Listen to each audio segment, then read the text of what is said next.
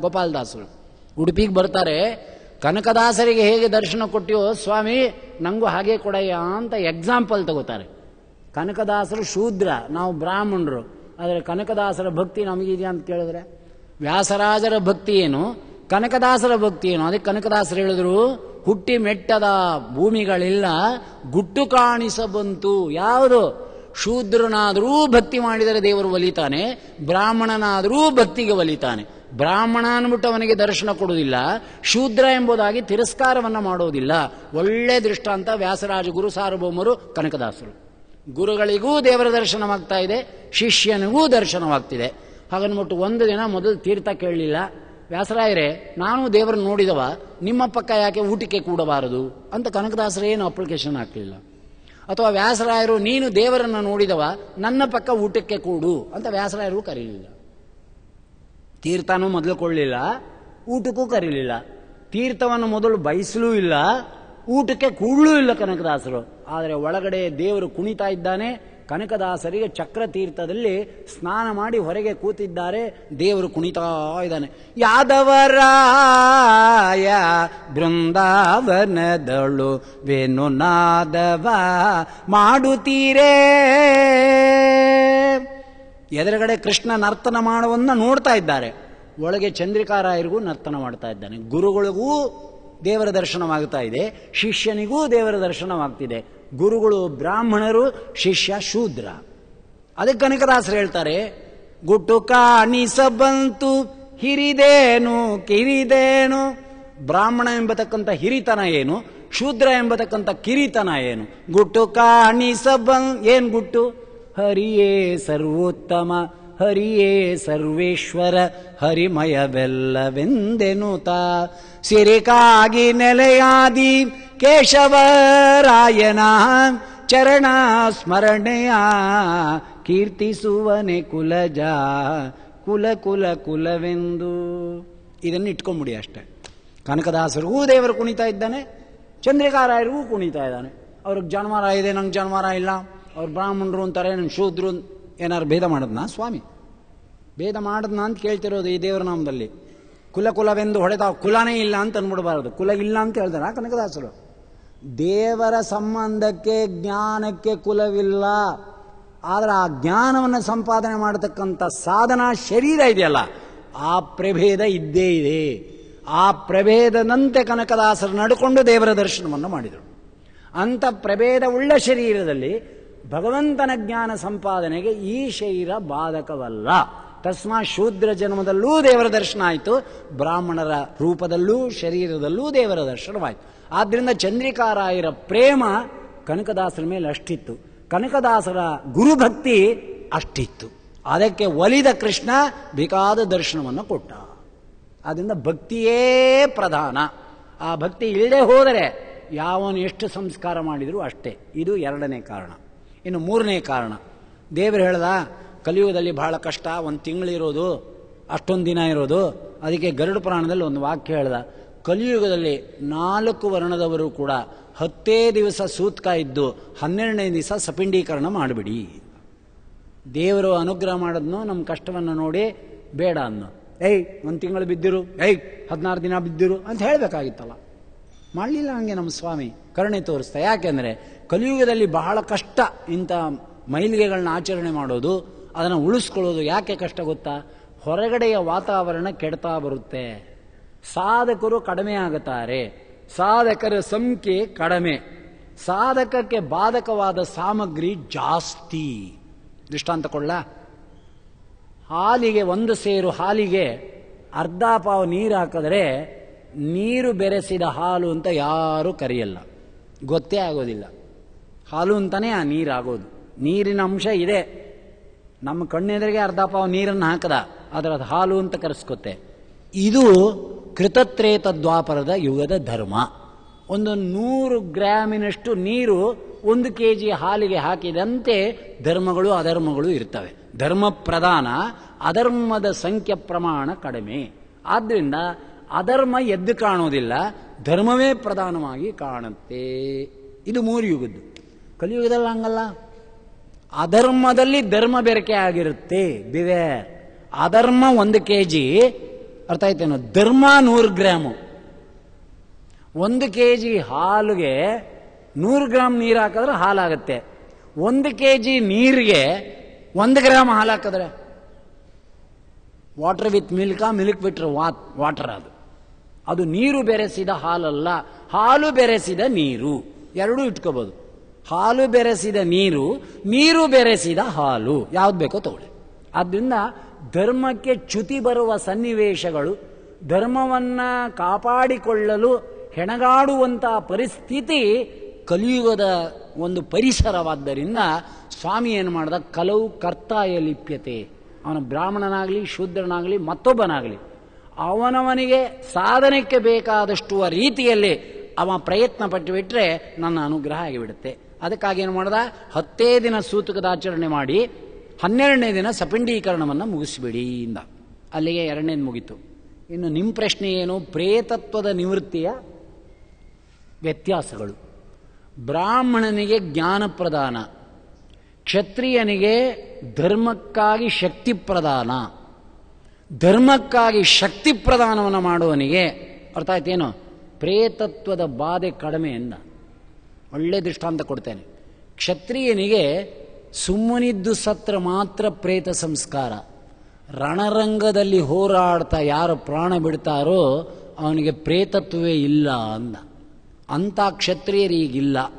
ಆದ್ದರಿಂದ ಅನ್ವಯ ಇಲ್ಲ. ಇಲ್ವೇ ಇಲ್ವಾ ಅಂದರೆ ಇದೆ. ಯಾವುದದು? ಮಿಲ್ಟ್ರಿ ಒಳಗಡೆ ಬಾರ್ಡರ್ ಕಾಯ್ತಾ ಇರತಕ್ಕಂಥವರು ದೇಶದ ಒಳಗೆ ಶತ್ರುಗಳು ನುಸುಳದೆ ಇರಲಿ ಎಂಬುದಾಗಿ ಬಾರ್ಡರ್ನಲ್ಲಿ ಹೋರಾಟ ಮಾಡ್ತಾ ಪ್ರಾಣ ಬಿಡ್ತಾರಲ್ಲ, ಅಂತಹ ಮಿಲಿಟ್ರಿಯಲ್ಲಿ ದೇಶಕ್ಕಾಗಿ ಪ್ರಾಣ ಬಿಡುವವ ಸೈನಿಕ ಇದ್ದಾನಲ್ಲ, ಇವತ್ತಿಗೆ ಅವನಿಗೂ ಪ್ರೇತತ್ವ ಇಲ್ಲ. ಆದ್ದರಿಂದ ಅವನು ಕ್ಷತ್ರಿಯನೇ ಆಗಬೇಕು ಅಂತಿಲ್ಲ. ಕಲಿಯುಗದಲ್ಲಿ ದೇಶಕ್ಕಾಗಿ ಯಾರು ತಮ್ಮ ಪ್ರಾಣವನ್ನ ಸಮರ್ಪಣೆ ಮಾಡ್ತಾರೋ ಅವನಿಗೆ ಪ್ರೇತತ್ವ ಇಲ್ಲ. ಅದರಿಂದ ಕ್ಷತ್ರಿಯರಿಗೆ ಪ್ರೇತತ್ವದ ನಿವೃತ್ತಿಗಾಗಿ ಮಾಡತಕ್ಕಂತಹ ಸಂಸ್ಕಾರ ಇದೆಯಲ್ಲ, ಅದು ಕಡಿಮೆ. ಅದಕ್ಕೆ ಜಾಸ್ತಿ ಅದನ್ನು ಮಾತಾಡಿಲ್ಲ. ಅರ್ಥ ಆಯ್ತಾ? ಕ್ಷತ್ರಿಯರೂ ಇಲ್ಲ. ಕ್ಷತ್ರಿಯರ ಸಂಖ್ಯೆ ಅತ್ಯಂತ ಕಡಿಮೆ. ಅಂತ ಶುದ್ಧ ಕ್ಷತ್ರಿಯರು ಇಲ್ಲ. ಆದರೆ ಕ್ಷಾತ್ರ ವೃತ್ತಿ ಉಳ್ಳವರು ಇವತ್ತು ದೇಶದಲ್ಲಿ ಸೈನಿಕರಲ್ಲಿ ರೂಪದಲ್ಲಿ ಇದ್ದಾರೆ. ದೇಶವನ್ನು ಸಂರಕ್ಷಣೆ ಮಾಡತಕ್ಕಂತಹ ಸೇನಾನಿಗಳಾಗಿ ಇದ್ದಾರೆ. ಅವರು ದೇಶಕ್ಕಾಗಿ ತಮ್ಮ ಪ್ರಾಣವನ್ನು ಕೊಡ್ತಾರೆ. ಉಗ್ರರ ಹೋರಾಟದಲ್ಲಿ ಎಷ್ಟೋ ಜನ ಸೈನಿಕರು ಇವತ್ತು ಸಾಯ್ತಾ ಇದ್ದಾರೆ. ದೇಶವನ್ನ ಅವರು ಸಂರಕ್ಷಣೆ ಮಾಡಿದ್ರೆ ತಾನೇ ನಾವು ಇಲ್ಲಿ ಕೂತ್ಕೊಂಡು ಉಪನ್ಯಾಸ ಮಾಡಿ ಕೇಳ್ತಾ ಇರೋದು. ಅರ್ಥ ಆಯ್ತಾ? ಅವರು ದೇಶವನ್ನು ಸಂರಕ್ಷಣೆ ಮಾಡದೆ ಹೋದ್ರೆ ಎಲ್ಲಿ ಇಲ್ಲಿ ರಕ್ಷಣೆ? ಆದ್ದರಿಂದ ಅವರಿಗೆ ಪ್ರೇತತ್ವ ಇಲ್ಲ. ಅದರಿಂದ ಯಾರು ಸೈನ್ಯದಲ್ಲಿದ್ದು ಅಥವಾ ದೇಶಕ್ಕಾಗಿ ಪ್ರಾಣವನ್ನು ಬಿಡ್ತಾರೋ ಅವರಿಗೆ ಪ್ರೇತತ್ವ ಇಲ್ಲ ಅಂತ ಮಾಫಿ ಮಾಡಿಬಿಟ್ಟ ಸ್ವಾಮಿ. ಆದ್ದರಿಂದ ಕ್ಷತ್ರಿಯರ ವಿಚಾರ ಕಡಿಮೆ. ಬಿಟ್ಟುಬಿಡಿ ಅದನ್ನು. ಇನ್ನು ವೈಶ್ಯರಿಗೆ ಪ್ರೇತ ಸಂಸ್ಕಾರ ಬ್ರಾಹ್ಮಣರಂತೆಯೇ ಅವರು ಮಾಡಬೇಕು. ಯಾಕೆ? ವೇದಾಧಿಕಾರಿಗಳು. ಆದರೆ ವ್ಯತ್ಯಾಸ ಏನು ಅಂದರೆ ಅನ್ನದ ಪಿಂಡದಿಂದ ಬ್ರಾಹ್ಮಣರು ಮಾಡ್ತೇವೆ ವೈಶ್ಯ ಶೂದ್ರರು ಹಿಟ್ಟಿನ ಪಿಷ್ಟಪಿಂಡ ಅಂತ ಕರಿತೇವೆ. ಹಿಟ್ಟಿ ಕಲಸಿದ, ಅಕ್ಕಿ ಹಿಟ್ಟು, ಗೋಧಿ ಹಿಟ್ಟು ಕಲಸಿದ ಪಿಂಡದಿಂದ ಯಥಾವತ್ ಕ್ರಮವನ್ನು ನಾವು ಹೇಗೆ ಮಾಡ್ತೇವೋ ವೈಶ್ಯರು ಹಾಗೇ ಮಾಡಬೇಕು. ಆದರೆ ವೈಶ್ಯರಿಗೆ ಪೌರಾಣೋಕ್ತವಾದ ಕ್ರಮದಿಂದ ಪೌರೋಹಿತ್ಯ ನಡಿಬೇಕು. ಶೂದ್ರರಿಗೆ ಕೇವಲ ತಾಂತ್ರಿಕಾರ್ಚನಂ ಅಂತ ಹೇಳಿದ್ದಾರೆ. ಅವರು ಸುತ್ಕ ಇರಬೇಕು, ಅವರು ಎಂಜಲ್ ಮುಸ್ರೆ ಆಚರಣೆ ಮಾಡಬೇಕು, ಅವರು ಬೈಷ್ಠೆ ಇತ್ಯಾದಿಗಳನ್ನ ಆಚರಣೆ ಮಾಡಬೇಕು. ಅದು ಧರ್ಮ, ಅವರಿಗೂ ದೇವರು ಮಾಡಿರೋದು. ಇದೆಲ್ಲ ಹಿಂದೆ ಇತ್ತು. ಒಬ್ಬ ಮನೆ ಹತ್ರ ಹಸು ತಂದು ಹಾಲು ಕರಿಬೇಕು ಅಂದರೆ ಕೈಕಾಲು ತೊಳ್ಕೊಂಡು ಎಂಜಲ್ ಮಾಡದೆ ಪರಿಶುದ್ಧದಿಂದ ಹಾಲು ಕರೆದು ಇದನ್ನು ದೇವರ ಅಭಿಷೇಕಕ್ಕೆ ಉಪಯೋಗಿಸ್ತಾರೆ ಅಂತೇಳಿ ಎಂಜಲ ಕೈಯಿಂದ ಹಾಲನ್ನು ಮುಟ್ಟಬಾರದು ಎಂಬತಕ್ಕಂಥ ಧರ್ಮ ಪ್ರಜ್ಞೆ ಅವ್ರಿಗೂ ಇತ್ತು. ಏನು ಸ್ವಾಮಿ, ನೀವು ಬ್ರಾಹ್ಮರಾಗಿ ಇಷ್ಟು ಎಂಜಲ್ ಮಾಡ್ತಾ ಇದ್ದೀರಿ, ನಾವು ಶೂದ್ರಾಗ ಹಾಗೆ ಮಾಡಲ್ವಲ್ಲ ಅಂತ ಹೇಳುವ ಕಾಲವೂ ಇತ್ತು. ಇವತ್ತು ಅದಿಲ್ಲ ಯಾಕಿಲ್ಲ ಅಂದರೆ ಎಂಜಲ್ ಎಂಜಲು ಎಂಜಲೆಂಬರು ಕ್ಷೀರ ಕರುವಿನ ಎಂಜಲಲ್ಲವೇ? ವಾರಿ ಜಲಚರ ಎಂಜಲಲ್ಲವೇ ಕನಕದಾಸರು, ಎಂಜಲು ಅನ್ನಕ್ಕೆ ಬೆಲೆನೇ ಕಳ್ಕೊಂಡ್ಬಿಟ್ಟಿದೆ ಮುಸ್ರೆ ಅನ್ನಕ್ಕೆ ಬೆಲೆ ಕಳ್ಕೊಂಡ್ಬಿಟ್ಟಿದೆ ಇವೆಲ್ಲ ಜ್ಞಾನ ಬಾಧಕ ಎಂಬತಕ್ಕಂಥ ಜ್ಞಾನವೇ ಇಲ್ಲ. ಅನ್ನದಿಂದ ಜ್ಞಾನ ಕಡುತ್ತೆ ಎಂಬತಕ್ಕಂಥ ಸಂಬಂಧವೇ ಗೊತ್ತಿಲ್ಲ. ಮಹಾಭಾರತದ ಒಂದು ದೃಷ್ಟಾಂತ. ಮನೋಭಿಮಾನಿಗಳಾದ ರುದ್ರದೇವರೇ ದೂರ್ವಾಸ ಮುನಿಗಳು. ಇಂಥ ದೂರ್ವಾಸರು ದುರ್ಯೋಧನ ಮನೆಯಲ್ಲಿ ಚಾತುರ್ಮಾಸಕ್ಕೆ ಕೂಡ್ತಾರೆ. ನಾಲ್ಕು ತಿಂಗಳು ಅವರ ಮನೆ ಅನ್ನ ತಿಂತಾರೆ. ಬುದ್ಧಿ ವ್ಯತ್ಯಾಸವಾಗುತ್ತೆ ಅನ್ನದಿಂದ. ನಾಲ್ಕು ತಿಂಗಳ ಚಾತುರ್ಮಾಸ ಆದಮೇಲೆ ದುರ್ಯೋಧನ ಬಂದು ಪ್ರಾರ್ಥನೆ ಮಾಡಿ ನಮಸ್ಕಾರ ಮಾಡಿದ. ದೂರ್ವಾಸರು ಬೈ ಚಾನ್ಸ್ ಬಾಯ್ಲು ಅಂದ್ಬಿಟ್ರು, ನಿಂಗೇನು ಬೇಕು ವರ ಕೇಳ್ಕೊ ಅಂದರು. ನಮ್ಗಂತ ಕೇಳೋರೇ ಇಲ್ಲ ನೋಡಿ, ಅದೇ ಬಂದಿರೋದು. ನಿಂಗೇನು ಬೇಕೋ ವರ ಕೇಳ್ಕೊ ಅಂದರೆ ಅವ್ರನ್ನೇ ತಗರು ಬುಗ್ರು ಮಾಡಾಕ್ಬಿಡ್ತೀವಿ. ನಮ್ಗೆ ಯಾರು ವರ ಕೇಳ್ಕೊ ಅನ್ನೋದು ಇಲ್ಲ ಅಂತ ವರ ಕೊಡೋರು ಇಲ್ಲ, ನಾವೇನು ಮಾಡೋಣ? ಕೊಡೋರೆಲ್ಲ ಬೃಂದಾವನದೊಳಗೆ ಸೇರ್ಕೊಂಡ್ಬಿಟ್ಟಿದ್ದಾರೆ. ಒಬ್ಬರೂ ಇಲ್ಲ, ನಡೆದಾಡೋರು ಬೃಂದಾವನಕ್ಕೆ. ಆ ಬೃಂದಾವನಕ್ಕೆ ಎಷ್ಟು ಸೇವೆ ಮಾಡಿದ್ರು ಕೂಡ ಅವ್ರು ನಿಧಾನಕ್ಕೆ ಕೊಡ್ತಾರೆ. ಯಾಕೆ ಗೊತ್ತಾ? ಯಾಕೆ ಕೊಳ್ಳಿಲ್ಲ ಅಂತ ಕೇಳುವಂಗಿಲ್ವಲ್ಲ? ಬೃಂದಾವನ ಮಾತಾಡಲ್ಲ. ರಾಘವೇಂದ್ರ ಸ್ವಾಮಿಗಳ ಗ್ರಂಥವನ್ನು ಸಮರ್ಪಣೆ ಮಾಡುವಾಗ ವಾದೀಂದ್ರ ತೀರ್ಥ ಹೇಳ್ತಾರೆ, ನಿಮ್ಮ ಗ್ರಂಥದ ಮಹಿಮೆ ಇಂಥದ್ದು ಅಂತ ಗುರುಗಣ ಸ್ತವನ ಎಂಬುದಾಗಿ ಒಂದು ಸ್ತೋತ್ರವನ್ನು ಮಾಡಿ ರಾಯರ ಮರಿಮಕ್ಕಳು ಅದನ್ನು ರಾಯರಿಗೆ ಸಮರ್ಪಣೆ ಮಾಡಿದರೆ ಬೃಂದಾವನ ಅಲ್ಲಾಡ್ತಂತೀವಿ ಇವತ್ತು ನಾವು ನಂಬ್ತೀವ ಅಂತ ಕೇಳಿದ್ರೆ? ಹೇಳಿ, ನೀವು ಹೇಳಿ. ನಂಬಕ್ಕಾಗತ್ತಾ? ಬೃಂದಾವನ ಅಲ್ಲಾಡ್ತಂತೆ. ಅಂದ್ರೇನು, ಒಳಗೆ ರಾಯರ ಸಂತೋಷ ಪಟ್ರು ಅಂತ ಇತಿಹಾಸ ಇದೆ. ಇವತ್ತು ನಾವು ಬೃಂದಾವನ ಅಲ್ಲಾಡಿಸ್ಬೇಕಷ್ಟೆ. ಯಾರೋ ಹೇಳಿದ್ರಂತೆ, ಒಂದು ಬೀಸಣಿಗೆ ಕೊಟ್ಬಿಟ್ಟು ಮೂರು ಜನಕ್ಕೆ ಯಾರು ನಿಧಾನಕ್ಕೆ ಬೀಸ್ಕೋತಾರೋ ಅವ್ರಿಗೊಂದು ಪ್ರೈಸ್ ಇಡ್ತೀವಿ ಅಂತ. ಒಬ್ಬ ಸುಮ್ಮನೆ ಹಿಂಗಂದ, ಇನ್ನೊಬ್ಬ ಹಿಂಗಂದ. ಈ ಮೂರನೇವರಿಂದಲ್ಲ ಅವನು ಮಹಾ ಚಾಣಾಕ್ಷ. ಬೀಸಣಿಗೆ ಇಟ್ಕೊಂಡು ತಲೆನೇ ಹೀಗಂದಂತ ಅವನಿಗೆ ಪ್ರೈಸ್ ಹೋಯಿತು ಅಂತ ಲೋಕದಲ್ಲಿ ಒಂದು ಮಾತು. ಅಲ್ವಾ? ಹಾಗೆ ನಮ್ಮ ಕಲಿಯುಗದ ಪ್ರಶ್ನೆಗಳು ಮಹಾ ಚಾಣಾಕ್ಷತನದ ಪ್ರಶ್ನೆ ಮಾಡ್ತೇವೆ. ಅದಕ್ಕೆ ಸ್ವಾಮಿ ಹೇಳಿದ, ಕಲಿಯುಗದ ಧರ್ಮ ಎಂಥದ್ದು ಅಂದರೆ, ಅಲ್ಲ, ಯೇ ವರ್ಣಾಶ್ರಮ ವಿಭಾಗಜಂ ಉಲ್ಲಂಘ್ಯ ಏ ಸ್ವೇಚ್ಛೆಯ ಪ್ರವರ್ತಂತೆ, ಸ್ವೇಚ್ಛೆಯ ಕೂಟಯುಕ್ತಿಭಿ, ಯುಕ್ತಿ ಪ್ರಾಗಲ್ಭ್ಯ ದುರ್ಮದಾಹ, ತೇ ನರಕಾರ್ಗ, ತೇ ಪಾಖಂಡಿನಃ ಅಂದ. ಕಲಿಯುಗದ ಧರ್ಮ ಎಂಥದ್ದು ಅಂದರೆ ವರ್ಣಾಶ್ರಮ ವಿಭಾಗ ಹೊರಟೋಗ್ತದೆ. ಧರ್ಮಾಧರ್ಮಗಳ ವಿಚಾರ ಮಾತಾಡೋದೇ ಹೊರಟೋಗುತ್ತೆ. ಧರ್ಮಾಧರ್ಮಗಳ ವಿಚಾರದ ಮೇಲೆ ಯುಕ್ತಿಯನ್ನು ಚಾಲನೆ ಮಾಡ್ತಾನೆ. ಕೆಟ್ಟ ಯುಕ್ತಿಯಿಂದ ಧರ್ಮಾಧರ್ಮಗಳನ್ನು ಕೆಳಕ್ಕೆ ಹಾಕ್ತಾನೆ. ಅಂಥ ಧರ್ಮ ಕಲಿಯುಗದಲ್ಲಿ ಜಾಸ್ತಿ ಆಗ್ತದೆ ಎಂದು. ನಾನೊಬ್ಬರು ಮನೆಗೆ ಹೋಗಿದ್ದೆ. ಹಳೇ ಕಾಲದವರು ಮನೆ ಪಾಪ. ಹೊಸದಾಗಿ ಮದುವೆ ಆಯಿತು ಮಗನಿಗೆ. ಸೊಸೆ ಬಂದ್ಲು. ಆ ಕಾಲದಲ್ಲಿ ಅವಳು ಗ್ರ್ಯಾಜುಯೇಟ್ ಅಂತೆ. ಆ ಕಾಲದಲ್ಲಿ. ನಾನು ಮಾತಾಡ್ತಾ ಇರೋದು ಸಾವಿರದ ಒಂಬೈನೂರ ಅರವತ್ತಾರನೇ ಇಸ್ವಿ. ನಂಗೆ ಹದಿನಾರು ವರ್ಷ. ಆಗ ಅವ್ರ ಮನೆಗೆ ಹೋದೆ. ಹೋದಾಗ ಅತ್ತೆ ಸೊಸೆ ಜಗಳ ಹತ್ಕೊಂಡಿದ್ದೆ ಆ ಕಾಲಕ್ಕೆ ಬಿ ಎಸ್ ಸಿ ಅವಳು, ಸೊಸೆ. ಬಂದು ಒಂದು ಲೋಟ ಸಾರು ಕುಡಿತಾ ಇದ್ಲಂತೆ. ಕುಡಿದುಬಿಟ್ಟು ಕೆಳಗಿಟ್ಟು ಹಿಂಗೆ ಮೈಗೆ ಒರೆಸ್ಕೊಂಬಿಟ್ಟಿದ್ದಾಳೆ. ಆ ಅತ್ತೆ ಲಬ ಲಬ ಲಬ ಬಿಡ್ಕೊಂಬಿಟ್ಟಿದ್ದಾಳೆ. ಮುಸ್ರೆಕಾಯಿ ಮೈಯೆಲ್ಲ ಮುಟ್ಕೊಂಬಿಟ್ಲು, ಮುಸ್ರೆಕಾಯಿ ಮೈಯೆಲ್ಲ ಮುಟ್ಕೊಂಡು ನಾನು ಹೋಗ್ಬೇಕೆ ಗ್ರಾಚಾರಕ್ಕೆ ಆ ಸೊಸೆ ಹೇಳಲು ನಮ್ಮ ಅತ್ತೆಗೆ ಹುಚ್ಚು ಬಡ್ದಿದೆ ಅಂದ್ಲು. ಯಾಕಮ್ಮ ಅಂದೆ ಅಲ್ಲ ಆಚಾರ್ಯ, ನಂಗೆ ಯಾವಾಗಲೂ ಆಚಾರ್ಯ ಅಂತಾನೆ ದೇವ್ರು ಕರೆಸ್ತಾ ಇರೋದು. ಅದು ಯಾಕೋ ಗೊತ್ತಿಲ್ಲ. ಮುಂದೆ ಈ ಥರ ಆಚಾರ್ಯ ಆಗ್ತೀನಿ ಅಂತಾನೇನೋ ಏನೋ, ಎಲ್ಲರೂ ನನ್ನ ಆಚಾರ್ಯರು ಅಂತಾನೆ ಕರಿತಾ ಇದ್ದೆ. ಹೈಸ್ಕೂಲಲ್ಲೂ ಅಷ್ಟೇ ಕಾಲೇಜಲ್ಲೂ ಅಷ್ಟೇ, ಯಾರು ನನ್ನ ಫ್ರೆಂಡ್ ಥರ ಕರಿತಿರ್ಲಿಲ್ಲ, ಆಚಾರ್ಯರು ಅಂತಾನೆ ಕರಿತಿದ್ರು. ಅದು ಯಾಕೋ ಏನೋ ಗೊತ್ತಿಲ್ಲ. ಯಾಕಾರೋ ಕರೆದ್ರು ಆಚಾರ್ಯ ಆಗ್ಬಿಟ್ಟೆ ಅನ್ಕೋತೀನಿ ಒಂದೊಂದು ಸಾರಿ ಇಲ್ಲದೇ ಇಷ್ಟೊತ್ತಿಗೆ ಡಿವಿಷನಲ್ ಮ್ಯಾನೇಜರ್ ಆಗಿ ಯುನೈಟೆಡ್ ಇಂಡಿಯಾದಲ್ಲಿ ರಿಟೈರ್ಡ್ ಆಗ್ಬಿಡ್ತಾ ಇದ್ದೆ. ನಮ್ಮಣ್ಣ ರಿಟೈರ್ಡ್ ಆಗಿ ಇಪ್ಪತ್ತೈದು ಸಾವಿರ ರೂಪಾಯಿ ಪೆನ್ಷನ್ ತಗೋತಾನೆ. ಇಬ್ಬರು ಒಟ್ಟಿಗೆ ಕೆಲಸಕ್ಕೆ ಸೇರಿಕೊಂಡ್ವು. ನಾ ಪುರಾಣ ಹೇಳ್ಕೊಂಡು ಒದ್ದಾಡ್ತಾನೇ ಇದ್ದೀನಿ. ಅವನು ಇಪ್ಪತ್ತೈದು ಸಾವಿರ ಪೆನ್ಷನ್ ತೊಗೋತಾ ಇದ್ದಾನೆ. ಯಾಕೋ ಕೆಲಸ ಬಿಟ್ಟು ಅಂತ ಬೈತಾನೆ ಇವತ್ತಿಗೂ ಹೋದ್ರು. ಎಲ್ಲರೂ ಪುರಾಣಕ್ಕೆ ಹೋಗೋಕ್ಕಾಗಲ್ಲ, ಕೈಲಾಗಲ್ಲ, ಸಂಕಟ ಅಂದ್ರೆ ಬೈತಾನೆ. ಅವತ್ತೇ ಬಡ್ಕೊಂಡೆ, ಕೆಲಸ ಬಿಡಬೇಡ ಅಂತ. ಯಾಕೆ ಬಿಟ್ಟು? ಅಂತಾನು. ಅದಕ್ಕೆ ಅವನ ಹತ್ರ ಹೇಳಕ್ಕೆ ಹೋಗಲ್ಲ ನಾನು. ಕಷ್ಟ ಕಾರ್ಪಣ್ಯ ಅಂತ. ಇಲ್ಲಾಂದ್ರೂ ಬೈಸ್ಕೊಂಬರ್ಬೇಕಾಗತ್ತೆ ಇಷ್ಟು ದೊಡ್ಡ ಕೆಲಸ ಬಿಟ್ಬಿಟ್ಟಿಯಲ್ಲೋ ನೀನು ಅಂತ ಇದ್ದಾನೆ. ಇಬ್ಬರು ಸ್ಟೆನೋ ಆಗಿ ಸೇರಿದ್ವು. Senior typewriting and short and ಮಾಡಿ. ಯಾವಾಗ ಸಾವಿರದ ಒಂಬೈನೂರ ಅರವತ್ತೆಂಟರಲ್ಲಿ. ಅರವತ್ತೆಂಟು, ಅರವತ್ತೊಂಬತ್ತರಲ್ಲಿ ಸೇರಿದೆ ಇಷ್ಟೊತ್ತು ಕಾಲ ರಿಟೈರ್ಡು ಅರವತ್ನಾಲ್ಕನೇ ವಯಸ್ಸು ನನಗೆ. ಆಗತ್ತಾ? ದೇವರು ಬಿಡಿಸ್ತಾ.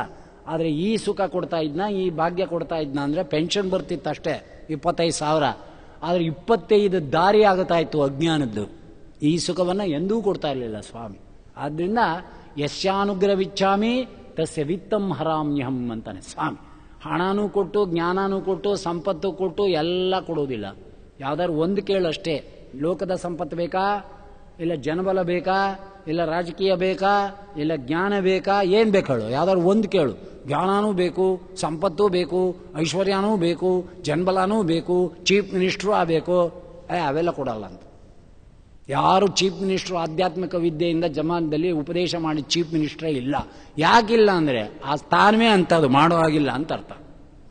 ಚೀಫ್ ಮಿನಿಸ್ಟ್ರು ಆಧ್ಯಾತ್ಮ ವಿದ್ಯೆ ಪ್ರಚಾರ ಮಾಡ್ತಾ ಕೂತ್ಕೊಂಡ್ಬಿಟ್ರೆ ಅವ್ನು ಚೀಫ್ ಮಿನಿಸ್ಟ್ರು ಅಂತ ಯಾರಂತಾರೆ?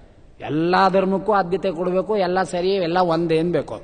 ಹಾಗಿದ್ದರೆ ಸೀಮೆಎಣ್ಣೆನೂ ಒಂದೇ ಹಲ್ಲೆಣ್ಣೆನೂ ಒಂದೇ, ಎಲ್ಲ ಊರಿ. ಯಾವೆಣ್ಣೆಯಾದರೂ ಉರಿಯುವುದೇ ಗುರಿ ಎಂಬ ತತ್ವವನ್ನು ತಿಳಿಯೇ. ಯಾವೆಣ್ಣೆಯಾದರೂ ಉರಿಯುವುದೇ ಗುರಿ ಎಂಬ ತತ್ವವನ್ನು ತಿಳಿ. ಅದಂತೆ ಜಾತಿ ಅಂದರೆ. ಜಾತಿ ಎರಡೇ ಎರಡು ಗಂಡು ಹೆಣ್ಣು ಎಂದು ಅಂತಾರೆ ಒಬ್ರು ಜೆಂಡರ್ ಬೇರೆ, ಜಾತಿ ಬೇರೆ ಕ್ಯಾಸ್ಟ್ ಬೇರೆ ಜೆಂಡರ್ ಬೇರೆ. ಅದು ಕಾಮನ್ ಸೆನ್ಸ್ ಇಲ್ಲ. ಜಾತಿ ಎರಡಂತೆ, ಒಂದು ಗಂಡು, ಒಂದು ಹೆಣ್ಣಂತೆ. ಅಪ್ಲಿಕೇಶನ್ ಹಂಗಿದೆಯಾ? ಕ್ಯಾಸ್ಟ್ ಅಂದರೆ ಹಾಗೆ ಬರೀಕ್ ಇದೆಯಾ? ಕ್ಯಾಸ್ಟ್ ಅಂದರೆ ಬೇರೆ ಅಪ್ಲಿಕೇಶನ್ ಜೆಂಡರ್ ಅಂದರೆ ಬೇರೆ. ಜೆಂಡರ್ ಕ್ಯಾಸ್ಟ್ ಹೆಂಗಾಗುತ್ತೆ? ಅಂತ ಹಾಡುಗಳನ್ನೆಲ್ಲ ಹಾಕ್ಬಿಟ್ಟು ತಲೆ ಕೆಡಿಸ್ಬಿಡ್ತಾರೆ ನಿಮಗೆ. ಹಾಗೆ ಇಲ್ಲೂ ಹೇಳ್ತಕ್ಕಂಥವರಾಗಿದ್ದಾರೆ. ಆದ್ದರಿಂದ ಈಗ ನಾವು ಬೇಕಾದ್ದೇನಾಯಿತು? ಈ ವೈಶ್ಯ ಶೂದ್ರಗಳಿಗೆ ಪ್ರೇತ ಸಂಸ್ಕಾರ ಎಂಬತಕ್ಕಂಥದ್ದು ಪೌರಾಣಿಕ ಯುಕ್ತ ಕೇವಲ ತಾಂತ್ರಿಕ ಅರ್ಚನೆಯಿಂದ ಮಾಡಿಸ್ತಕ್ಕಂಥವರಾಗಬೇಕು. ಅದನ್ನು ನಾವೇ ಮಾಡ್ಕೋತೀವಿ, ಬ್ರಾಹ್ಮರ ಅವಶ್ಯಕತೆ ಇಲ್ಲ ಅಂತ ಇವತ್ತು ನಡೀತಾ ಇದೆ. ಅದನ್ನ ಬ್ರಾಹ್ಮಣರೇ ಶೂದ್ರರ ಪ್ರೇತತ್ವವನ್ನು ಬಿಡಿಸ್ತಕ್ಕಂಥ ಕಾರ್ಯವನ್ನು ಕೂಡ ಬ್ರಾಹ್ಮಣರೇ ಮಾಡಬೇಕು. ಅದಕ್ಕೆ ಹಿಂದೆ ಬ್ರಾಹ್ಮಣರನ್ನು ಕರೆದು, ಅವರೇ ಜಗತ್ತಲ್ಲಿ ಹೇಳೋರು, ಇವರು ಬ್ರಾಹ್ಮಣರ ಪುರೋಹಿತರು, ಇವರು ಶೂದ್ರಿಗೆ ಮಾಡಿಸೋ ಪುರೋಹಿತರು ಅಂತ ಹೇಳೋರು. ಅಂದ್ರೆ ಅದು ಒಂದು ಕ್ರಮ. ಆ ಕ್ರಮವನ್ನು ತಿಳಿದಿರ್ತಕ್ಕಂಥವ್ರು ಅಲ್ಲಿಗೆ ಹೋಗಿ ಅವರೂ ಕೂಡ ಅಂತ್ಯ ಸಂಸ್ಕಾರಗಳನ್ನ ಹೂಳೋದು ಸುಡೋದು ಎಂಬತಕ್ಕಂಥದ್ದು ಮಾಡಿಸಿ, ಅದಕ್ಕೆ ಬೇಕಾಗಿರ್ತಕ್ಕಂಥ ಪಿಷ್ಟಪಿಂಡಗಳನ್ನ ಇಡಿಸಿ ಯಥಾಪ್ರಕಾರ ಮೂರು ತಲೆ, ಅವರವರು ಯಾರು ಕಾಳೇಗೌಡ, ಬೋರೇಗೌಡ ಅಂತ ಹಿಂದೆ ಇದ್ದರೋ ಅವರುಗಳನ್ನೆಲ್ಲ ಕರೆಸಿ, ಅವರುಗಳಲ್ಲಿ ಸಮನ್ವಯ ಎಂಬತಕ್ಕಂಥದ್ದು ಮಾಡಿಸಿ, ಅವರಿಗೂ ಕೂಡ ಆಶೀರ್ವಾದ ಮಾಡಿ ಬರ್ತಾ ಇದ್ದರು ಅನ್ನೋದನ್ನು ಇಲ್ಲಿ ಪರಮಾತ್ಮ ಹೇಳಿದ್ದಾರೆ. ಈಗ ಆ ಕ್ರಮ ಇಲ್ವಲ್ಲ ಆಚಾರ್ಯ ಕಲಿಯುವುದಲ್ಲಿ ಕಷ್ಟ ಆಗುತ್ತಲ್ಲ ನಮಗೆ. ಅಂದರೆ ಕೂಲಿಗೆ ಬೇರೆಯವರ ಕೈನಲ್ಲಿ ಮಾಡಿಸಬಹುದು. ಒಬ್ಬ ಶೂದ್ರ ಬ್ರಾಹ್ಮಣರಿಂದ ಯಜಮಾನಸ್ಯ ಅಂತ ಶೂದ್ರ ಅಂತ ಹೇಳಿ ಬ್ರಾಹ್ಮಣ ಖಂಡಿತ ಮಾಡಬಹುದು. ತಪ್ಪೇನಿಲ್ಲ. ಆದರೆ ಇವತ್ತು ನಾವು ಅದು ಹೇಳಿದ್ರೆ ಹೊಸ ಪ್ರಮೇಯವಾಗುತ್ತೆ. ಆದ್ದರಿಂದ ಏನಪ್ಪ ಆಚಾರ್ಯ ಹಿಂಗೆ ಹೇಳ್ಬಿಟ್ರು?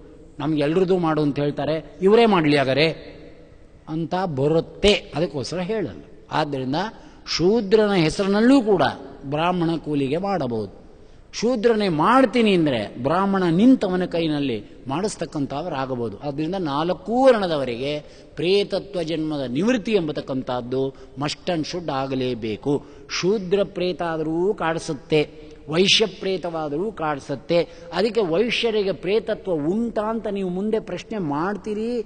ಶೂದ್ರಿಗೆ ಉಂಟಾನಕ್ಕೆ ನಾನು ಬಬ್ರುವಾನನ ಪ್ರೇತ ಸಂಸ್ಕಾರದಲ್ಲಿ ವೈಶ್ಯ ಆಗಿರ್ತಕ್ಕಂತಹ ಪ್ರೇತವನ್ನು ಬಿಡುಗಡೆ ಮಾಡಿರ್ತಕ್ಕಂಥ ಕಥೆಯನ್ನು ಹೇಳಿದ್ದು. ಇದೇ ಗರುಡ ಪುರಾಣದಲ್ಲಿ ಸುದೇವ ಎಂಬತಕ್ಕಂಥ ಬ್ರಾಹ್ಮಣನಿಗೆ ಯಾವ ಬಬ್ರುವಾನ ಎಂಬತಕ್ಕಂಥ ರಾಜ ಪ್ರಜೆಯ ವ್ಯಾಜದಿಂದ ಅವನ ಪ್ರೇತತ್ವವನ್ನು ಬಿಡಿಸಿದ್ದಾನೆ. ಅನ್ನಬೇಕಾದ್ರೆ ಈ ಕಥೆಯನ್ನು ಯಾಕೆ ಹೇಳಿದೆ ಈ ವರ್ಷ ಅಂತ ನಮ್ಮ ಹುಡುಗರುಗಳು ಕೇಳಿದರು ನಮ್ಮ ಶಿಷ್ಯರು.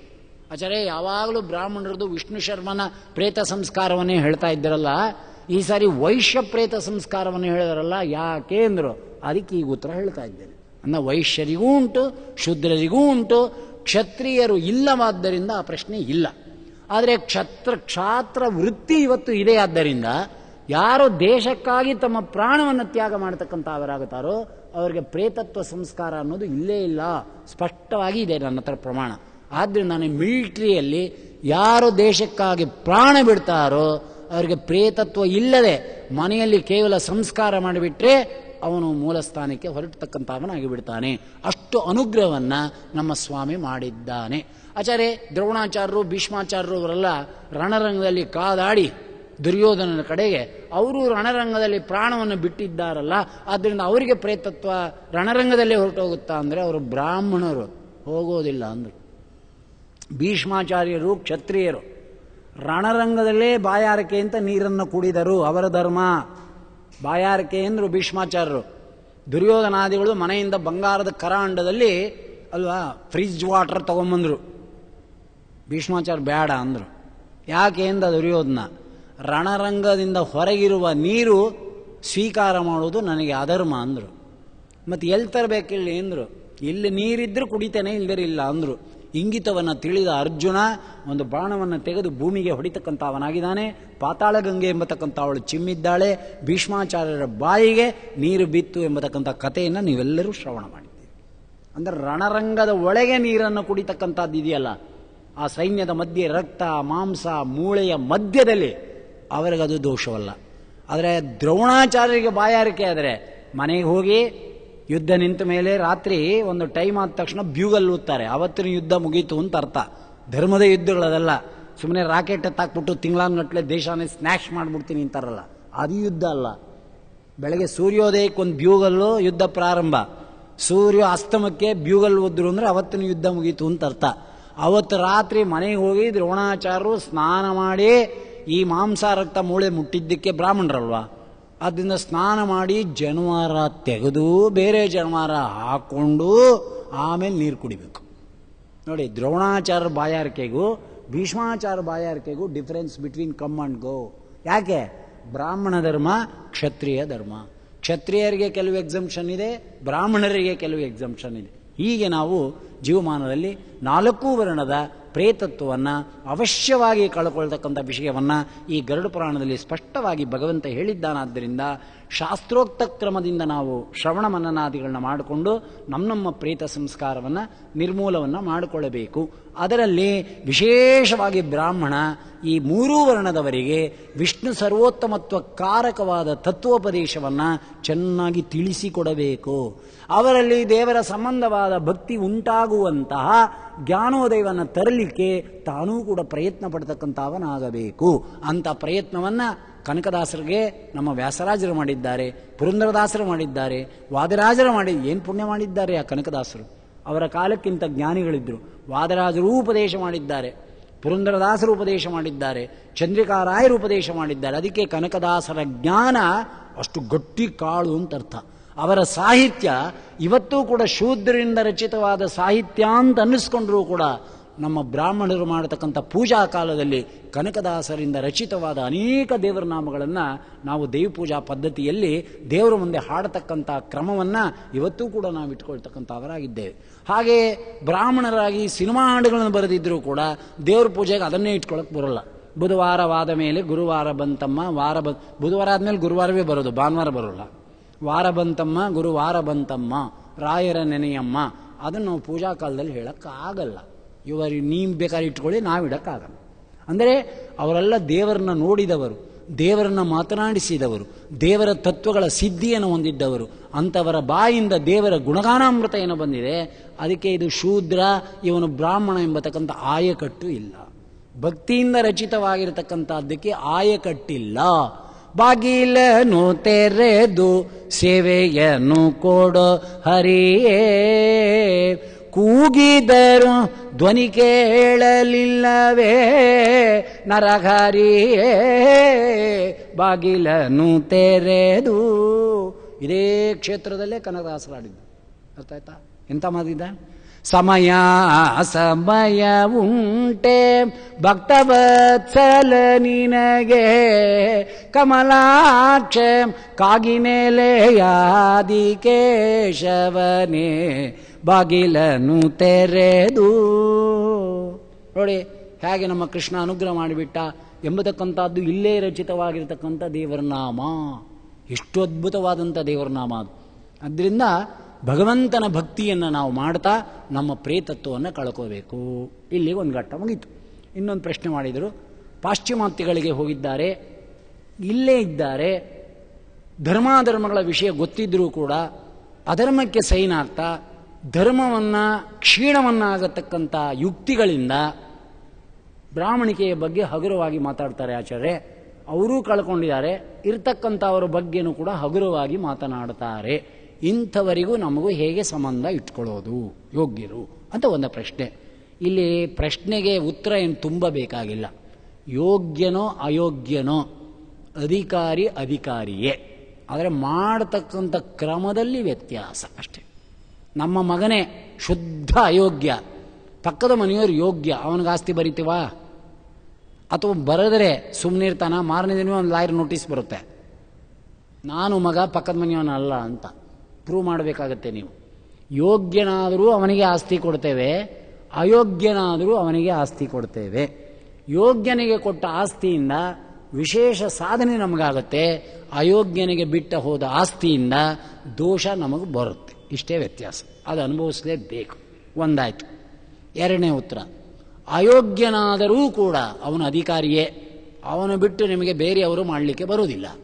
ಆದರೆ ಹೇಗೆ ಮಾಡೋದು ಅಂದರೆ, ಅಯೋಗ್ಯನಾದರೂ ಅವನು ಬೇರೆಯ ಮುಖಾಂತರ ಮಾಡಿಸಬಹುದು. ಅವನು ಮಾಡಲಿಲ್ಲ ಅಂದರೆ ಯಾರು ಬೇರೆ ಸರ್ವಾಭಾವೇ ಪುರೋಹಿತ. ಅವನ ಹೆಸರಿನಲ್ಲಿಯೇ ಮತ್ತೊಬ್ಬರು ಮಾಡಬೇಕು. ಅವನಿಗಿಷ್ಟ ಇರಲಿ ಇಲ್ಲದೆ ಹೋಗಲಿ. ಅಧಿಕಾರಿ ಅನ್ನೋನೊಬ್ಬಿದ್ದಾಗ ಅವನನ್ನು ಬಿಟ್ಟು ಬೇರೆಯವರು ಮಾಡಲಿಕ್ಕೆ ಸಂಕಲ್ಪ ಹುಟ್ಟೋದಿಲ್ಲ. ಯಾರ ಹೆಸರಿನಲ್ಲಿ ಮಾಡಬೇಕು? ಬ್ಯಾಂಕಿನಲ್ಲಿ ಅಕೌಂಟ್ ತೆಗೆದಿದ್ದಾನೆ. ಬ್ಯಾಂಕ್ಗೆ ಹೋಗಕ್ಕಾಗದೇ ಇರೋ ಸ್ಥಿತಿಯಲ್ಲಿ ಸ್ಟ್ರೋಕ್ ಹೊಡೆದು ಬಿದ್ದಿದ್ದಾನೆ. ಬ್ಯಾಂಕ್ನವ್ರು ಒಂದು ಮಾತು ಹೇಳ್ತಾರೆ ಅಕೌಂಟ್ ಅವನ ಹೆಸರಿನಲ್ಲೇ ಇದೆ. ಕೈ ಇಲ್ಲ ಕಾಲಿಲ್ಲ, ಬರೋಕ್ಕಾಗಲ್ಲ, ಸೈನ್ ಹಾಕೋಕ್ಕಾಗಲ್ಲ. ಆಗ ಅವನ ಹೆಸರಿನಲ್ಲಿ ಅಕೌಂಟ್ ಇರಬೇಕಾ ಬೇಡವಾ ಅಂದರೆ? ಹೇಳಿಕೆಯನ್ನು ಬೇಕಾದ್ರೂ ಕೊಡ್ಬೋದು. ಇನ್ನೊಬ್ಬವರಿಗೆ ಪವರ್ ಆಫ್ ಪಟಾನಿ ಬೇಕಾದ್ರೂ ಬರ್ಕೊಡ್ಬೋದು ಅರ್ಥ ಆಯ್ತಾ? ವರ್ಷಕ್ಕೊಂದು ಸಾರಿ ತಂದು ಮುಖ ತೋರಿಸ್ಕೊಂಡು ಹೋಗಪ್ಪ ಅಂತಲೂ ಹೇಳ್ಬೋದು ಇಲ್ಲ, ಯಾವುದೂ ಇಲ್ಲದ್ರ ಇದೆಯಲ್ಲ ಬಯೋಮೆಟ್ರಿಕ್ ಅದಂತೂ ಟ್ಯಾಲಿ ಮಾಡಬಹುದು. ಹೀಗೆಲ್ಲ ಏನೋ ಒಂದು ಕ್ರಮದಿಂದ ಬ್ಯಾಂಕಿನವರು ಅವಕಾಶಗಳನ್ನು ಕೊಡ್ತಾರೆ. ಹಾಗೆ ನಮ್ಮ ಸ್ವಾಮಿ ಅವಕಾಶ ಕೊಟ್ಟಿದ್ದಾನೆ. ಹಾಗೆ ಅಯೋಗ್ಯನಾದರೂ ಕೂಡ ಅಧಿಕಾರಿಯಿಂದ ಇನ್ನೊಬ್ಬನಿಗೆ ಪವರ್ ಆಫ್ ಪಟಾನಿ ಕೊಟ್ಟಾಗೇನೆ ಸರ್ವಾಭಾವ್ಯ ಪುರೋಹಿತ. ಯಾರು ಅವನ ಹೆಸರಿನಲ್ಲಿ ನಮಗೆ ಮಾಡಿ ಬಿಡಿಸಬೇಕು. ಆದ್ದರಿಂದ ಅಧಿಕಾರಿಯಾದರೂ ಮಾಡಬೇಕು, ಅನಧಿಕಾರಿಯಾದರೂ ಕೂಡ ಅವನೇ ಮಾಡಬೇಕು. ನಂಬರ್ ತ್ರೀ ಅನಧಿಕಾರಿಯಾಗಿ ಮಾಡಿದ ಅಂತ ಇಟ್ಕೊಳ್ಳೋಣ. ಕೆಲವರು ತಲುಪೋದೇ ಇಲ್ಲ, ಸೂತ್ಕನೇ ಇರಬಾರ್ದು ಅಂತ ಪ್ರಶ್ನೆಗಳನ್ನು ಮಾಡ್ತಾರೆ. ಅದು ಅಸಂಭವ. ಮೈಲಿಗೆ ಎನ್ನುವುದಕ್ಕೆ ಅಧಿಕಾರ ಅನಧಿಕಾರದಿಂದ ಮೈಲಿಗೆ ಹೋಗುತ್ತೆ ಅಂತ ಹೇಳಿಲ್ಲ.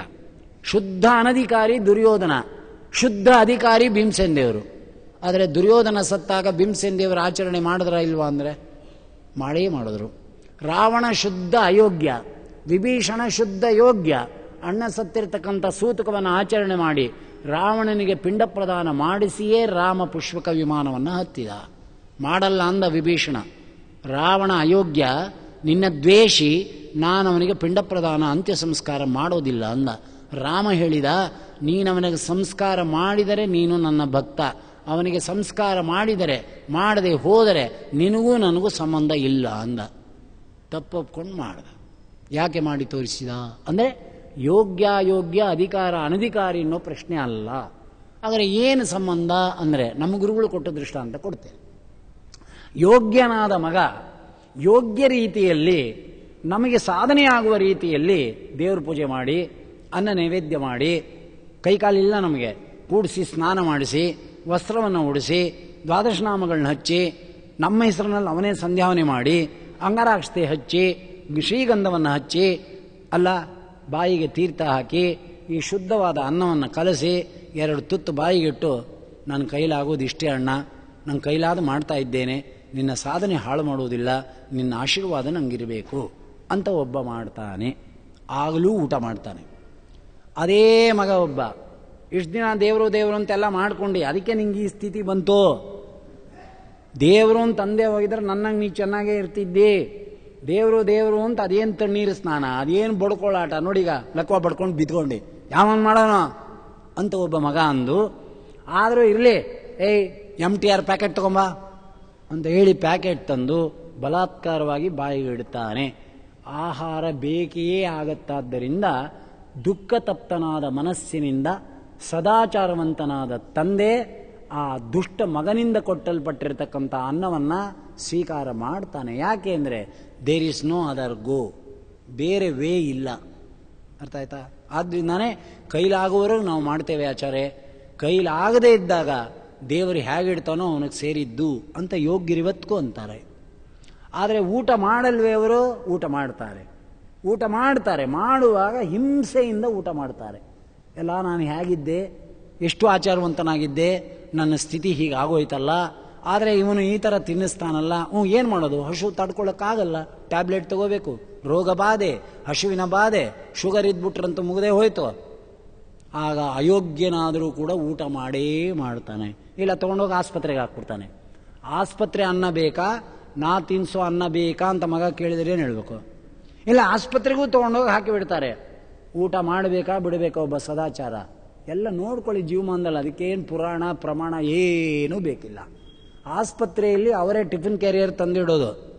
ನಾವು ಮಾಡಿದ ಅಡುಗೆಯನ್ನು ಆಸ್ಪತ್ರೆ ಒಳಗೆ ಬಿಡೋದಿಲ್ಲ ಕೆಲವರಿಗೆ. ಅರ್ಥ ಆಯ್ತಾ? ಆಸ್ಪತ್ರೆಯವರಲ್ಲೇ ಕಳಿಸ್ತಾರೆ. ಡಾಕ್ಟ್ರ್ ಬಂದು, ಫುಡ್ ಡಾಕ್ಟ್ರು ಅಂತ ಒಬ್ಬ ಇರ್ತಾನೆ. ಅವತ್ತವತ್ತು ನಿನ್ನ ರೋಗ, ಡೋಸೇಜು ನಿನ್ನ ಯೋಗ್ಯತೆ ನೋಡಿ ಐದು ಗ್ರಾಮ್ ಅನ್ನ, ಆರು ಗ್ರಾಮ್ ಕ್ಯಾರೆಟ್ ಹುಳಿ, ಎರಡೂವರೆ ಗ್ರಾಮು ಅಂತ ಎಲ್ಲ ಬರೆದಿಟ್ಬಿಟ್ಟು ಹೋಗ್ತಾನೆ ಆ, ಅದಕ್ಕೆ ತಕ್ಕಂತೆ ಟಿಫಿನ್ ಕ್ಯಾರಿಯರ್ ಬರುತ್ತೆ. ಐನೂರು ರೂಪಾಯಿ ಕಿತ್ಕೋತಾರೆ, ಆ ಟಿಫಿನ್ ಕ್ಯಾರಿಯರ್ ಕೊಡ್ತಾರೆ. ತಿನ್ಬೇಕಾ, ಬಿಡಬೇಕಾ ಅಂದ್ರೆ ತಿನ್ನಲೇಬೇಕಲ್ವ ಆಗ ಎಷ್ಟು ಸಂತೋಷದಿಂದ ತಿಂತಾನೋ ಅಷ್ಟೇ ಸಂತೋಷದಿಂದ ಮಗ ಮಾಡಿದ ಪ್ರೇತ ಸಂಸ್ಕಾರದ ಭೋಜನವನ್ನು ಮಾಡ್ತಾನೆ.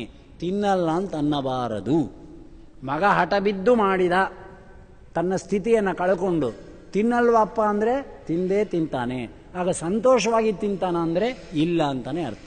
ಸಂತೋಷ ಪಡಿಸಿ ಮಾಡುವ ಸಂಸ್ಕಾರ ಸಂತೋಷ ಪಡಿಸದೇ ಮಾಡುವ ಸಂಸ್ಕಾರ, ಎರಡೇ ವ್ಯತ್ಯಾಸ. ಅಧಿಕಾರದ ಮಗನಾದರೆ ಸಂತೋಷಪಡಿಸುವ ಅಧಿಕಾರಯುಕ್ತವಾಗಿ ಮಾಡ್ತಾನೆ, ಅನಧಿಕಾರಿಯಾಗಿರ್ತಕ್ಕಂಥ ಮನುಷ್ಯ, ತನ್ನ ಕರ್ತವ್ಯತೆಯ ಭಯದಿಂದ ಮಾಡಿರ್ತಕ್ಕಂಥ ಕಾಲದಲ್ಲಿ ಅನಧಿಕಾರಿಯಾಗಿ ಅನ್ನವನ್ನು ಸ್ವೀಕಾರ ಮಾಡಿದಂತೆ, ದುಃಖದಿಂದ ಅದನ್ನು ಸ್ವೀಕಾರ ಮಾಡಿ, ಅಂತೂ ಪ್ರೇತತ್ವವನ್ನು ಬಿಡಿಸಿದ್ನಲ್ಲ ಅಷ್ಟೇ ಸಾಕು ಅಂತ ಥ್ಯಾಂಕ್ಫುಲ್ ಅಂತಾನೆ. ಅರ್ಥ ಆಯ್ತಾ? ಪ್ರೇತ ಸಂಸ್ಕಾರ ಅಂತೂ ಮಾಡಬೇಕಷ್ಟೇ. ಆದ್ದರಿಂದ ಅವನು ಫಾರಿನ್ ಹೋಗಿರಲಿ, ಇಲ್ಲೇ ತಿನ್ನಬಾರ್ದೆ ತಿಂದಿರಲಿ, ಮಾಡಬಾರ್ದೆ ಮಾಡಿರಲಿ, ನಾಸ್ತಿಕನೇ ಆಗಿರಲಿ, ಮಗ ಮಗನೇ. ಅವನು ಮಾಡಿರ್ತಕ್ಕಂಥ ಸಂಸ್ಕಾರ ಆದರೆ ಟ್ರಾನ್ಸ್ಫರ್ ಮಾಡಿ ಪವರ್ ಆಫ್ ಪಟಾನಿಯ ಮುಖಾಂತರವಾಗಿ ಸರ್ವಾಭಾವೆ ಪುರೋಹಿತ ಅಂತ ತಾನಿದ್ದು, ನಾನು ಈ ಸ್ಥಿತಿಯಲ್ಲಿ ಇದ್ದೇನೆ. ಯೋಗ್ಯರಿಂದ ನನ್ನ ಅಧಿಕಾರವನ್ನು ಬಿಟ್ಟುಕೊಟ್ಟು, ಅವರಿಂದ ಮಾಡಿಸಿ ಅನ್ನೋದಕಗಳನ್ನು ಕೊಟ್ಟು ನಮ್ಮ ತಂದೆಯನ್ನು ತೃಪ್ತಿಪಡಿಸಬೇಕು ಅನ್ನುವ ಒಳ್ಳೆ ಮನಸ್ಸಿದ್ದರೆ ಆಗಬಹುದು. ಸಂತೋಷವೇ ಅದು. ಇವನ ಅಕೌಂಟಿಂದೇ, ಅಲ್ವಾ? ಆದರೆ ಅದಿಲ್ಲೇ ನಾನು ಮಗನಾದವನು ನಾನೇ ಮಾಡುತ್ತೇನೆ ಅಂತ ಹಠ ಹಿಡಿದು ಮಾಡಿದ್ರೆ ಮಾಡಬಹುದು. ಆ ಅನ್ನ ಹೇಗೆ ತಿಂತಾರೆ? ಅರ್ಥ ಆಯ್ತಾ? ಅಸಂತೃಪ್ತಿಯಿಂದ ಭೋಜನ ಮಾಡ್ತಾರೆ. ಅಸಂತೃಪ್ತಿಯಿಂದ ಭೋಜನ ಮಾಡಿದ್ದು ಅದು ಬಿಡುಗಡೆಗಂತೂ ಕಾರಣವಾಗತ್ತೆ. ಆಶೀರ್ವಾದದಲ್ಲಿ ವ್ಯತ್ಯಾಸವಾಗತ್ತೆ. ಆದರೆ, ಒಂದು ತಿಳ್ಕೊಳ್ಳಿ. ಬೇಜಾರು ಮಾಡ್ಕೋಬೇಡಿ. ತಂದೆ, ತಾಯಿ ಯಾವುದೇ ಸ್ಥಿತಿಯಲ್ಲಿ ನಾವಿಟ್ಟರೂ ಕೂಡ ಮಗ ಹಾಳಾಗಲಿ ಎಂಬತಕ್ಕಂಥ ಆಶೀರ್ವಾದವನ್ನು ಅವರು ಎಂದಿಗೂ ಮಾಡೋದಿಲ್ಲವಾದ್ದರಿಂದ ಪ್ರೇತ ರೂಪವಾಗಿ ಕಳಕೊಂಡು ಹೋಗತಕ್ಕಂಥ ಯಾತನಾ ಶರೀರದಲ್ಲಿದ್ದರೂ ಕೂಡ ನನ್ನ ವಂಶ, ನನ್ನ ಮಗ, ನನ್ನ ಸೊಸೆ, ನನ್ನ ಮೊಮ್ಮಗ, ನನ್ನ ಮರಿಮಗ ಚೆನ್ನಾಗಿರಲಿ ಅಂತಲೇ ಆಶೀರ್ವಾದ ಮಾಡ್ತಾರೆ ವಿನ. ಹಾಳಾಗಲಿ ಅಂತ ಎಂದೂ ಮಾಡೋದಿಲ್ಲ. ಆದ್ದರಿಂದ ನಮಗೆ ಪ್ರಾಫಿಟ್ಟೇ. ಆದರೆ ಅವರು ಈ ರೀತಿಯಲ್ಲಿ ಆಶೀರ್ವಾದ ಮಾಡ್ತಾರೆ ಅಂತ ಇಟ್ಟುಕೊಂಡು ನಾವು ನಮ್ಮ ಅಧಿಕಾರವನ್ನು ದುರ್ಯೋಪಯೋಗ ಪಡಿಸಿಕೊಳ್ಳಬಾರದು ಎಂಬತಕ್ಕಂಥ ಎಚ್ಚರಿಕೆಯನ್ನು ಗರುಡ ಪುರಾಣದಂತೆ ಸ್ವಾಮಿ ಹೇಳ್ತಕ್ಕಂಥವನಾಗಿಯೇ ಸರ್ವಾಭಾವೇ ಪುರೋಹಿತ. ಅಭಾವನ್ನಕ್ಕೆ ಎರಡರ್ಥ. ಅಧಿಕಾರಿ ಯಾರು ಇಲ್ಲದಿದ್ದರೆ ಅಂತ ಒಂದರ್ಥ. ಅಧಿಕಾರ ಇದ್ದವರು ಅಧಿಕಾರವನ್ನು ಕಳಕೊಂಡಿದ್ದರೆ ಅಂತಲೂ ಅದಕ್ಕೆ ಸರ್ವಾಭಾವಿಯನ್ನಕ್ಕೆ ವ್ಯಾಖ್ಯಾನ ಮಾಡ್ತೇವೆ. ಆವಾಗ ಪುರೋಹಿತರ ಮುಖಾಂತರವಾಗಿಯೇ ಉತ್ತಮವಾಗಿ ಆ ಪುರೋಹಿತರು ಕೆಟ್ಟೋಗಿದ್ರೆ? ಯುಕ್ತಿ ತಂದ್ರೆ ನಾ ಏನು ಮಾಡಲಿ? ಯಾರೋ ಮೂರು ಜನ ಮಲ್ಕೊಂಡು ಮಾತಾಡ್ಕೋತಿದ್ರಂತೆ. ಅಂದ್ಕೊಂಡಿದ್ದೆಲ್ಲ ನಿಮಿಷ ಮಾತ್ರ ಅಲ್ಲಿ ಆಗಿಬಿಟ್ರೆ ಎಷ್ಟು ಸಂತೋಷ ಅಂತ ಒಬ್ಬ ಅಂತೆ. ಇನ್ನೊಬ್ಬ ಒಂದು ಬಟನ್ ಒತ್ತದ ಅಂದರೆ ಎಲ್ಲ ಫೆಸಿಲಿಟೀಸು ನಮ್ಗೆ ಆಗ್ಬಿಡ್ಬೇಕು. ಆ ಥರ ಕಂಡುಹಿಡಿಬೇಕು ಅಂತ ಇನ್ನೊಬ್ಬ ಅನ್ನಂತ ಇನ್ನೊಬ್ಬ ಅನ್ನಂತೆ ಎಲ್ಲ ಸರಿ ಸೋಮಾರಿಗಳು. ಆ ಬಟನ್ ಒತ್ತೋರು ಯಾರು ಅಂತ ಕೇಳಂತೆ ಅಂದ್ರೆ ಆ ಒತ್ತಕ್ಕೂ ಇನ್ನೊಬ್ಬನೇ ಬೇಕು ಅಂದ್ರೆ ಅವ್ನು ಎಷ್ಟು ಸೋಮಾರಿ ಇರ್ಬೇಕಲ್ಲ ಹಾಕು. ಮನ್ಸಲ್ಲಿ ಅಂದ್ಕೊಂಡೇಟ್ಗೆ ಆಗಬೇಕು ಅಂತ ಅಂಥ ಸೋಮಾರಿ. ಬಟನ್ ಒತ್ತದೇಟ್ಗೆ ಎಲ್ಲ ಬೇಕು ಅಂತ ಒಪ್ ಸೋಮಾರಿ. ಬಟನ್ ಒತ್ತೋನು ಯಾರು ಅಂತ ಒಪ್ ಸೋಮಾರಿ. ಮೂರು ಜನದಲ್ಲಿ ನೀವೇ ಸೆಲೆಕ್ಟ್ ಮಾಡ್ಕೊಳ್ಳಿ. ಹಾಗೆ ನಾವು ಅವರ ಆಶೀರ್ವಾದ ಮಾಡ್ತಾರೆ ಮಸ್ಟ್ ಅಂಡ್ ಶುಡ್ ಅಂತ ಅಧಿಕಾರಾಧಿಕಾರ ಭೇದದಿಂದ ನಾವು ದುರುಪಯೋಗವನ್ನು ಪಡಿಸ್ಕೊಳ್ತಕ್ಕಂಥವರಾಗಬಾರದು ಎಂಬತಕ್ಕಂಥ ವಿಷಯವನ್ನು ಇಲ್ಲಿ ಹೇಳಿದ್ದಾನೆ. ಅಂದ ದೇಹ ಸಿಗದೆ ಹೋದರೆ ಯಾವತ್ತು ಸುಡಬೇಕು ಯಾವತ್ತು ಮಾಡಬೇಕು ಆ ವಿಷಯವನ್ನು ಹೇಳಿದ್ದೇನೆ. ಧರ್ಮೋದಕದಗಳ ವಿಷಯವನ್ನು ನಾಲ್ಕು ವರ್ಣದವರೆಗೆ ಹೇಳಿದ್ದೇನೆ. ಧರ್ಮೋದಕವನ್ನು ಎಳ್ಳಿನ ಸಹಿತ ಕೊಡಬೇಕೆ, ಎಡಭಾಗದಿಂದ ಕೊಡಬೇಕೆ ಅಂತ ಯಾರೋ ಬೆಳಗ್ಗೆ ಕೇಳಿದರು. ಎಳ್ಳಿಂದನೂ ಇಲ್ಲ, ಎಡಭಾಗದಿಂದನೂ ಇಲ್ಲ. ಬೊಗಸೆಯಿಂದ ನೀರನ್ನು ಚೆಲ್ಲುವುದು.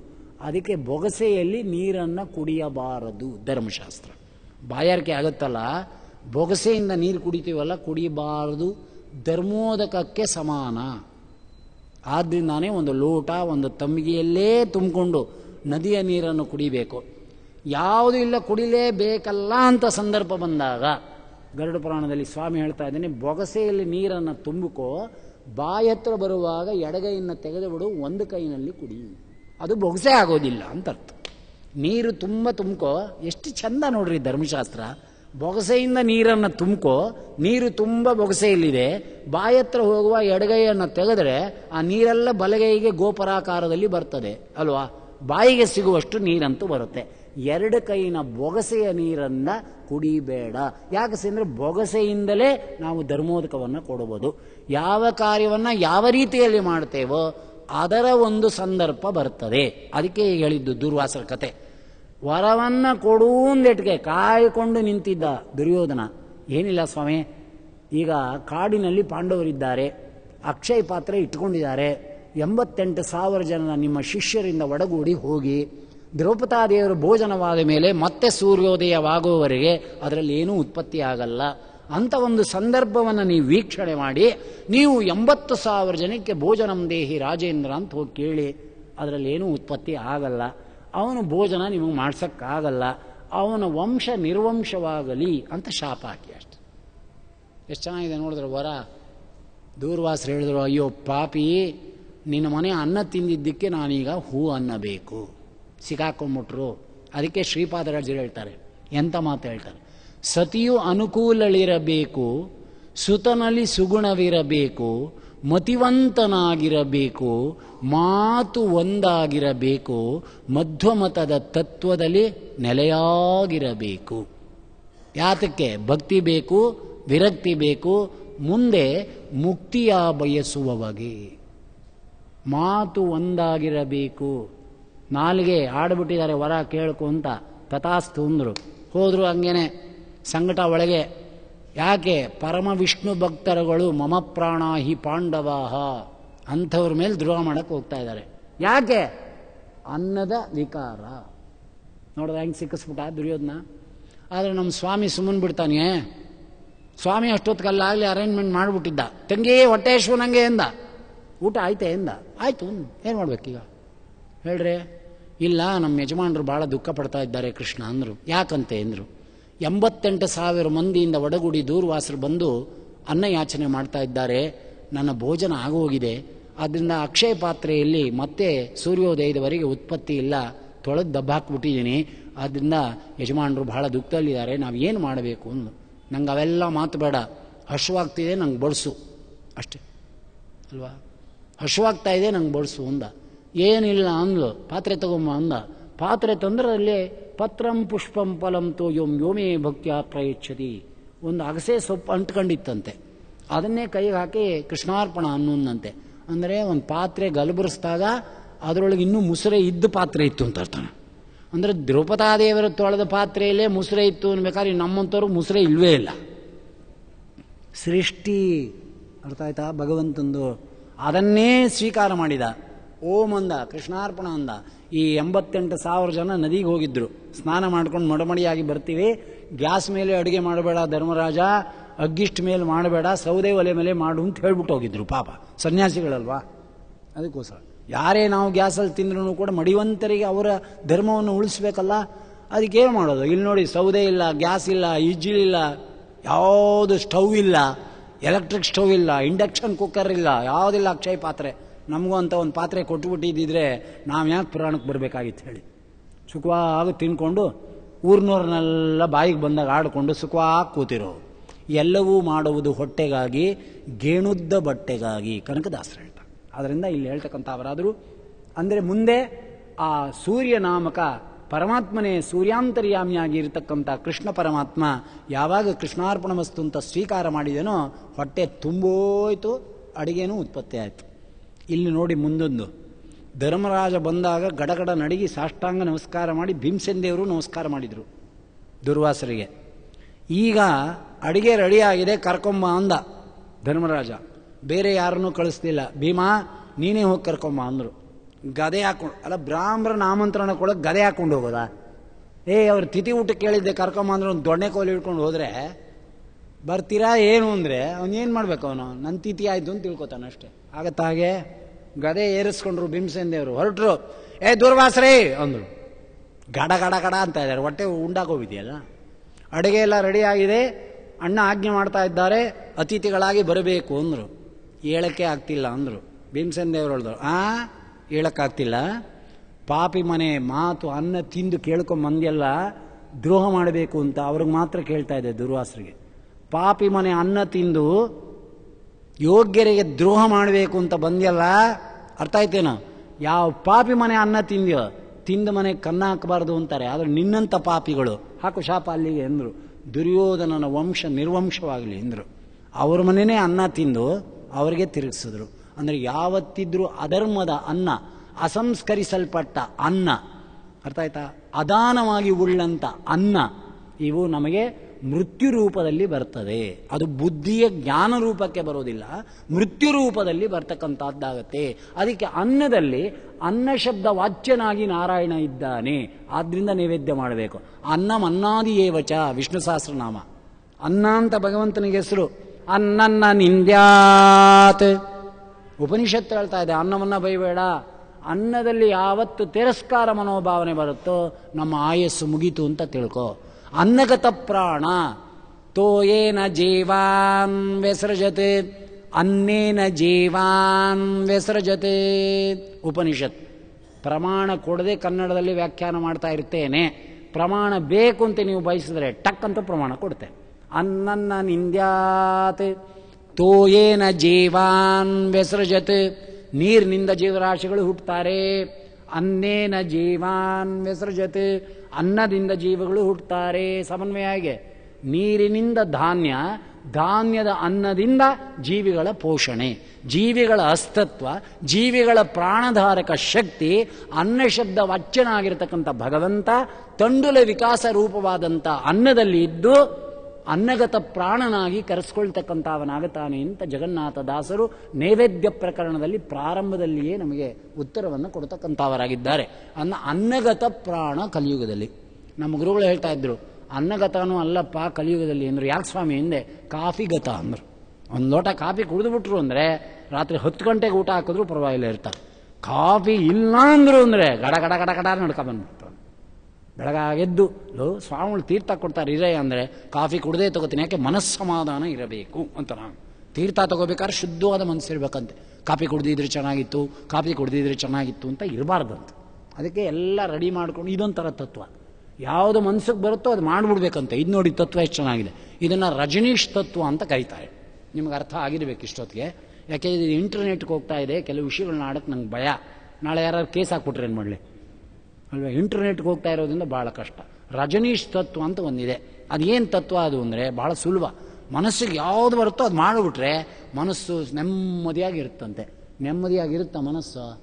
ಒಂದು ಭೋಗ ಮಾಡಿದ್ರೆ ಇನ್ನೊಂದು, ಒಂದು ಭೋಗ ಮಾಡಿದ್ರೆ ಇನ್ನೊಂದು, ಒಂದು ಭೋಗ ಮಾಡಿದ್ರೆ ಇನ್ನೊಂದು. ಮನಸ್ಸಿಗೆ ಎನಫ್ ಬುದ್ಧಿ ಎಲ್ಲಿದೆ? ದಾಸರು ಹೇಳ್ತಾರೆ, ಅಷ್ಟು ದೊರೆತರೆ ಮತ್ತಷ್ಟರಾಸೆ, ಅಷ್ಟು ದೊರೆತರೆ ಮತ್ತಷ್ಟರಾಸೆ, ಅಷ್ಟೂ ದೊರೆತರೆ ಮತ್ತಷ್ಟರಾಸೆ, ಕಷ್ಟ ಬೇಡಂಬಾಸೆ,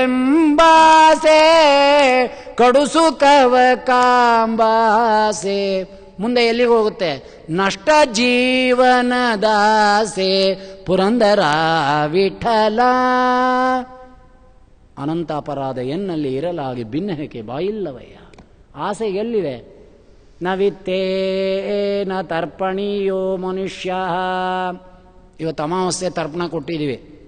ಮನುಷ್ಯರಿಗೆ ದುಡ್ಡಿನದಿಂದಲೇ ದುಡ್ಡಿನಿಂದನೇ ತರ್ಪಣ ಕೊಟ್ಟರು ಕೂಡ ಮನುಷ್ಯನ ಆಸೆ ಪೂರ್ಣ ಮಾಡೋದಿಲ್ಲ ಅಂದರು. ಹಣವೇ ನಿನ್ನಯ ಗುಣ ಹಣವೇ ನಿನ್ನಯ ಗುಣ. ಎಷ್ಟು ವರ್ಣಿಸಲಿ ಎಷ್ಟು ವರ್ಣಿಸಲಿ ಇನ್ನೆಷ್ಟು ವರ್ಣಿಸಲಿ. ಹಣವೇ ನಿನ್ನಯ ಗುಣ. ಯಾರು? ವಾದರಾಜ ಗುರು ಸಾರ್ವಭೌಮರು. ಗೊತ್ತಾಯ್ತಾ? ಬೆಲೆಯಿಲ್ಲದ ವಸ್ತುಗಳ ಬೆಲೆಯ ಮಾಡಿಸುವಿ. ಕಣ್ಣಿಲ್ಲದ ತನ ಸುಂದರಾಂಗ ನೆನೆಸುವಿ. ಅರಿಯದ ಶುಂಠನ ಅರಿತವನೆಂದೆನಿಸುವೆ ಅರಿಯದ ಶುಂಠನ ಅರಿಯದ ಶುಂಠನ ಅರಿತವನೆಂದೆನಿಸುವಿ ಹೇಳ್ಕೋತ ಬಂದರು. ಸಿರಿಹಾಯವದನನ ಏನು? ಚರಣವ ಮರೆಸುವಿ, ಹಣವೇ ನಿನ್ನಯ ಗುಣ ಎಷ್ಟು ವರ್ಣಿಸಲಿ.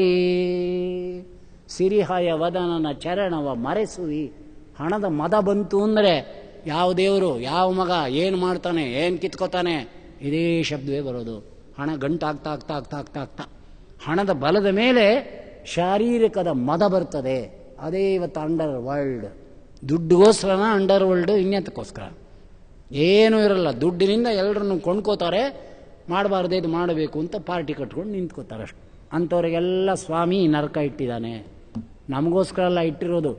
ಆದ್ದರಿಂದ ನರಕಗಳಿಗೆ ಹೆದರಬೇಕೇ ಬೇಡವೆ ಅಂತ ಒಂದು ಪ್ರಶ್ನೆ ಯಾರೋ ಕೇಳಿದ್ದಾರೆ. ಹೆದರಿಕೆ ಇದ್ದರೆ ಒಳ್ಳೆಯ ಸಾಧನೆ ನಡೀತದೆ. ಹೆದರಿಕೆ ಇಲ್ಲದಿದ್ದರೆ ಯಥಾರ್ಥವೂ ಹೌದು. ನರಕ ಇರಲೇಬೇಕು. ನರಕ ಇಲ್ಲದೇ ಸಾಧ್ಯವೇ ಇಲ್ಲ. ಯಾಕೆಂದರೆ ಮಾಡಿದ ತಪ್ಪಿನಿಂದ ಸಮಾಜದಲ್ಲಿ ನುಣುಚಿಕೊಂಡು ಹೋಗ್ಬೋದು ಸರ್ಕಾರದಿಂದ ನುಣುಚಿಕೊಂಡು ಹೋಗ್ಬೋದು ಮಾಡಿದ ತಪ್ಪಿಗೆ ಶಿಕ್ಷೆ ಕೊಡುವವರು ಯಾರು? ಒಬ್ಬ ಇರಲೇಬೇಕಲ್ಲ. ಅವನ್ನೇ ನಾವು ನರಕ ಅಂತ ಕರಿತಿರೋದು. ಯಾಕ ನರಕ? ಅಂದರೆ ಎಂಥ ಮಾತುಗಳು ಹೇಳಿದ್ದ ಯಾವುದು ವಿಧಿನಿಷೇಧವನ್ನು ಹಾಸ್ಯ ಕುಚೋದ್ಯ ಮಾಡಿ ಮದದಿಂದ ಜಗತ್ತಿನಲ್ಲಿ ಭಗವದ್ಭಕ್ತರುಗಳನ್ನು ಹಿಂಸೆ ಮಾಡ್ತೀಯೋ ಅದಕ್ಕೆ ಬಿಡಿಸಬೇಕಾದರೆ ಶಿಕ್ಷೆ ಅನ್ನೋದು ಅತ್ಯಾವಶ್ಯಕ ಸರ್ಕಾರದಲ್ಲಿ. ಅರ್ಥಾಯ್ತಾ? ಸರ್ಕಾರದಲ್ಲೂ ಅತ್ಯವಶ್ಯಕ, ಶಾಸ್ತ್ರದಲ್ಲೂ ಅತ್ಯವಶ್ಯಕ, ಅಂತ ಶಿಕ್ಷೆಯನ್ನು ಕೊಡ್ತಕ್ಕಂಥ ಡಿಪಾರ್ಟ್ಮೆಂಟ್ಗಳೇ ನರಕಗಳು. ಅದನ್ನು ಅಪಿಸಪ್ತಚ ಓಂ ಅಂತ ಬ್ರಹ್ಮಸೂತ್ರ ಪ್ರತಿಪಾದನೆ ಮಾಡುತ್ತೆ. ಭಾಗವತದಲ್ಲಿ ಇಪ್ಪತ್ತೊಂದು ನರಕಗಳನ್ನು ವರ್ಣೆ ಮಾಡಿದ್ದಾರೆ. ಗರುಡು ಪುರಾಣದಲ್ಲಿ ಸಾವಿರಾರು ನರಕಗಳಿವೆ. ತಿಳ್ಕೊಬೇಡಾದಲ್ಲ, ಪ್ರಧಾನವಾಗಿ ಐದು ನರಕ ಹೇಳ್ತೇನೆ ಅಂತ ನಮ್ಮ ಸ್ವಾಮಿ ಹಸಿಪತ್ರ ಅಂತ ಒಂದು ನರಕ, ರವರವ ಅಂತ ಒಂದು ನರಕ ಕುಂಬಿಪಾಕ ಅಂತ ಒಂದು ನರಕ ಸುದರ್ಶನ ಅಂತ ಒಂದು ನರಕ, ಗರ್ಭಪಾತ ಅಂತ ಒಂದು ನರಕ. ಗರ್ಭಪಾತವೇ ದೊಡ್ಡ ನರಕ ಅಂದರು. ಯಾವುದದು ಗರ್ಭಪಾತ? ಮೂರು ಮೂರು ತಿಂಗಳು ಗರ್ಭದಲ್ಲಿರೋದು, ಗರ್ಭಸ್ರಾವ ಆಗೋದು. ಮತ್ತೊಂದು ಯೋನಿಗೆ ಹೋಗೋದು, ಗರ್ಭವಾಸದ ದುಃಖವನ್ನು ಅನುಭವಿಸೋದು ಅಭಾಷಣ ರೂಪದಲ್ಲಿ ಈಚೆಗೆ ಬರೋದು, ಮತ್ತೆ ತಿರ್ಗ ಇನ್ನೊಂದು ಗರ್ಭವನ್ನು ಪ್ರವೇಶ ಮಾಡೋದು, ದುಃಖವನ್ನು ಅನುಭವಿಸೋದು, ಕೆಟ್ಟ ವಾಸನೆಯ ಮಾತೃ ಯಾವುದು? ಚೀಲದೊಳಗೆ ಮಾಸು ಅಂತ ಕರಿತೇವೆ. ವೈತರಣಿ ನದಿ ಅಂದರೂ ಒಂದೇ ಮಾಸು ಅಂದರೂ ಒಂದೇ. ಮೊದಲನೇ ಗರುಡ ಪುರಾಣ ನಮ್ಮ ಗುರುಗಳ ಎದುರಿಗೆ ಹೇಳಿದೆ. ಪುರಾಣ ಎಲ್ಲ ಆದಮೇಲೆ ರಾತ್ರಿ ನಮ್ಮ ಗುರುಗಳು ಒಂದು ಪ್ರಶ್ನೆ ಮಾಡಿದರು. ಏನಪ್ಪ, ಗರುಡ ಪುರಾಣ ಮುಗೀತಾ ಅಂದರು. ಮುಗೀತು ಸ್ವಾಮಿ ಹಿಂದೆ. ವೈತರಣಿ ವರ್ಣೆ ಮಾಡಿದೆಯಾ ಅಂದರು. ಮಾಡಿದೆ ಸ್ವಾಮಿ ಹಿಂದೆ. ವೈತರಣಿ ಎಲ್ಲಿದೆ ಅಂದರು. ಎಲ್ಲಿದೆ? ಯಮ ಮಾರ್ಗದಲ್ಲಿದೆ. ವೈತರಣಿ ಎಲ್ಲಿದೆ ಅಂದರು. ಯಮ ಮಾರ್ಗದಲ್ಲಿದೆ ಎಂದೆ ವೈತರಣಿ ಎಲ್ಲಿದೆ ಅಂದರು ಕೋಪ ಬಂದು ಏನು ಸ್ವಾಮಿ ಹಿಂಗೆ ಕೇಳ್ತೀರಿ? ಬಡ್ಕೋತಾ ಇದ್ದೀನಿ. ಯಮ ಮಾರ್ಗದಲ್ಲಿದೆ ಅಂತ ಅಂದು. ನೀ ನೋಡಿದ್ಯಾ ಅಂದರು. ನೋಡಿಲ್ಲ ಸ್ವಾಮಿಂದೆ. ಮತ್ತು ವೈತರಣಿಯಲ್ಲಿದೆ ಅಂದ್ರು ತಿರ್ಗ. ನನಗೂ ಬೇಜಾರಾಗಿತ್ತು. ಗರುಡ ಪುರಾಣದಲ್ಲಿ ಹೇಳಿದೆ ಅಂದೆ. ನಾನೇನು ಬಿಡಲಿಲ್ಲ ನಮ್ಮ ಗುರುಗಳಿಗೆ. ಗರುಡ ಪುರಾಣದಲ್ಲಿ ಹೇಳಿದೆ ಎಂದೆ ವೈತರಣಿ ಎಲ್ಲಿದೆ ಅಂದರು ತಿರ್ಗ. ಸ್ವಾಮಿ, ನಿಮ್ಗೇನು ತಲೆ ಕೆಟ್ಟಿದ್ಯಾ ಅಂದೆ. ನಂಗ ನಿಂಗ ತಲೆ ಕೆಟ್ಟಿರೋದು ಅಂದರು. ಹುಚ್ಚ, ಇಷ್ಟು ಪುರಾಣ ಹೇಳಿದೆಯಲ್ಲ, ಅನುಭವಕ್ಕೆ ಬರಲಿಲ್ವಲ್ಲೋ ಅಂದು ಕಾಣದೇ ಇರೋ ಯಮ ಮಾರ್ಗದಲ್ಲಿ ವೈತರಣಿ ಇದೆ ಅಂತ ಪ್ರವಚನ ಮಾಡಕ್ಕೆ ಹೋಗೋಣ ಅರ್ಥ ಆಯ್ತಾ? ಅದು ಆಮೇಲೊಂದು ಪ್ರವಚನ. ವೈತರಣಿ ಎಲ್ಲಿದೆ ಅಂದರೆ, ಹುಚ್ಚು ಮುಂಡೆ ಇದೆ, ನಿನ್ನ ದೇಹವೇ ಒಂದು ವೈತರಣಿ ಎಂದರು. ಹದಿನಾರು ಮಲಾತ್ಮಕವಾಗಿರ್ತಕ್ಕಂಥ ಮಲ, ಮೂತ್ರ, ರಕ್ತ, ಕೊಬ್ಬು, ಮಾಂಸ, ಮೂಳೆ, ಕೇಶ, ಹುಳ, ಎಲ್ಲವೂ ತುಂಬಿ ತುಳುಕಾಡ್ತಿರ್ತಕ್ಕಂಥ ಮೂತ್ರದ ಭಾಂಡ ಅಂದ್ರು. ಇದೇ ಅಲ್ವೇನೋ ವೈತರಣಿ? ಇಲ್ಲೇ ಇದೆಯಲ್ಲ ವೈತರಣಿ? ವೈತರಣಿಯಲ್ಲಿ ಜೀವ ಸಿಕ್ಕಾಕೊಂಡಿದ್ದಾನೆ, ಆ ವೈತರಣಿಯಲ್ಲಿ ಜೀವ ಸಿಕ್ಕಾಕೊಂಡಿದ್ದಾನೆ. ಆ ವೈತರಣಿಯಲ್ಲಿ ಜೀವನಿಗೆ ಒಂದು ಗೋದಾನ ಕೊಟ್ಟರೆ ಆ ವೈತರಣಿಯಿಂದ ನಿವೃತ್ತಿ ಆಗ್ತದೆ. ಈ ದೇಹದಲ್ಲಿ ಸಿಕ್ಕಾಕೊಂಡಿರೋ ಜೀವನಿಗೆ ಒಂದು ಗೋದಾನ ಕೊಟ್ಟರೆ ಆಗುತ್ತೇನಪ್ಪ ಅಂದರು. ಎಂಥ ವಿಷಯ ಅಲ್ಲ ಅಲ್ಲಾಡೋದೆ ಅಲ್ಲೇ ಅರ್ಥ ಆಯ್ತಾ? ಪುರಾಣ ಅಂದರೆ ಡ್ರೈ ಸಬ್ಜೆಕ್ಟ್ ಅಲ್ಲ. ಡೈ ಸಬ್ಜೆಕ್ಟ್ ಅಲ್ಲ. ಡೈಯಿಂಗ್ ಸಬ್ಜೆಕ್ಟ್ ಅಲ್ಲ, ಲೆಕ್ಕ ಹಾಕೊಳ್ಳಿ. ಕೈ ಮೇಲೆ ಸುಖ ಆಗಬೇಕು, ಪುರಾಣ ಅಂದರೆ. ಅದಕ್ಕೆ ಪುರಂದರದಾಸರು ಹೇಳ್ತಾರೆ, ಕಂಡ ಕಂಡ ಕಾಮಿನಿಯ ಕಾಮಿಸುವ ಲಂಡಗೆ ಪುರಾಣ ಶ್ರವಣ ವೇತಕೆ ಎಂದರು. ಅವನಿಗೆಲ್ಲ ಪುರಾಣ ಹೇಳೋದು. ರಿಕ್ರಿಯೇಷನ್ ಫಾರ್ ಮೈಂಡ್ ಅಂತ ಕೂತಿರೋರಿಗಲ್ಲ ಪುರಾಣ. ಕಂಡ ಕಂಡ ಕಾಮಿನಿಯ ಕಾಮಿಸುವ ವಿಷಯಾಪೇಕ್ಷೆಗೆ ಲಂಡಗೆ ಪುರಾಣ ಶ್ರವಣ ವೇತಕೆ ಅದಕ್ಕೆ ಶ್ರೀಮದಾಚಾರ್ಯರ ಮದ್ವಿಜಯದಲ್ಲಿ ನಮ್ಮ ವಾಸುದೇವಾಚಾರ್ಯರು ಅವರ ತಾಯಿಯ ಕೈಯನ್ನು ಹಿಡ್ಕೊಂಡ್ರು ಇನ್ನೂ ಐದು ವರ್ಷವೂ ಇಲ್ಲ. ಪುಟ್ಟ ಪುಟ್ಟ ಹೆಜ್ಜೆಗಳನ್ನಿಟ್ಕೊಂಡು ಪಾಜಕ ಕ್ಷೇತ್ರದಲ್ಲಿ ಪ್ರತಿದಿನ ಪುರಾಣ ಶಿವಪದ ನಾಮಕನಾದ ಆ ಪುರಾಣಿಕರು ಪುರಾಣ ಹೇಳ್ತಾ ಇದ್ದರಂತೆ ತಾಯಿ ಜೊತೆಯಲ್ಲಿ ಪುಟ್ಟ ಪುಟ್ಟ ಹೆಜ್ಜೆಯನ್ನು ಇಟ್ಟುಕೊಂಡು ಜಗತ್ತನ್ನೇ ಉದ್ಧಾರ ಮಾಡತಕ್ಕಂಥ ತ್ರೈಲೋಕ್ಯಾಚಾರ್ಯರು ಪುಟ್ಟ ಪುಟ್ಟ ಹೆಜ್ಜೆಗೊಂಡು ಪುರಾಣ ಕೇಳಲಿಕ್ಕೆ ಹೋಗ್ತಾ ಇದ್ದರಂತೆ ಪುರಾಣ ಕೇಳ್ಕೊಂಡು ಬಂತ ತಾಯಿಗೆ ಪ್ರಶ್ನೆ ಮಾಡ್ತಿದ್ರಂತೆ ವಾಸುದೇವಾಚಾರ್ಯರು ಆ ಪುರಾಣಿಕ ಈ ಪದ ಹೇಳಿದ್ನಲ್ಲ, ಈ ಅರ್ಥ ಕೂಡೋದಿಲ್ವಲ್ಲ ಅಂತ. ತಾಯಿಗೆ ಆಶ್ಚರ್ಯ, ಏನಪ್ಪ, ಈ ಮಗು ನನ್ನ ಕೇಳುತ್ತಲ್ಲ ಅಂತ. ಅದಕ್ಕೆ ತಾಯಿ ಬುದ್ಧಿವಂತಲು, ನಂಗೆ ಗೊತ್ತಿಲ್ಲ, ನಿಮ್ಮಪ್ಪ ದೊಡ್ಡ ಪುರಾಣಿಕರು, ಅನಂತೇಶ್ವರನ ಗುಡಿಯಲ್ಲಿ ಪ್ರತಿನಿತ್ಯ ಪುರಾಣ ಹೇಳ್ತಾರೆ, ನಿಮ್ಮಪ್ಪ ಅವ್ರನ್ನ ಕೇಳು, ಅವರು ಸುಲಭವಾಗಿ ಹೇಳ್ತಾರೆ. ರಾತ್ರಿ ಮನೆಗೆ ಬಂದರು, ಅಪ್ಪಯ್ಯ ಅಂದರು ಬಂತು ಮದ್ಗೆ ಭಟ್ರಿಗೆ. ಅಲ್ಲೇ ಅವನು ಹೀಗೆ ಹೇಳಿದ ಪುರಾಣಿಕ, ಅದು ತಪ್ಪಲ್ವೇ ಅಂದ. ಮದ್ದಿಗೆ ಭಟ್ರು ಹೇಳಿದ್ರು, ಏನಪ್ಪ ನನ್ನ ಮಗ ಇಂಥ ಜ್ಞಾನ ಎಲ್ಲಿಂದ ಬಂತು ಅಂತ ಆಶ್ಚರ್ಯ. ಹೌದು ಕುಸು, ನೀ ಹೇಳಿದ್ದೇ ಸರಿ, ಪುರಾಣಿಕ ಹೇಳಿದ ಅರ್ಥ ತಪ್ಪು ಅಂದರು. ಏಕಾಂತದಲ್ಲಿ ಕೂತ್ಕೊಂಡ್ರು. ಈ ಬುದ್ಧಿ ಎಲ್ಲಿಂದ ಬಂತು ನನ್ನ ಮಗನಿಗೆ ಎಂದರು ಕಣ್ಣಲ್ಲಿ ನೀರು ಹರಿತು. ಯಾಕೆ ಗೊತ್ತಾ? ಈ ಮಗುವನ್ನು ತಗೊಂಡು ಹೋಗಿ ಉತ್ಥಾನಿಕ ಕರ್ಮದ ದಿವಸ ಉಪಾಯನಾತ್ ಸಹ. ಅನಂತೇಶ್ವರನ ಪಾದಕ್ಕೆ ಹಾಕಿ, ಸ್ವಾಮಿ, ನೀ ಕೊಟ್ಟಿದ್ದ ವಸ್ತು ಇದು, ನಿನ್ನ ಪಾದಕ್ಕೆ ಹಾಕ್ತಾ ಇದ್ದೇನೆ, ಇವನ ಯೋಗಕ್ಷೇಮ ನಿನ್ನದು ಅಂತ ಹೇಳಿದ್ರು. ನಾವು ಅದೇ ಮಾಡ್ಬೇಕು. ಎಲ್ಲಿ ಮಾಡ್ತಾ ಇದ್ದೀವಿ? ನಮ್ಮ ಮಕ್ಕಳನ್ನ ದೇವ್ರ ಪಾದಕ್ಕೆ ಹಾಕಿ ಗೋವಿಂದ ಅಂತ ಇದ್ದೀವ? ಇದೆಲ್ಲ ಸೂಪರ್ಸ್ಟಿಷಸ್ ಅಂತೀವಿ ಅಷ್ಟೇ, ಮೂಢನಂಬಿಕೆ ಅಂತೀವಿ. ಅರ್ಥ ಆಯ್ತಾ ಹಾಗಿದ್ರಲ್ಲ, ಅವನು ಕೂಸನ್ನು ಅವನು ಕೊಟ್ಟು ಗೋವಿಂದ ಅಂದಿದ್ರು. ಪುರಂದರ ವಿಠಲನ ಪ್ರೇಮದ ಕೂಸು, ಕೂಸಿನ ಕಂಡೀರ್ಯ, ಮುಖ್ಯ ಪ್ರಾಣನ ಕಂಡೀರ್ಯ. ಪ್ರಥಮೋ ಹನುಮನ್ನಾಮ, ದ್ವಿತೀಯೋ ಭೀಮಯಮಚ, ಪೂರ್ಣ ಪ್ರಜ್ಞೆ ತೃತೀಯಸ್ತು, ಭಗವತ್ ಕಾರ್ಯ ಸಾಧಕ. ಅವನ ಮಗುವನ್ನ ಅವನ ಪಾದಕ್ಕೆ ಹಾಕಿ, ಗೋವಿಂದಾಂದ ಜ್ಞಾನದ ಫಲ ನನ್ನ ಮಗನಿಂದ ಈ ಸುಖ ನಾನು ಪಡ್ತಾ ಇದ್ದೇನೆ ಎಂದು. ಆಯಿತು, ಸ್ವಲ್ಪ ದಿನ. ಒಂದು ದಿನ ತಂದೆಯ ಪುರಾಣಕ್ಕೆ ಹೊರಟು. ಅನಂತೇಶ್ವರನ ಹುಡಿಗೆ ಕೂತಿದ್ದಾರೆ. ಅರ್ಥ ಆಯ್ತಾ? ಯಾವುದೋ ಒಂದು ಲಿಕುಚ ಎಂಬತಕ್ಕಂಥ ಒಂದು ಪದದ ಅರ್ಥವನ್ನು ಹೇಳಿದೆ ಮುಂದಕ್ಕೆ ಹೊರಟರು. ಎದ್ದು ನಿಂತ್ಕೊಂಡ್ಬಿಟ್ರು. ಅಲ್ಲ. ಕಿಮಿತಿತಾ ತದರ್ಥಮವರ್ಣಯನ್ ಅಂದರು. ಯಾಕಪ್ಪ? ತಂದೆ ಲಿಕುಚ ಶಬ್ದವನ್ನು ಬಿಟ್ಟುಬಿಟ್ಟು ವೇದಿವ್ಯಾಸ ದೇವರ ಪದಪ್ರಯೋಗವಾಗಿರುವ ಅರ್ಥವನ್ನು ಬಿಟ್ಟುಬಿಟ್ಟು ಮುಂದೆ ಕೊಟ್ಟೋದ್ರಲ್ಲ ಏನು ಸಮಾಚಾರ ಅಂದರು? ಹೌವಾರ ಬಿಟ್ಟರು ಅಂದರೆ ಪದ ಪದ ಪದ ಪುರಾಣದಲ್ಲಿ ಏನಿದೆ? ಎಗರಿಸ್ಬಿಡೋದಲ್ಲ. ಅದರ ಪದ ಪ್ರಯೋಗ ಯಾಕೆ ಮಾಡಿದ್ದಾರೆ ಅಂತ ಶ್ರೀಮದಾಚಾರ್ಯ ತೋರಿಸ್ಕೊಡ್ತಾ ಇದ್ದಾರೆ. ಆ ಪದದ ಅರ್ಥ ಯಾಕೆ ಬಿಟ್ಟು? ಅದು ಹಣ್ಣಿನ ಶಬ್ದ ಹೇಳುತ್ತೋ, ಒಂದು ವಸ್ತುವಿನ ವಾಚ್ಯತ್ವೋ, ಅದು ಭಗವಂತನ ವಾಚ್ಯತ್ವೋ, ಪ್ರಶ್ನೆ ಬೇರೆ. ಆ ಶಬ್ದವನ್ನು ಯಾಕೆ ಬಿಟ್ಟಿ ಅಂತ ಕೇಳಿದ್ರು. ಅರ್ಥ ಆಯ್ತಾ? ಶ್ರೀಮದಾಚಾರ್ಯ ತೋರಿಸ್ಕೊಟ್ಟ ಮಾರ್ಗ. ಹಾಗೆ ಗರುಡ ಪುರಾಣದಲ್ಲಿ ಪ್ರತಿ ಪದ ಪದವನ್ನು ಅನ್ವಯ ಮಾಡೋರು ನಮ್ಮ ಗುರುಗಳು. ಅತೇವ ವೈತರಣಿ ಎಲ್ಲೋ ಇದೆ ಅನ್ನೋದು ಆಮೇಲೆ ನಿನ್ನ ಶರೀರವೇ ವೈತರಣಿ. ಆದರೂ ಕುದೀತಾ ಇದೆ. ರಾಗದ್ವೇಷಾದಿಗಳು, ಕಾಮಕ್ರೋಧಾದಿಗಳು ಕುದೀತಾ ಇದೆ. ಒಳಗೆ ಮಲಮೂತ್ರಾದಿಗಳು ತುಂಬಿಕೊಂಡಿದೆ. ಅಲ್ಲೂ ಇರೋದು ಅದೇನೇ? ಷೋಡಶ ಮಲ ಅರ್ಥ ಆಯ್ತಾ? ಒಳಗೆ ಕ್ರೂರವಾದ ಜಲಚರ ಪ್ರಾಣಿಗಳಿದೆ. ನಿನ್ನ ಶರೀರದೊಳಗೂ ವೈರಸ್ಸಿಂದ ಹಿಡಿದು ಹುಳ ಬೀಳೋವರೆಗೂ ಇದೆ. ಗ್ಯಾಂಗ್ರೀನ್ ಆಯ್ತಲ್ಲ? ಹುಳ ಎಲ್ಲಿಂದ ಬಿತ್ತು? ನಿನ್ನ ಶರೀರದಲ್ಲಿ ಎಂದರು ನಮ್ಮ ಗುರುಗಳು. ಮಹಾನಾಸ್ತಿಕಾರಿ ನಾನು.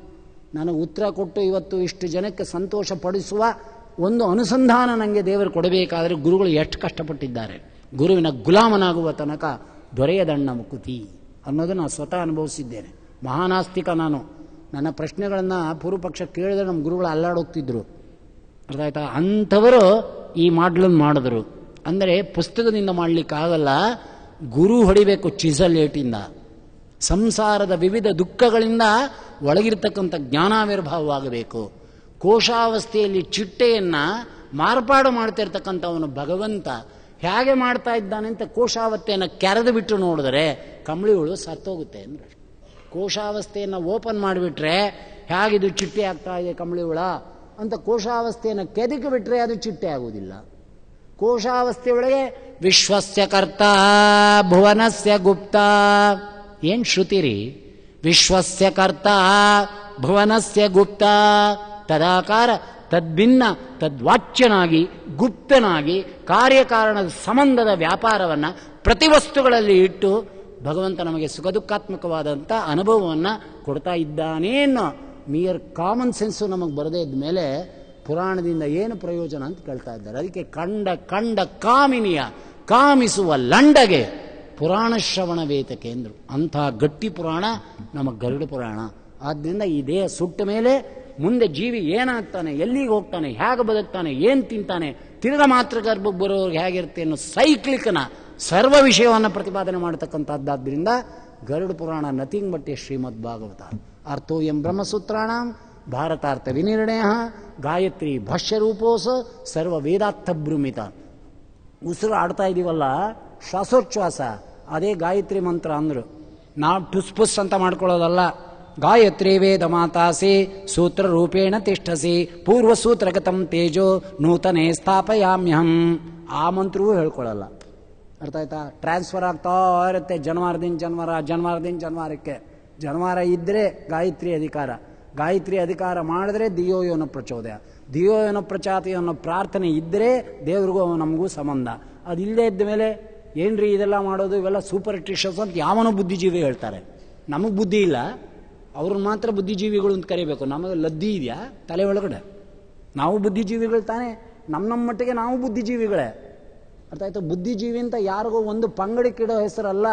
ಬುದ್ಧಿಜೀವಿ ಅನ್ನೋದು ಪ್ರತಿಯೊಬ್ಬ ಜೀವಿನೂ ಬುದ್ಧಿ ಇದೆ. ಯಾರಿಗೆ ಬುದ್ಧಿ ಇದೆ ಅವ ಬುದ್ಧಿಜೀವಿ. ಅದಕ್ಕೆ ನಮ್ಮಲ್ಲಿ ಕರೆಯೋದುಂಟು ಬುದ್ಧಿ ಬುದ್ಧಿ ಅಂತ. ಬುದ್ಧ ಅಂದರೆ ಜ್ಞಾನ. ಜ್ಞಾನ ಉಳ್ಳವನು ಬುದ್ಧಿ. ಅದಕ್ಕೆ ನಾವು ಸನ್ಯಾಸಿಗಳು, ಜ್ಞಾನಿಗಳಿಗೆ ಏನು ಬುದ್ಧಿ? ಆಜ್ಞಾ ಅಂತ ಕೇಳ್ತೇವೆ. ಬುದ್ಧಿ ಅಂತ ಪದಪ್ರಯೋಗ ಮಾಡ್ತಾ ಇರೋದು ಯಾರಿಗೆ ಅಂದರೆ ಜ್ಞಾನಿಗಳಿಗೆ. ಅನ್ನ ಬುದ್ಧಿಜೀವಿಗಳು ಅಂದರೆ ಯಥಾರ್ಥವಾದ, ಸ್ವತಂತ್ರವಾದ, ಸತ್ಯವಾದ, ವಿಮರ್ಶೆಗೆ ಒಳಪಟ್ಟಂಥ ಜ್ಞಾನದ ಬುದ್ಧಿ ಇದ್ದವರು ಬುದ್ಧಿಜೀವಿಗಳು. ಅವ್ಯಾವೂ ಬೇಡ, ನಾಸ್ತಿಕವಾದವನ್ನು ಹೇರಗಡ್ತಾ ಹಿಂದೂ ಧರ್ಮಾದಿಗಳಿಗೆ ಬಾಧಕವಾಗುವಂಥ ಸ್ಟೇಟ್ಮೆಂಟ್ಗಳನ್ನ ಕೊಡ್ತಕ್ಕಂಥದ್ದು ಅವರನ್ನು ಬುದ್ಧಿಜೀವಿಗಳು ಅಂತ ನಾವು ತಿಳ್ಕೊಂಡಿದ್ದೀವಲ್ಲ ನಮಗೆ ಬುದ್ಧಿ ಇಲ್ಲ ಅಂತ ಅರ್ಥ. ನಮ್ಮ ಬುದ್ಧಿ ಏನಾಗ್ತಾ ಇದೆ? ಸಾವಿರ ರೂಪಾಯಿಗೆ ಇಪ್ಪತ್ತು ರೂಪಾಯಿ ಕಡಿಮೆ ಕೊಟ್ಬಿಟ್ಟು ಸಾವಿರ ರೂಪಾಯಿನ ಬರ್ಕೊಂಬಿಡು ಅಂತ ಬ್ಯಾಂಕ್ನವ್ನಿಗೆ ಹೇಳ್ಬಿಟ್ರೆ ಬರ್ಕೊಂಬಿಡ್ತಾನೆ ಕ್ಯಾಶಿಯರ್. ಇಪ್ಪತ್ತು ರೂಪಾಯಿ ಕಡಿಮೆ ಇದೆ ಅಂದರೆ ಏನೋ ಗೊತ್ತಿದ್ರು ನಾಳೆ ತಂದುಕೊಡಿ, ಬರ್ಕೊಂಡಿರ್ತೀನಿ ಅಂತಾನೆ. ಇನ್ನೊಂದಿನ ಹೋಗಿ ಐವತ್ತು ರೂಪಾಯಿ ಕಡಿಮೆ ಇದೆ ಬರ್ಕೊಂಬಿಡಿ ಅಂದರೆ ಇನ್ನೊಂದು ಸೇರಿಸಿ ಎತ್ಕೊಂಡೋಗ ಅಂತಾನೆ ಅಷ್ಟೆ. ಸಾವಿರ ರೂಪಾಯಿ ಅಂತ ಆಗಬೇಕು ಅಂದ್ರೆ ಅಷ್ಟು ಇರಲೇಬೇಕು ಅದರಲ್ಲಿ. ಇಪ್ಪತ್ತು ರೂಪಾಯಿ ಕಡಿಮೆ ಇದ್ರೆ ಅದು ಸಾವಿರ ಅನ್ನೋ ಶಬ್ದದಿಂದ ಹೇಗೆ ಕರೆಸ್ಕೊತ್ತೆ? ಹಾಗೆ ನಮಗೂ ಒಂದು ಬುದ್ಧಿ ಇದ್ದೇ ಇದೆ. ಒಂದು ಸಾರಿ ಎಕ್ಸಾಮಿಷನ್ ಕೊಡ್ತಾನೆ ಎರಡು ಸಾರಿ ಕೊಡ್ತಾನೆ ದೇವರು. ಮೂರನೇ ಸಾರಿ ಯಾಕೆ ಇಂಥವರಿಗೆಲ್ಲ ಬುದ್ಧಿ ಇದೆ ಅಂದರೆ ಸಮಾಜದ ಘಾತುಕವಾದ ಧರ್ಮಾಧರ್ಮಗಳನ್ನು ವ್ಯತ್ಯಸ್ತ ಮಾಡುವಂತಹ ಬುದ್ಧಿಜೀವಿಗಳು ಅಂತ ಅರ್ಥ. ಧರ್ಮವನ್ನು ಧರ್ಮ ಅಂತ ಹೇಳು, ಅಧರ್ಮವನ್ನು ಅಧರ್ಮ ಅಂತ ಹೇಳು. ದೇವರು ಅನುಗ್ರಹ ಮಾಡ್ತಾನೆ. ಧರ್ಮವನ್ನು ಅಧರ್ಮ ಅಂತ ಸ್ಥಾಪನೆ ಮಾಡಬೇಡ. ಅಧರ್ಮವನ್ನು ಧರ್ಮ ಅಂತ ಪ್ರತಿಪಾದನೆ ಮಾಡಲಿಕ್ಕೆ ಹೋಗಬೇಡ. ಇದು ನಮ್ಮ ಗರುಡ ಪುರಾಣದ ಶ್ರವಣ ಮಾಡಿದ್ದಕ್ಕೆ ಕೃಷ್ಣನ ಸನ್ನಿಧಾನದಲ್ಲಿ ಸ್ವಧರ್ಮೇ ನಿಧನಂ ಶ್ರೇಯ, ಪರಧರ್ಮೋ ಭಯಾವಹ. ಸರ್ವಧರ್ಮಾನ್ ಪರಿತ್ಯಜ್ಯ, ಮಾಮೇಕಂ ಶರಣಂ ರಜ. ಇದೇ ಗರುಡ ಪುರಾಣ. ಸರ್ವಧರ್ಮಾನ್ ಪರಿತ್ಯಜ್ಯ. ಯಾರು ಮಾಡಿದ್ರು, ಯಾರ ಅಧಿಕಾರಿಗಳು, ಯಾರ ಅನಧಿಕಾರಿಗಳು, ಅವೆಲ್ಲ ಯೋಚನೆ ಬೇಡ. ಅದಾಗ್ತಾ ಇರುತ್ತೆ ಲೋಕದಲ್ಲಿ ವ್ಯವಸ್ಥೆ. ಆದರೆ ಮಾಮೇಕಂ ಶರಣಂ ವ್ರಜ ಯಾವುದು? ನನ್ನ ವಿಷಯದ ಜ್ಞಾನ ನಿಮಗೆ ಭದ್ರ ಇರಲಿ. ನನ್ನಲ್ಲಿ ನಂಬಿಕೆ ಇರಲಿ. ನನ್ನಲ್ಲಿ ನಿನ್ನ ಬುದ್ಧಿ ಇರಲಿ. ನನ್ನಲ್ಲಿ ನಿನ್ನ ಮನಸ್ಸಿರಲಿ. ಮನೆಯೇವ ಮನುಷ್ಯಾಣಂ. ಕಾರಣ ಬಂಧ ಮೋಕ್ಷಯೋ ಮನೆಯೇವ ಶಂಸತಿ ಮನುಷ್ಯಾಣ. ಮನಸ್ಸು ನಿಲ್ಲಿಸೋ ನಿನ್ನ ಚರಣ ಕಮಲದೋಳು ಅನುದೀನ ಶ್ರೀಹರಿಯೇ. ಹರಿವರ್ಗ ಜೈಸರ. ಪರರ ಬಾಗಿಲ ಕಾಯ್ದೆ ಜೈ ಸರೆ. ಪರರ ಬಾಗಿಲ ಕಾಯ್ದೆ ಅರಿತು ಅರಿಯಾದಂತೆ ಪರರ ಸೇವನೆಯಿಂದ ಮನಸ್ಸು ನಿಲ್ಲಿಸೋ. ನಿನ್ನ ಪಾದಾರವಿಂದದಲ್ಲಿ ನನ್ನ ಮನಸ್ಸನ್ನು ನಿಲ್ಲಿಸು. ಆಗಲಿಲ್ವಾ? ಆಲ್ ರೈಟ್ ನನ್ನ ಮನಸ್ಸಿನಲ್ಲಿ ನೀ ಬಂದು ನಿಲ್ಲು. ಮೂರುತಿಯನ್ನು ನಿಲ್ಲಿಸೋ. ಮಾಧವ, ನಿನ್ನ ಮೂರುತಿಯನ್ನೇ ನಿಲ್ಲಿಸೋ. ಎಳೆ ತುಳಸಿಯ ವನಮಾಲೆಯು ಕೊರಳುಳು.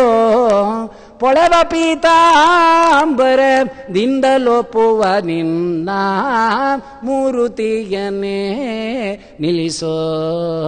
ಮಾಧವ ಮಾಧವ ನವಿದ್ಯತೆ ದವಃ ಸ್ವಾಮಿ ಯಸ್ಯ ಸಹ ಮಾಧವ. ಸರ್ವತಂತ್ರ ಸ್ವತಂತ್ರ ಇತ್ಯರ್ಥ. ಮಾಧವ ಅಂದರೆ ಮಾ ಅಂದ್ರೆ ರಮ. ರಮಾದೇವಿಯರಿಗೆ ದವ. ಸುಖ ಕೊಡತಕ್ಕಂಥ ಸ್ವಾಮಿಯಾದವನು ಮಾಧವ ಅಂತ ಅರ್ಥ ಒಂದರ್ಥ. ಮಾ ಅಂದ್ರೆ ನಿಷೇಧಾರ್ಥದಲ್ಲಿ ಅರ್ಥ ಆಯ್ತೇನೋ? ದವ ಅಂದ್ರೆ ಸ್ವಾಮಿ. ಮಾಧವ ಯಾರಿಗೆ? ಅವನಿಗೆ ನಾಯಕ ಅಥವಾ ಪ್ರೇರಕ, ಅಥವಾ ಅವನಿಗೆ ನಿಯಾಮಕ, ಯಾರಿಗಿಲ್ಲವೋ ಅವನು ಮಾಧವ. ಯಾರೋ? ಸರ್ವತಂತ್ರ, ಸ್ವತಂತ್ರ ಅಂತ ಅರ್ಥ. ಮಾಧವ ಅಂದ. ಮೂರುತಿಯನ್ನೇ ನಿಲ್ಲಿಸೋ ನನ್ನ ಮನಸ್ಸಲ್ಲಿ. ಇಲ್ವಾ? ನನ್ನ ಮನಸ್ಸನ್ನು ನಿನ್ನ ಪಾದಾರವಿಂದದಲ್ಲಿ ನಿಲ್ಲಿಸು. ಎರಡರ ಸಂಬಂಧವನ್ನು ಮಾಡದೆ ಹೋದರೆ? ನಾವು ಬದ್ರಿ ನಾರಾಯಣನ ನೋಡಕ್ಕೆ ಹೋಗಬೇಕು. ಇಲ್ಲ, ಬದ್ರಿ ನಮ್ಮ ಕ್ಷೇತ್ರಕ್ಕೆ ಬರಬೇಕು. ಯಾಕೆ ಬರುತ್ತೆ? ಹೇಗೆ ಬರುತ್ತೆ ಎಂದೆ? ಬದ್ರಿಗೆ ನಾವು ಹೋಗ್ಬೇಕೇ ವಿನ? ಬದ್ರಿ ನಮ್ಮ ಇದಕ್ಕೆ ಬರೋಲ್ಲ. ಇದೇ ಬದ್ರಿನ ತಿಳ್ಕೊಂಬಿಟ್ಟು ತಿಳ್ಕೊಂಡು ಏನು ಬೇಕಾದ್ರೂ ತಿಳ್ಕೊಬೋದು. ಆಯ್ತಾ ಕಲ್ಲು ಕೊಟ್ಬಿಟ್ಟು ಇದನ್ನು ರೂಪಾಯಿನ ತಿಳ್ಕೊಂಡು ದಾನ ಮಾಡ್ಕೊಳ್ಳಿ ಅಂದರೆ? ಕಲ್ಲು ಕೊಟ್ಬಿಟ್ಟು ಇದೇ ಕಲ್ಲು ಸಕ್ಕರೆ, ಬಾಯಿಗೆ ಹಾಕ್ಕೊಂಡು ಅಗಿರಿ, ರಸ ಮಾಡಿ, ರಸ ಆಸ್ವಾದನೆ ಮಾಡಿ ಅಂದರೆ ಅದು ಕಲ್ಲು. ಕಲ್ಲು ಸಕ್ಕರೆ ಕೊಳ್ಳಿರೋ, ನೀವೆಲ್ಲರೂ. ಕಲ್ಲು ಸಕ್ಕರೆಯಲ್ಲಿ ಇಟ್ಟಿರುವ ಗುಣವನ್ನು ಭಗವಂತನ ನಾಮಸ್ಮರಣೆಯಲ್ಲಿದೆ. ಭಗವಂತನ ನಾಮಸ್ಮರಣೆ ಮಾಡಿದ್ರೆ ನಾಲ್ಗೆ ಲೊಟ್ಟೆ ಹೊಡೆಯುತ್ತೆ ಅಂದರು. ಎಲ್ಲ ಗುಣಗಳು ಅವನಲ್ಲಿವೆ. ಎಲ್ಲ ಗುಣಗಳನ್ನು ವಸ್ತುವಿನಲ್ಲಿ ಇಟ್ಟಿದ್ದಾನೆ. ಇದನ್ನು ತಿಳಿದೇ ದಾಸರಾಯರು ಪ್ರಪಂಚದ ಎಲ್ಲ ವಸ್ತುಗಳನ್ನು ನೋಡ್ತಾ ಭಗವಂತನ ಧ್ಯಾನ ಮಾಡ್ತಾರೆ. ಹರಿನಾಮದ ಅರಗಿಣಿಯು ಹಾರುತಿದೆ ಜಗದಿ ಪರಮ ಭಾಗವತರು ಬಲೆಯ ಬೀಸಿರೆಯ? ಯಾರು ಬಾಳೆಹಣ್ಣು ಅಂತ ವ್ಯಾಪಾರಸ್ಥ ಹೋದ ಕೂಕೊಂಡು, ಹಣ್ಣು ಬಂದಿದೆ, ಕೊಳ್ಳಿರೋ ಚಿನ್ನ ಬಾಲಕೃಷ್ಣನೆಂಬೋ ಚಿನ್ನ ಬಾಲಕೃಷ್ಣನೆಂಬೋ ಚೆನ್ನ ಬಾಳೆ ಹಣ್ಣು ಹಣ್ಣು ಬಂದಿದೆ. ಕೊಳ್ಳಿರೋ ನೀವೆಲ್ಲರೂ. ಒಂದು ಹೆಣ ಹೋಗ್ತಿತ್ತು. ಕಾಲನ ತರ್ಬಂದು ಬಂದು ಕಾಲ್ ಪಿಡಿದೆಳೆವಾಗ, ತಾಳು ತಾಳು ಎಂದರೆ ತಾಳುವರೇನೋ? ದಾಳಿ ಬಾರದ ಮುಣ ಧರ್ಮವ ಗಳಿಸಿರೋ ಸುಳ್ಳಿನ ಕಂತೆಯ ಸಂಸಾರಕ್ಕೆ ಸಿಲುಕಲು ಬೇಡ. ಮಾನವ ಜನುಮ ದೊಡ್ಡದೋ. ಅದನ್ನು ಹಾನಿ ಮಾಡಲಿ ಬೇಡಿ ಹುಚ್ಚಪ್ಪಗಳಿರ. ಏನು ನೋಡ್ತಾರದು ಒಬ್ಬ ಸಿಗರೇಟ್ ಕೊಡ್ಕೊಂಡು ಹೋಗ್ತಿದ್ದ. ದಾಸರ ಕಾಲದಲ್ಲಿ ಆಗಲೂ ಇತ್ತು ಗೋಲ್ಡ್ ಫ್ಲ್ಯಾಕ್ ಬರ್ಕ್ಲಿ ಅಂತ. ನಮ್ಮ ದಾಸರು ಬೈಲಿಲ್ಲ. ನಾವಾಗಿದ್ರೆ ನೋಡಿ ಹ್ಯಾಕೆ ಕುಡ್ಕೊಂಡು ಹೋಗ್ತಾ ಇದ್ದಾನೆ, ಅಯೋಗ್ಯ ಅನ್ನೋದು. ದಾಸರು ಬೈಲೇ ಇಲ್ಲ. ಕುಡಿಬೇಕಪ್ಪ, ಸಿಗರೇಟ್ ಕುಡಿಬೇಕು ಅಂದರು. ಆದರೆ ನಿನ್ನ ಸಿಗರೇಟ್ ಅಲ್ಲ, ನಮ್ಮ ಹತ್ರ ಒಂದು ಸಿಗರೇಟ್ ಇದೆ ಅಂದರು. ಗುಡುಗುಡಿಯನು ಸೇದಿ ನೋಡೋ, ನಿನ್ನ ಒಡಲ ಪಾಪಂಗಳ ಒಡನೆ ಇಡ್ಯಾಡೋ ಗುಡುಗುಡಿಯನು ಸೇದಿ ನೋಡೋ. ನಮ್ಮ ಸಿಗರೇಟ್ ಅಂತ ಅದು ಗೊತ್ತಾ? ಮನವೆಂಬ ಸಂಚಿಯ ಬಿಚ್ಚಿ, ನಿನ್ನ ದಿನದ ಪಾಪಗಳೆಂಬ ಭಂಗಿಯ ಕೊಚ್ಚಿ, ತನುವೆಂಬ ಕೊಳವೆಯೊಳಗಿಕ್ಕಿ ಅಚ್ಯುತನ ನಾಮವೆಂಬ ಬೆಂಕಿಯಾಗ ಹಚ್ಚಿ ಗುಡುಗೂಡಿಯನು ಸೇದಿ ನೋಡೋ. ಸದ್ಯದಲಮಲೇರುವುದೋ ನಿನ್ನ ದಾರಿದ್ರ್ಯವು ಸುಟ್ಟು ಹೊಗೆಯಾಡುವುದು. ಆ ಸಿಗರೇಟ್ ಮಾಡುತ್ತಾ ಹೀಗೆ ಅನ್ನುತ್ತಂತೆ. ಕುಡಿದವ್ರಿಗೆ ಗೊತ್ತು, ನಮಗೆ ಗೊತ್ತಿಲ್ಲ. ಹೇಳಿದವರು ಅಷ್ಟೇ ಒಂದು ಸಿಗರೇಟ್ ಕುಡಿದು ಬಿಟ್ರೆ ಫ್ರೆಶ್ನೆಸ್ ಬಂದು ಇಲ್ಲದೇ ಜ್ಞಾನವೆಲ್ಲ ತೋರುತ್ತಂತೆ. ಅಷ್ಟು ಶಕ್ತಿ ಅದಕ್ಕಿದೆಯಂತೆ. ಅದೆಲ್ಲ ನಮ್ಮ ಸಿಗರೇಟ್ಗಿದೆ ಅಂತಾರೆ. ಇನ್ನು ಹೀಗೆ ಯಾವ ದೇವರು ನಮ್ಮಲ್ಲಿ ಅಲ್ಲೇ ಹೋದರೂ ಅಡುಗೆ ಮಾಡ್ತಾ ಇದ್ರು. ಅದನ್ನು ನೋಡಿದ್ರು. ಏನಿವತ್ತು? ಸಮಾರಂಭ ಅಂದರು. ಏನೋ ಹಬ್ಬ? ಇದು ಭೀಮ್ನ ಅಮಾವಾಸ್ಯೆ, ಇಲ್ಲ ಇಲ್ಲ, ಮಹಾಲಯ ಅಮಾವಾಸ್ಯೆ. ಸರ್ವ ಪಿತೃಗಳಿಗೆ ಒಡೆ ಕರಿತಾ ಇದ್ದೀವಿ. ನಾವು ಮಾಡಬೇಕಪ್ಪ ಅಂದರು. ಅನುಭವದಡಿಗೆಯ ಮಾಡಿ ಅದಕ್ಕನುಭವಿಗಳು ಬಂದು ನೀವೆಲ್ಲ ಕೂಡಿ ತನುವೆಂಬ ಬಾಂಡವ ತೊಳೆದು ಕೆಟ್ಟ ಮನದ ಚಂಚಲವೆಂಬ ಮುಸುರೆಯ ತೊಳೆದು ಘನವಾಗಿ ಮನೆಯನ್ನು ಬಳಿದು ಅಲ್ಲಿ ಮಿನುಗುವ ತ್ರಿಗುಣದ ಒಲೆಗುಂಡ ನಡೆದು ಅನುಭವದಡಿಗೆಯ ಮಾಡಿ. ಏನು ಸುಂದರವಾದ ದೇವರು ನಾವು. ಒಂದು ದೊಣ್ಣೆ ತಗೊಂಡು ಹೊಡಿತಿದ್ಲು ಮಗುಗೆ, ಯಾಯವಾರಕ್ಕೆ ಹೋದಾಗ. ನೋಡಿದರು, ಹೊಡೆಯಬೇಡಮ್ಮ, ಕಂದನ ಹೊಡೆಯಬೇಡಮ್ಮ ಕಂದನಲ್ಲಿ ಬಾಲರೂಪಿ ಕೃಷ್ಣನಿರುವುದ ನೀ ಕಾಣಬೇಕಮ್ಮ. ಕಂದನಲ್ಲಿ ಬಾಲರೂಪಿ ಕೃಷ್ಣನಿರುವುದ ನೀ ಕಾಣಬೇಕಮ್ಮ. ಆದ್ದರಿಂದಾನೇ ತೊಟ್ಲಾಡಿಸೋದನ್ನ ಹಿಡಿದು ಮಕ್ಕಳು ಬೆಳೆಸೋವರೆಗೂ ಭಗವಂತನ ಜ್ಞಾನ. ಒಬ್ಬ ದಾಸರು ಹೇಳ್ತಾರೆ, ತೊಟ್ಲಲ್ಲಿ ಮಗುನ ಹಾಕಿ ಯಶೋಧಾದೇವಿ ತೂಗ್ತಿದ್ಲಂತೆ, ನಮ್ಮಂಗಲ್ಲ ಗೂಬೆ ಮುಂಡೆ ಇದೆ ಅಂತ. ಮಲ್ಕ ಎಷ್ಟೊತ್ತಾದ್ರೂ ಹಾಳಾಗೋ ಮುಂಡೆ ಇದೆ ಅಂತ. ನಿಮ್ಮಪ್ಪನೂ ಹೊಟ್ಟೋಗ್ಬಿಡ್ತಾರೆ ಆಫೀಸ್ಗೆ, ಇಲ್ಲಿ ನಾವು ಸಾಯ್ಬೇಕು ತೂಕೊಂಡು ನಾನು ಕೆಲಸ ಕೊಟ್ಟೋಗ್ತೀನಿ ನಾಳೆಯಿಂದ ಮುಂಡೆವ ನಿಮ್ಮನ್ನೆಲ್ಲ ರಿಮೆಂಡ್ ಹೋಮ್ಗೆ ಹಾಕಬೇಕು ಅಂತ ಬೈಕೋತಿರ್ತಾಳೆ. ನಮ್ಮ ಔಷಧ ಇದೀವಿ ಹಾಗೆ ಮಾಡಲಿಲ್ಲ. ಜೋ ಜೋ, ಸುಖ ಸಾರ. ಜೋ ಜೋ ಜೋ. ದೋಷವಿದೂರ ಜೋ ಜೋ, ಸುಖ ಸಾರ. ತೊಟ್ಲನ್ನ ಹತ್ತಿರಕ್ಕೆ ಹಿಂದಕ್ಕೆ ತಗೊಂಡು ಹೋಗ್ತಾಳೆ ಹತ್ತಿರಕ್ಕೆ ಕೇಳ್ಕೋಬೇಕಾದ್ರೆ ಸುಖ ಸಾರ ಅನ್ಬೇಕಂತೆ. ದೂರಕ್ಕೆ ಬಿಡಬೇಕಾದ್ರೆ ದೋಷ ದೂರ ಅನ್ಬೇಕಂತೆ. ತೂಗೋದ್ರಲ್ಲಿ ಕ್ರಮ. ಏನು ನೋಡ್ತಾರೆ ಅದರೊಳಗೆ ಭಗವಂತನ ಜ್ಞಾನ ಸಂಬಂಧ. ಏನು ನೋಡ್ತಾರೆ, ಅಲ್ವಾ? ಒಬ್ಬ ದುರ್ಜನನ್ ನೋಡಿದ್ರು. ಅವನ್ ಜ್ಞಾಪಿಸ್ಕೋಬೇಕು. ಒಂದು ಜಾಲಿ ಮರ ನೋಡಿದ್ರು. ಜಾಲಿಯ ಮರದಂತೆ ದುರ್ಜನರು ತಿನ್ನಲು ಹಣ್ಣಿಲ್ಲ, ಕೂಡಲು ನೆರಳಿಲ್ಲ. ಕೂತ್ಕೊಳ್ಳೋಕೆ ಜಾಲಿ ಮರದ ಕೆಳಗೆ ನೆರಳಿಲ್ಲ, ತಿನ್ನಕ್ಕೆ ಜಾಲಿ ಮರದಲ್ಲಿ ಹಣ್ಣಿಲ್ಲ. ಮತ್ತು ಇನ್ನೇನಿದೆ ಜಾಲಿ ಮರದಿಂದ ಆಮೂಲಗ್ರ ಪರ್ಯಂತ ವಿಷದ ಪುಂಜ ಅಂದರು.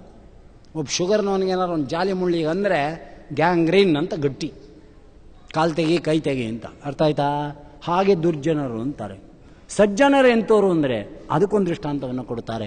ಹೀಗೆ ಹರಿದಾಸ ಸಾಹಿತ್ಯದಲ್ಲಿ ಏನು ನೋಡಿದರೆ ವ್ಯಾಯವಾರದ ದೃಷ್ಟಿಯಿಂದ ಹೊರಡ್ತಕ್ಕಂಥವರಾಗಿ ಪ್ರತಿಯೊಂದು ಭಗವಂತನ ತಾತ್ವಿಕ ಅರ್ಥದ ಪರಾರೂಢವಾಗಿ ಅದನ್ನು ವ್ಯಾಖ್ಯಾನ ಮಾಡಿಬಿಡ್ತಾರೆ. ಹಾಗೆ ಗರುಡು ಪುರಾಣ. ಆದ್ದರಿಂದ ಇಂತಹ ಸಂಸ್ಕಾರಗಳಿಂದ ಮಕ್ಕಳಾದವರು ನಮ್ಮನ್ನು ಪ್ರೇತ ಸಂಸ್ಕಾರದಿಂದ ಬಿಡಿಸಿ ಹನ್ನೆರಡು, ಹದಿಮೂರು ಎಂಬತಕ್ಕಂಥದ್ದು ಮಾಡಿ ವೈಕುಂಠ ಯಾತ್ರೆ. ಪಾಥೇಯವ ಕಟ್ಟಿರೋ ವೈಕುಂಠಕ್ಕೆ ಪಯಣ ಸಂಭವವಾಗಿದೆ. ಇಲ್ಲಿ ನಾವು ಟೂರ್ ಹೋಗ್ಬೇಕಾದ್ರೆ ಕೋಡುಬಳೆ, ಮುಚ್ಚೋರೆ ಪ್ಲಾಸ್ಕಲ್ ಕಾಪಿ ಎಲ್ಲ ಹಾಕೊಂಡು ಹೋಗ್ತೀವಲ್ಲ? ಹಾಗೆ ವೈಕುಂಠ ಸಮಾರಾಧನೆ ಪಾಥೇಯವ ಕಟ್ಟಿರು. ಏನು ಪಾಥೇಯ? ಬ್ರಾಹ್ಮಣರಿಗೆ ಆವಾನೆ ಕೊಡು. ವೇದಾಧ್ಯಯನ ಶಾಸ್ತ್ರಾಧ್ಯಯನ ಮಾಡಿರೋ ಕರಿ, ಅವರ ಒಡಲಿಗೆ ಒಂದು ತನ್ನ ಹಾಕು, ಕೈಗೆ ಒಂದು ದಕ್ಷಿಣೆ ಕೊಡು, ಯಾವುದಾದ್ರೂ ಒಂದು ದಾನ ಕೊಡು. ಅವರಿಂದ ಬಿಡುಗಡೆ ಆದ ಮನುಷ್ಯ ಎಂಬತಕ್ಕಂಥ ಆಶೀರ್ವಾದವನ್ನು ಪಡಿಸಿ ಅವನಿಗೆ ಒಳಿತನ್ನ ಮಾಡು ಎಂಬುದಾಗಿ ವೈಕುಂಠ ಸಮಾರಾಧನೆಯ ವಿಷಯದಿಂದ ಆ ಹದಿಮೂರು ದಿನಗಳ ಒಟ್ಟಾರೆಯ ಕಾರ್ಯಕ್ರಮವನ್ನು ಭಗವಂತನಿಗೆ ಸಮರ್ಪಣೆ ಮಾಡುವುದೇ ಅಂತ್ಯೇಷ್ಟಿಯ ಮೂಲ ಉದ್ದೇಶ, ಅಂತ್ಯ ಸಂಸ್ಕಾರದ ಮೂಲ ಉದ್ದೇಶ. ಇದೊಂದು ಯಜ್ಞಾಕಾರವಾಗಿರತಕ್ಕಂಥ ಪರಿಪೂರ್ಣವಾದ ಭಗವಂತನ ಪೂಜೆ ಎಂಬುದಾಗಿ ತಿಳಿತಕ್ಕಂಥವನಾಗು ಎಂಬುದಾಗಿ ಗರುಡ ಪುರಾಣದಲ್ಲಿ ಗರುಡನಿಗೆ ಹೇಳ್ತಾ, ನಮ್ಮ ಸ್ವಾಮಿ ಗರುಡ, ಒಂದು ನ್ಯೂನತ ಆಗಿಬಿಡುತ್ತಪ್ಪ. ಯಾರು ಮಾಡ್ತಾರೋ, ಹೇಗೆ ಮಾಡ್ತಾರೋ, ಏನು ಮಾಡ್ತಾರೋ ಬಿಟ್ಬಿಡು. ಆದರೆ ತತ್ವಜ್ಞಾನ ಯುಕ್ತನಾಗಿ ಯಾರು ಸಾಯ್ತಕ್ಕಂಥವರಾಗುತ್ತಾರೋ ಶೂದ್ರನಾದರೂ ದೇವರ ಜ್ಞಾನವನ್ನು ತಿಳಿದು ಭಕ್ತಿ ಮಾಡಬಹುದು. ವೈಶ್ಯನಾದರೂ ದೇವರ ಸ್ಫುಟ ಜ್ಞಾನವನ್ನು ತಿಳಿದು ಭಕ್ತಿ ಮಾಡಬಹುದು. ಅರ್ಥ ಆಯ್ತಾ? ಅಥವಾ ಸೈನಿಕನಾಗಿ ದೇಶ ಕಾಯುವವನೂ ಕೂಡ ಭಗವಂತನ ಗುಣವನ್ನು ಚಿಂತನೆ ಮಾಡಬಹುದು. ಬ್ರಾಹ್ಮಣನಾಗಿ ಭಗವಂತನ ಸರ್ವೋತ್ತಮತ್ವವನ್ನು ತಿಳಿದು ಅವನನ್ನು ಉಪಾಸನೆ ಮಾಡತಕ್ಕಂಥವರಾಗುತ್ತಾರೋ ಆ ಜ್ಞಾನದಿಂದ ಸತ್ರೆ ಕಾರ್ಯಕ್ರಮ ವ್ಯತ್ಯಾಸವಾದರೂ ಕೂಡ ಈ ಜ್ಞಾನ ಬಲದಿಂದ ಅವನಿಗೆ ಮುಕ್ತಿಯನ್ನೇ ಕೊಡ್ತೇನೆ ಎಂಬುದಾಗಿ ಕೊನೆಯ ಮಾತನ್ನು ಗರುಡನಿಗೆ ನಮ್ಮ ಸ್ವಾಮಿ ಹೇಳ್ತಾನೆ. ಆದ್ದರಿಂದನೇ ಎಲ್ಲ ಕಾರ್ಯಗಳಲ್ಲಿ ಜ್ಞಾನಯುಕ್ತವಾಗಿರಬೇಕು. ಕಾರ್ಯ ಬರೀ ಕೇವಲ ಕಾರ್ಯವಾದರೂ ತತ್ವಜ್ಞಾನ ತತ್ವಜ್ಞಾನವಾಗಿ ಉಳಿದಾಗ ಕಾರ್ಯವನ್ನು ಕಂಟ್ರೋಲ್ ಮಾಡುತ್ತೆ ತತ್ವಜ್ಞಾನ. ತತ್ವಜ್ಞಾನದಿಂದ ದಾನದ ಪುಣ್ಯ ಬರುತ್ತೆ. ತತ್ವಜ್ಞಾನದಿಂದ ಸಮಸ್ತ ಕ್ಷೇತ್ರಗಳ ಫಲ ಬರುತ್ತೆ. ತತ್ವಜ್ಞಾನದ ಚಿಂತನೆಯಿಂದ ಬ್ರಹ್ಮಾಂಡದ ಆಗುಹೋಗುಗಳ ಕೆಪಾಸಿಟಿ ಕಂಟ್ರೋಲಿಂಗ್ ಕೆಪಾಸಿಟಿ ಜ್ಞಾನಿಗೆ ಬರತಕ್ಕಂಥದ್ದಾಗತ್ತೆ. ಆದ್ದರಿಂದಾನೇ ರಾಘವೇಂದ್ರ ಸ್ವಾಮಿಗಳ ಬೃಂದಾವನಕ್ಕೆ ಅಭಿಷೇಕ ಮಾಡಿದ ನೀರಾಗಲಿ, ಅಥವಾ ಜ್ಞಾನಿಗಳ ಬೃಂದಾವನಕ್ಕೆ ಅಭಿಷೇಕ ಮಾಡಿದ ನೀರಾಗಲಿ, ವಾದರಾಜ ಪಂಚಬೃಂದಾವನಾದಿಗಳಿಗೆ ಅಭಿಷೇಕ ಮಾಡಿರತಕ್ಕಂಥ ತೀರ್ಥ ಜಲಗಳಾಗಲಿ, ಸಮಸ್ತ ಪಾಪವನ್ನು ನಾಶ ಮಾಡಿ ಭೂತಪ್ರೇತ, ಪಿಶಾಚಾದಿ, ಪೀಡಾ ತಸ್ಯ ನಜಾಯತಿ ಜಾಯತೆ ಎಂಬತಕ್ಕಂಥ ಸತ್ವವನ್ನು ಕುಷ್ಠಶ್ವೇತೋರುಗುಲ್ಮ ಕ್ಷಯ ಕಠಿಣತರೋ ವ್ಯಾಧಿ ವೈದ್ಯಾದಿನಾಥಃ ನೋಡಿದ್ರ? ಕುಷ್ಠಶ್ವೇತೋರು ಗುಲ್ಮ ಕ್ಷಯ ಕಠಿಣತರ ವ್ಯಾಧಿ ವೈದ್ಯಾದಿನಾಥಃ ಯಾರು? ಈ ಜ್ಞಾನಿಗಳು. ಜ್ಞಾನಿಗಳಲ್ಲಿ ಸಂಬಂಧಪಟ್ಟಂಥ ಉಪದೇಶ, ಜಲ, ಸ್ಪರ್ಶ, ದೃಷ್ಟಿ, ಸ್ಪರ್ಶ ಯಾವುದು ಕೂಡ ನಮ್ಮ ಪಾಪವನ್ನು ಉಳಿದೇದಂತೆ ಮಾಡುತ್ತೆ. ಆದ್ದರಿಂದ ಪ್ರೇತ ಸಂಸ್ಕಾರ ಮಾಡದೆ ಸಂಚಾರ ಮಾಡತಕ್ಕಂಥ ಪ್ರೇತಗಳೂ ಕೂಡ ಕ್ಷೇತ್ರಗಳಲ್ಲಿ ಮಾಡಿರ್ತಕ್ಕಂತಹ ಜ್ಞಾನಯಜ್ಞವನ್ನು ಶ್ರವಣ ಮಾಡಿ ಸಂಬಂಧ ದೇವರು ಕೊಟ್ಟಾಗ ಅವರ ಪ್ರೇತತ್ವ ಎಂಬತಕ್ಕಂಥದ್ದು ನಿವೃತ್ತಿ ಆಗೋಗುತ್ತಾದ್ರಿಂದನೇ ಕ್ಷೇತ್ರದಲ್ಲಿ ಜ್ಞಾನಿಗಳು ಪಾಠ, ಪ್ರವಚನ ಚಿಂತನ, ಮಂಥನ ಧರ್ಮ ಕಾರ್ಯಗಳು ಸದಾಚಾರ್ಯವನ್ನು ಕ್ಷೇತ್ರಗಳಲ್ಲಿ ಮಾಡ್ತಿರ್ತಾರಾದ್ದರಿಂದ ಕ್ಷೇತ್ರ ಮೂರ್ತಿಯನ್ನು ಉಪಾಸನೆ ಮಾಡ್ತಾ ಅವರು ಇರ್ತಾರಾದ್ದರಿಂದ ಆಯಾ ಕ್ಷೇತ್ರಗಳಲ್ಲಿ ಕ್ಷೇತ್ರ ವಿಧಿಗಳಂತೆ ಮಾಡ್ತಾ ಯಾರು ಪಾರಾಯಣಾದಿಗಳನ್ನು, ಉಪದೇಶಗಳನ್ನು ಶ್ರವಣ ಮಾಡ್ತಾರೋ ಇವತ್ತಲ್ಲ. ಮುಂದೆ ಅದನ್ನು ಕಾಯ್ದಿರಿಸು ನಮ್ಮ ಸ್ವಾಮಿ ಸಂಬಂಧ ಕೊಟ್ಟಾಗ ಗೊತ್ತಾಗುತ್ತೆ. ನಮ್ಮ ಗುರುಗಳು ಹೇಳ್ತಾ ಇದ್ರು ಮಂತ್ರವಿಲ್ಲ ಸಂಧ್ಯಾವನೆ ಮನೆಯೆಲ್ಲ ಹಳ್ಳ ಅಂತ ಒಂದು ಸಂಧ್ಯಾವನೆ ಮಾಡ್ತಾ ಇದ್ದೀವಿ. ಇದರ ಫಲಕ್ಕೆ ಉತ್ತಮ ಗತಿ ದೇವರು ಕೊಟ್ಟಾಗ, ಅಯ್ಯೋ, ಇನ್ನೂ ಚೆನ್ನಾಗಿ ಸಂಧಾನ ಮಾಡಿದ್ರೆ ಇನ್ನೂ ಒಳ್ಳೆ ಗತಿ ಬರ್ತಿತ್ತು ಅನ್ನೋ ಜ್ಞಾನ ಅಲ್ಲಿ ಬರುತ್ತೆ, ಇಲ್ಲಿ ಗೊತ್ತಿಲ್ಲ. ಆ ಜ್ಞಾನವನ್ನು ಇವತ್ತೇ ಉಪದೇಶ ಕ್ರಮದಿಂದ ತಂದುಕೊಂಡು ನೀನು ಉತ್ತಮ ಕಾರ್ಯವನ್ನು ಮಾಡಿದರೆ ಉತ್ತಮವಾದ ಗತಿ ಪ್ರಾಪ್ತಿ ಆಗ್ತದೆ ಅಂತ. ಅದರ ಸಂಬಂಧವನ್ನು ಗರುಡನಿಗೆ ತತ್ವೋಪದೇಶವನ್ನು ಮಾಡ್ತಾ ವೈರಾಗ್ಯ, ಜ್ಞಾನ ಉಪದೇಶ ಮಾಡಲಿಕ್ಕೋಸ್ಕರ ಹೇಳ್ತಾನೆ ಅಧಿಗತಾ ಪ್ರಾರಂಭಾರಿ ಓಂ ಗರುಡವಾಚ ಯಮಲೋಕಕ್ಕಿನ್ಮಯಾತ್ರ ಕೀದೃಶಕ್ಕೇನ ನಿರ್ಮಿತ? ಸಭಾ ಚ ಕೀದೃಶಿ ತಸ್ಯಾಂ ಧರ್ಮ ಆಸ್ತೆ ಚ ಕೈಸಹ ಗರುಡ ಕೇಳಿದ, ಸ್ವಾಮಿ, ಯಮಸಭಾ ಯಮಸಭಾ ಯಮ ಮಾರ್ಗ ಅಂತೆಲ್ಲ ಹೇಳಿದಿ. ಬರೀ ದಕ್ಷಿಣ ದಿಕ್ಕಿನ ಕಥೆಯನ್ನು ಹೇಳಿದೆಯೇ ವಿನ ವೈತರಣಿ ಇದೆ, ಶಾಲ್ಮಲಿ ಇದೆ, ಅಲ್ಲಿ ಒದಿತಾರೆ, ಅಲ್ಲಿ ಇದಿದೆ, ರೂರು ಅನ್ನೋ ಪ್ರಾಣಿ ಹರ್ಕೊಂಡು ತಿನ್ನುತ್ತೆ, ಅಲ್ಲಿ ಬೋಂಡ ಥರ ಕರೀತಾರೆ. ಇದೆಲ್ಲ ಹೆದರಿಸ್ಬಿಟ್ಟಿಯಲ್ಲ ಇನ್ನು ಮೂರು ಭಾಗಗಳು ಇಲ್ವೇ ಇಲ್ವೇ ಯಮ ಮಾರ್ಗಕ್ಕೆ ಆದ್ದರಿಂದ ಯಮ ಮಾರ್ಗದಲ್ಲಿ ಯಮನ ಪಟ್ಟಣ ಯಮನ ಆಸನ, ಯಮನ ಸ್ಥಾನಮಾನ ಯಮಸಭಾ ಇದೆಯಲ್ಲ ಅದನ್ನೊಂಚೂರು ವರ್ಣೆ ಮಾಡಯ್ಯ ಅಂತ ಗರುಡ ಕೇಳ್ಕೊಳ್ತಕ್ಕಂಥವನಾಗಿದ್ದಾನೆ. ಅಂತ ಗರುಡನ, ಗರುಡ ನೋಡೇ ಇಲ್ವಾ ಯಮಸಭಾ ಗರುಡ ನೋಡಿಲ್ವೇನ್ರಿ? ಯಮನಿಗೆ ಮೃತ್ಯು ಗರುಡ. ಜ್ಞಾಪಕ ಇರಲಿ. ಯಮನಿಗೆ ಶಿಕ್ಷೆಯನ್ನು ಕೊಡುವವನು ಗರುಡ. ಅವನು ಯಮಲೋಕ ನೋಡಿಲ್ವಾ? ಮತ್ತೆ ಯಾಕೆ ಗರುಡ ಪ್ರಶ್ನೆ ಮಾಡಿದ ಅಂದರೆ ನಾವು ಮಾಡತಕ್ಕಂಥ ಪ್ರಶ್ನೆಗಳನ್ನು ಗರುಡ ಜೀವ ನಿಯಾಮಕನಾದ್ದರಿಂದ ಮಾಡಿ ದೇವರಲ್ಲಿ ಪ್ರಾರ್ಥನೆ ಮಾಡ್ತಕ್ಕಂಥ ಅವನಾಗ್ತಾ ಇದ್ದಾನೆ, ಪ್ರಾರ್ಥನೆ ಮಾಡಿದ. ಭಗವಾನ ವಾಚ, ತೃಣುತ್ರಾಕ್ಷ ಪ್ರವೇಕ್ಷಾಮೆ ಯದ್ಗಂ ನಾರದಾದಿಬಿಹಿ ಯಮಸಭಾಕ್ಕೆ ಯಾರೂ ಹೋಗಿ ಬರೋಕ್ಕಾಗಲ್ಲ. ನಾರದಾದಿಬಿಹಿ ನರಸಂಬಂಧ ಜ್ಞಾನಂ ದದಾತೀತಿ ನಾರದ. ನರ ಅಂದರೆ ಜೀವರುಗಳು. ನಾರ ಅಂದರೆ ಜೀವೋತ್ತಮರು. ಯಾರು? ವಾಯುದೇವರು. ಅವರ ಸಂಬಂಧ ಜ್ಞಾನವನ್ನು ಕೊಡುವವರಾದ್ದರಿಂದ ಅವರಿಗೆ ನಾರದ ಅಂತ ಹೆಸರು. ಅಂತಹ ನಾರದರು ಜಗಳಗಂಟ್ರು ಅಂತ ತಿಳ್ಕೊಂಡಿರೋ ನಮಗೆ ಹೇಗೆ ತಾನೇ ಜ್ಞಾನ ಆಗುತ್ತೆ. ಆದ್ದರಿಂದ ಅಂಥ ನಾರದಾದಿಗಳಿಂದ ಗಮ್ಯವಾದಂಥದ್ದಪ್ಪ. ಚತುರಸ್ರಂ ಚತುರ್ದ್ವಾರ ಉಚ್ಚಕಾರಂ ವೇಷ್ಟಿತಂ ಯೋಜನಾನಾಂ ಸಹಸ್ರಂ ಹಿ ಪ್ರಮಾಣೇನ ತದುಚ್ಯತೆ. ತಸ್ಮಿನ್ ಪುರೇ ಸ್ಥಿ ಸುಭಗಂ ಚಿತ್ರಗುಪ್ತಸ್ಯ ಮಂದಿರಂ ಪಂಚವಿಂಶತಿ ಸಂಖ್ಯಾಕೈ ಯೋಜನೈ ಸ ವಿಸ್ತೃತಾಂ ಒಂದು ಸಾವಿರ ಯೋಜನ ವಿಸ್ತಾರವಾಗಿರ್ತಕ್ಕಂಥದ್ದು ಯಮಧರ್ಮರಾಜರ ಭವನ. ಅದರಲ್ಲಿ ಅನೇಕ ಕ್ವಾರ್ಟರ್ಸ್ಗಳಿದೆ. ಚಿತ್ರಗುಪ್ತರದು, ಶ್ರವಣಕರದು, ಭಾಸ್ಕರರದು ಅರ್ಥ ಅನೇಕ ಚಕ್ರವರ್ತಿಗಳು, ಮುನಿಗಳು, ಋಷಿಗಳು, ಸನ್ಯಾಸಿಗಳು, ಇವರದೆಲ್ಲ ಕ್ವಾರ್ಟರ್ಸ್ ಇದೆ. ಕುವೆಂಪು ನಗರ ಅಶೋಕ ನಗರ ಅಂಬೇಡ್ಕರ್ ನಗರ ಅಂತ ನಾವೀಗೆಲ್ಲ ಏರಿಯಾ ಮಾಡ್ಕೋತೀವಲ್ಲ? ಹಾಗೆ ಯಮಧರ್ಮರಾಜರ ಊರಿನಲ್ಲೂ ಕೂಡ ಅನೇಕ ವಿಭಾಗೀಯವಾಗಿರ್ತಕ್ಕಂಥದ್ದು ಇದೆ ಅಂತ ಇದ್ದಾರೆ. ವಿಮಾನಗಣ ಸಂಕೀರ್ಣ, ಗೀತಾವಾದಿತ್ರನಾದಿತಂ, ಚಿತಿತ್ರಂ ಚಿತ್ರಕುಶಲೈ, ನಿರ್ಮಿತಂ ಬೇಹೇ ಅವರ ಪಟ್ಟಣ ಎಂಬತಕ್ಕಂಥದ್ದು ದೇವತಾ ಶಿಲ್ಪಿಗಳಿಂದ ರಚಿತಗೊಂಡಿದೆ. ಅಲ್ಲಲ್ಲಿ ಉಪವನಗಳಿದೆ. ಅಲ್ಲಲ್ಲಿ ಸರೋವರಗಳಿದೆ. ಅಲ್ಲಲ್ಲಿ ಲತಾಬಲ್ಯಗಳ ವನಗಳು ಎಂಬತಕ್ಕಂಥದ್ದಿದೆ. ಗಂಧರ್ವರಿದ್ದಾರೆ, ಅಪ್ಸರಾಸ್ತ್ರೀಯರಿದ್ದಾರೆ, ಭಗವಂತನ ಕುರಿತು ಗಾನ ಮಾಡ್ತಾ ಇರ್ತಕ್ಕಂಥವರಾಗುತ್ತಾರೆ ತತ್ಪೂರ್ವಂ ಮುಂಜತೆ ಯತ್ರ ಚಿತ್ರಗುಪ್ತಸ್ಯ ಶಾಸನಾತ್, ಚಿತ್ರಗುಪ್ತಾಲಯತ್ ಪ್ರಾಚ್ಯಂ ಜ್ವರಸ್ಯಾಸ್ತಿ ಮಹಾಗ್ರಹಂ. ನಿಮಗೆಲ್ಲ ಆಶ್ಚರ್ಯ ಆಗುತ್ತೆ.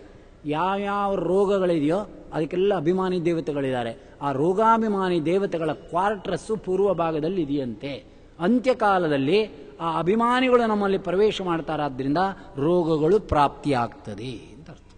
ನಾವಿವತ್ತು ಇದನ್ನು ಪ್ರೂವ್ ಮಾಡಬೇಕಾದ್ರೆ ಎಷ್ಟು ಕಷ್ಟ ಇದೆ.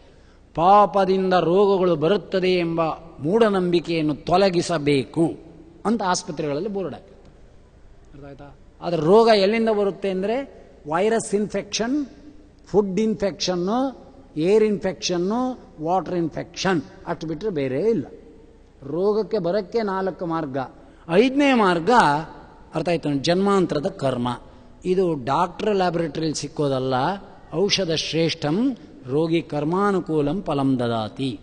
ನಮಗೆ ಬಿ ಪಿಗೆ ಔಷಧಿ ಕೊಡ್ತಾ ಇರ್ತಾರೆ, ಶುಗರ್ಗೆ ಔಷಧಿ ಕೊಡ್ತಿರ್ತಾರೆ. ಡಾಕ್ಟ್ರೇ ಯಾಕೆ ಒಂಥರ ಇದ್ದೀರಿ ಅಂದರೆ ನನಗೂ ಶುಗರ್ ಶುರು ಆಗಿದೆ ಅಂತಾನೆ. ನಿಂಗೆ ಯಾಕೆ ಬಂತು ಅಂತ ಕೇಳೋಕ್ಕಾಗತ್ತಾ? ಅಲ್ಲ ಯಾರು ರೋಗಗಳು ಯಾವುದು ಕರ್ಮದಿಂದ ಬರುವುದಿಲ್ಲ. ವೈರಲ್ಲು, ಫುಡ್ಡು ಏರು ವಾಟರ್ರು ಅಂತೆಲ್ಲ ನಿಂಗೆ ಯಾಕೆ ತರಿಂದ ಬಂತು ಅಂದರೆ, ನಮ್ಗಿನ್ ಚೆನ್ನಾಗಿ ನೀನು ನಿಂತ್ಕೊಂಡು ತಿಂತಿ, ಮಲ್ಕೊಂಡು ತಿಂತಿ ಶುದ್ಧವಾದ ತಿಂತಿ. ನಾವೇನೋ ಎಲ್ಲಿ ಎಲೆ ಹಾಕಿದ್ರೆ ಅಲ್ಲೇ ತಿಂದ್ಬಿಡ್ತೀವಿ, ಹೇಗಿದ್ರೆ ಅದೇ ತಿಂದುಬಿಡ್ತೀವಿ. ವೈದಿಕರುಗಳಿಗೆ ನಮಗೇನು ಕೊಳಚೆ ಜನ. ನೀನು ಭಾಳ ಶುದ್ಧವಾಗಿ ಬಿಸ್ಲೇರಿ ವಾಟರ್ ಬಿಟ್ಟರೆ ಬೇರೆ ನೀರೇ ಕುಡಿಯಲ್ಲ. ನಾವು ಮದ್ದು ಸರೋವರದಲ್ಲೂ ಕುಡಿತೀವಿ, ಹೂವಿನ ಕೆರೆಯಲ್ಲೂ ಕುಡಿತೀವಿ, ಗಂಗಾ ನದಿಲೂ ಕುಡಿತೀವಿ. ಹೆಣದ ಬೂದಿ ಕದರಿದ್ರು ಅಲ್ಲೇ ಗಂಗಾ ಗಂಗಾ ಅಂತ ಕುಡಿದು ಬಿಡ್ತೀವಿ. ನಾವು ಕಾಶಿಗೆ ಹೋದ್ರೆ ಅದೇ ನೀರೇ. ನಾವು ಯಾವ ಬಿಸ್ಲೇರಿ ಕುಡಿಯೋದಿಲ್ಲ. ಮತ್ತು ನಮಗೂ ರೋಗ ಬರುತ್ತೆ. ಬಿಸ್ಲೇರಿನೇ ಟ್ವೆಂಟಿ ಫೋರ್ ಅವರ್ಸ್ ಕುಡಿತಿರೋ ಶುದ್ಧ ವಾಟರ್ನವ್ರಿಗೂ ನಿಂಗೆ ವಾಟರ್ ಇನ್ಫೆಕ್ಷನ್ ಆಗಿದೆ ಅಂತೆ. ಕಾರಣ ಏನು ಅಂತ ಕೇಳಿದ್ರೆ, ಅದನ್ನೇ ಇಲ್ಲಿ ಹೇಳ್ತಾ ಇರೋದು ಅಂತ ಇದ್ದಾರೆ. ಅರ್ಥ ಆಯ್ತಾ? ಆ ರೋಗಾಭಿಮಾನಿ ಒಳಗೆ ಪ್ರವೇಶ ಮಾಡಿದ್ರಲ್ಲ, ಅದೇ ವೈರಲ್ ಇನ್ಫೆಕ್ಷನ್ ವೈರಲ್ ಇನ್ಫೆಕ್ಷನ್ ಅಂದ್ವಲ್ಲ ಬ್ಯಾಕ್ಟೀರಿಯಾಸ್ಗಳು ಅವ್ರು ಯಾರು ಅಂದ್ಕೊಂಡ್ರೆ ಇವರು ಗುಂಪೆ ಅಂತ ಹೇಳ್ತಾ ಇದ್ದಾರೆ. ಅದರೊಳಗೆ ಆ ರೋಗವನ್ನು ಹರಡತಕ್ಕಂಥ ಅಂಶವನ್ನು ಇಟ್ಟೋರು ಯಾರು? ಮಲೇರಿಯಾ ರೋಗ, ಇಂಥ ಬ್ಯಾಕ್ಟೀರಿಯಾ ವಿಷಮಶೀತ ಜ್ವರ, ಇಂಥ ಬ್ಯಾಕ್ಟೀರಿಯಾ. ಗ್ಯಾಂಗ್ರಿನ್, ಇಂಥ ಬ್ಯಾಕ್ಟೀರಿಯಾ. ಡೆಂಗೆ ಇಂಥ ಬ್ಯಾಕ್ಟೀರಿಯಾ. ಬರ್ತಾ ಇದೆಯಲ್ಲಪ್ಪ, ಅನೇಕ ರೋಗಗಳು, ಹೊಸ ಹೊಸ ಹೊಸ ಹೊಸ ರೋಗಗಳು ಉತ್ಪತ್ತಿ. ಅದು ಯಾತ್ರಿಂದ ಬರ್ತಿದೆ ಅಂದರೆ ಕ್ರಿಮಿನೇ. ಆ ಕ್ರಿಮಿಯೊಳಗೆ ಆ ರೋಗ ಹರಡತಕ್ಕಂಥವನ್ನು ಆ ಕ್ರಿಮಿಯಲ್ಲಿ ಯಾರಿಟ್ರು? ಆ ಕ್ರಿಮಿಯಲ್ಲಿ ಆದರೆ ಆ ಕ್ರಿಮಿಗೆ ಇನ್ನೊಂದು ಆ್ಯಂಟಿ ಕ್ರಿಮಿ ಕಂಡಿಡ್ದು. ಆ ಕ್ರಿಮಿಯನ್ನು ಇಂಜೆಕ್ಟ್ ಮಾಡಿದಟ್ಟಿಗೆ ಈ ಕ್ರಿಮಿ ಮುಚ್ಕೊಂಡು ಕೂತ್ಕೊಂತ. ಅರ್ಥ ಆಯ್ತಾ ಕ್ರಿಮಿಯಿಂದ ಕ್ರಿಮಿಗೆ ಔಷಧಿ. ಅರ್ಥ ಆಯ್ತಾ? ಇನ್ಸುಲಿನ್ ಅಂದರೆ ಬೇರೆ ಅಲ್ಲ. ಹಸುವಿನ ಕರುಳಿನ ರಸ ದಟ್ ಮೀನ್ಸ್ ಇನ್ಸುಲಿನ್ ಮನುಷ್ಯನಲ್ಲಿ ಇನ್ಸುಲಿನ್ ಕಡಿಮೆ ಆದರೆ ಕೌ ಅಂಡ್ ಪಿಗ್ಗಿನ ರಸವನ್ನು ಇಂಜೆಕ್ಟ್ ಮಾಡ್ತಾನೆ. ದಟ್ ಮೀನ್ಸ್ ಅದು ನಮ್ಮ ಇನ್ಸುಲ್ ಪ್ಯಾಂಕ್ರಿಯಾಸ್ ಅಲ್ಲಿ ವರ್ಕನ್ನು ಪ್ರಾರಂಭ ಮಾಡುತ್ತೆ. ಅದು ಇನ್ಸುಲಿನ್ ಅಂದರೆ ಪ್ರಾಣಿಗಳಲ್ಲಿ ಸಿಗತಕ್ಕಂಥ ಒಂದು ರಸ ಮನುಷ್ಯನಲ್ಲಿ ಪ್ಯಾಂಕ್ರಿಯಾಸ್ ಕಡಿಮೆ ಆದಾಗ ಆ ಇನ್ಸುಲಿನ್ ಪೂರ್ಣ ಮಾಡತಕ್ಕಂಥದ್ದು ಇನ್ನೊಂದು ಪ್ರಾಣಿಯಲ್ಲಿ ಇಟ್ಟ ರಸ. ಅರ್ಥ ಆಯ್ತಾ? ನಮ್ಮ ಗುರುಗಳು ಹೇಳಿದ್ರು, ನಂಗೆ ಗೊತ್ತೇ ಆಗಿರಲಿಲ್ಲ. ಯಾರೋ ಬಂದರು ನನಗೆ ಬೈಪಾಸ್ ಸರ್ಜರಿ ಆಗಿದೆ ಎಂದರು. ಅರ್ಥ ಆಯ್ತಾ ನಮ್ಮ ಗುರುಗಳು ಹೇಳಿದ್ರು, ಸಂತೋಷ ಅಂದರು. ಸನ್ಯಾಸಿಗಳು ಅಷ್ಟೇ ತಾನೆ. ಮಕ್ಕಳು ಹುಟ್ಟಿದ್ರು, ನಾರಾಯಣ ನಾರಾಯಣ. ಯಾರ ನೆಗೆದು ಬಿದ್ದರು ಸ್ವಾಮಿಗಳೇ ಹೋಗ್ಬಿಟ್ರು ಅವರು ಅಂದ್ರೆ ನಾರಾಯಣ ನಾರಾಯಣ ಸ್ವಾಮಿ ಅವ್ರಿಗೆ ಲಾಟ್ರಿ ಹೊಡಿತು, ನಾರಾಯಣ ನಾರಾಯಣ. ಸ್ವಾಮಿ ಎಲ್ಲ ಕಳ್ಕೊಂಬಿಟ್ನಂತೆ ಭಾಳ ಕಷ್ಟದಲ್ಲಿದ್ದಾನೆ. ನಾರಾಯಣ ನಾರಾಯಣ ಅಂತ. ಎಲ್ಲ ದೇವ್ರಿಗೆ ಸಮರ್ಪಣೆ ಮಾಡ್ತಕ್ಕಂಥ ಜನ್ಮ ಅದು. ಹಾಗೆ ನಮ್ಮ ಗುರುಗಳು ಸಂತೋಷ ಅಂದರು. ಯಾಕೆ ಅಂದರು ಇಲ್ಲ ಆಪರೇಷನ್ ಸಕ್ಸಸ್ ಆಯಿತು. ಸಂತೋಷ, ನಾರಾಯಣ ಅಂದರು. ಹೇಗಾಯಿತು ಅಂದರು? ಆಚಾರ್ಯ ಸ್ವಾಮಿಗಳೇ, ತೊಡೆಯಿಂದ ಹಿಡಿದು ಕಾಲಿನವರೆಗೂ ಒಂದು ನರವನ್ನು ತೆಗೆದು ಜೋಡಿಸಿಬಿಟ್ಟಿದ್ದಾರೆ ಅಂದರು. ನಾರಾಯಣ ಅಂದರು. ಯಾಕೆ ಎಂದವನು ಅಂತೂ ನಿನಗೆ ಬೈಪಾಸ್ ಸರ್ಜರಿ ಆಗತ್ತೆ ಅಂತ ತಿಳಿದ ಸರ್ವಜ್ಞನಾದ ನಮ್ಮ ಭಗವಂತ ಒಂದು ಎಕ್ಸ್ಟ್ರಾ ನರ ಇಟ್ಟಿದ್ದಾನೆ ನೋಡು ನಿನ್ನ ತೊಡೆಯಲ್ಲಿ ಅಂದರು. ಅರ್ಥ ಆಯ್ತಾ?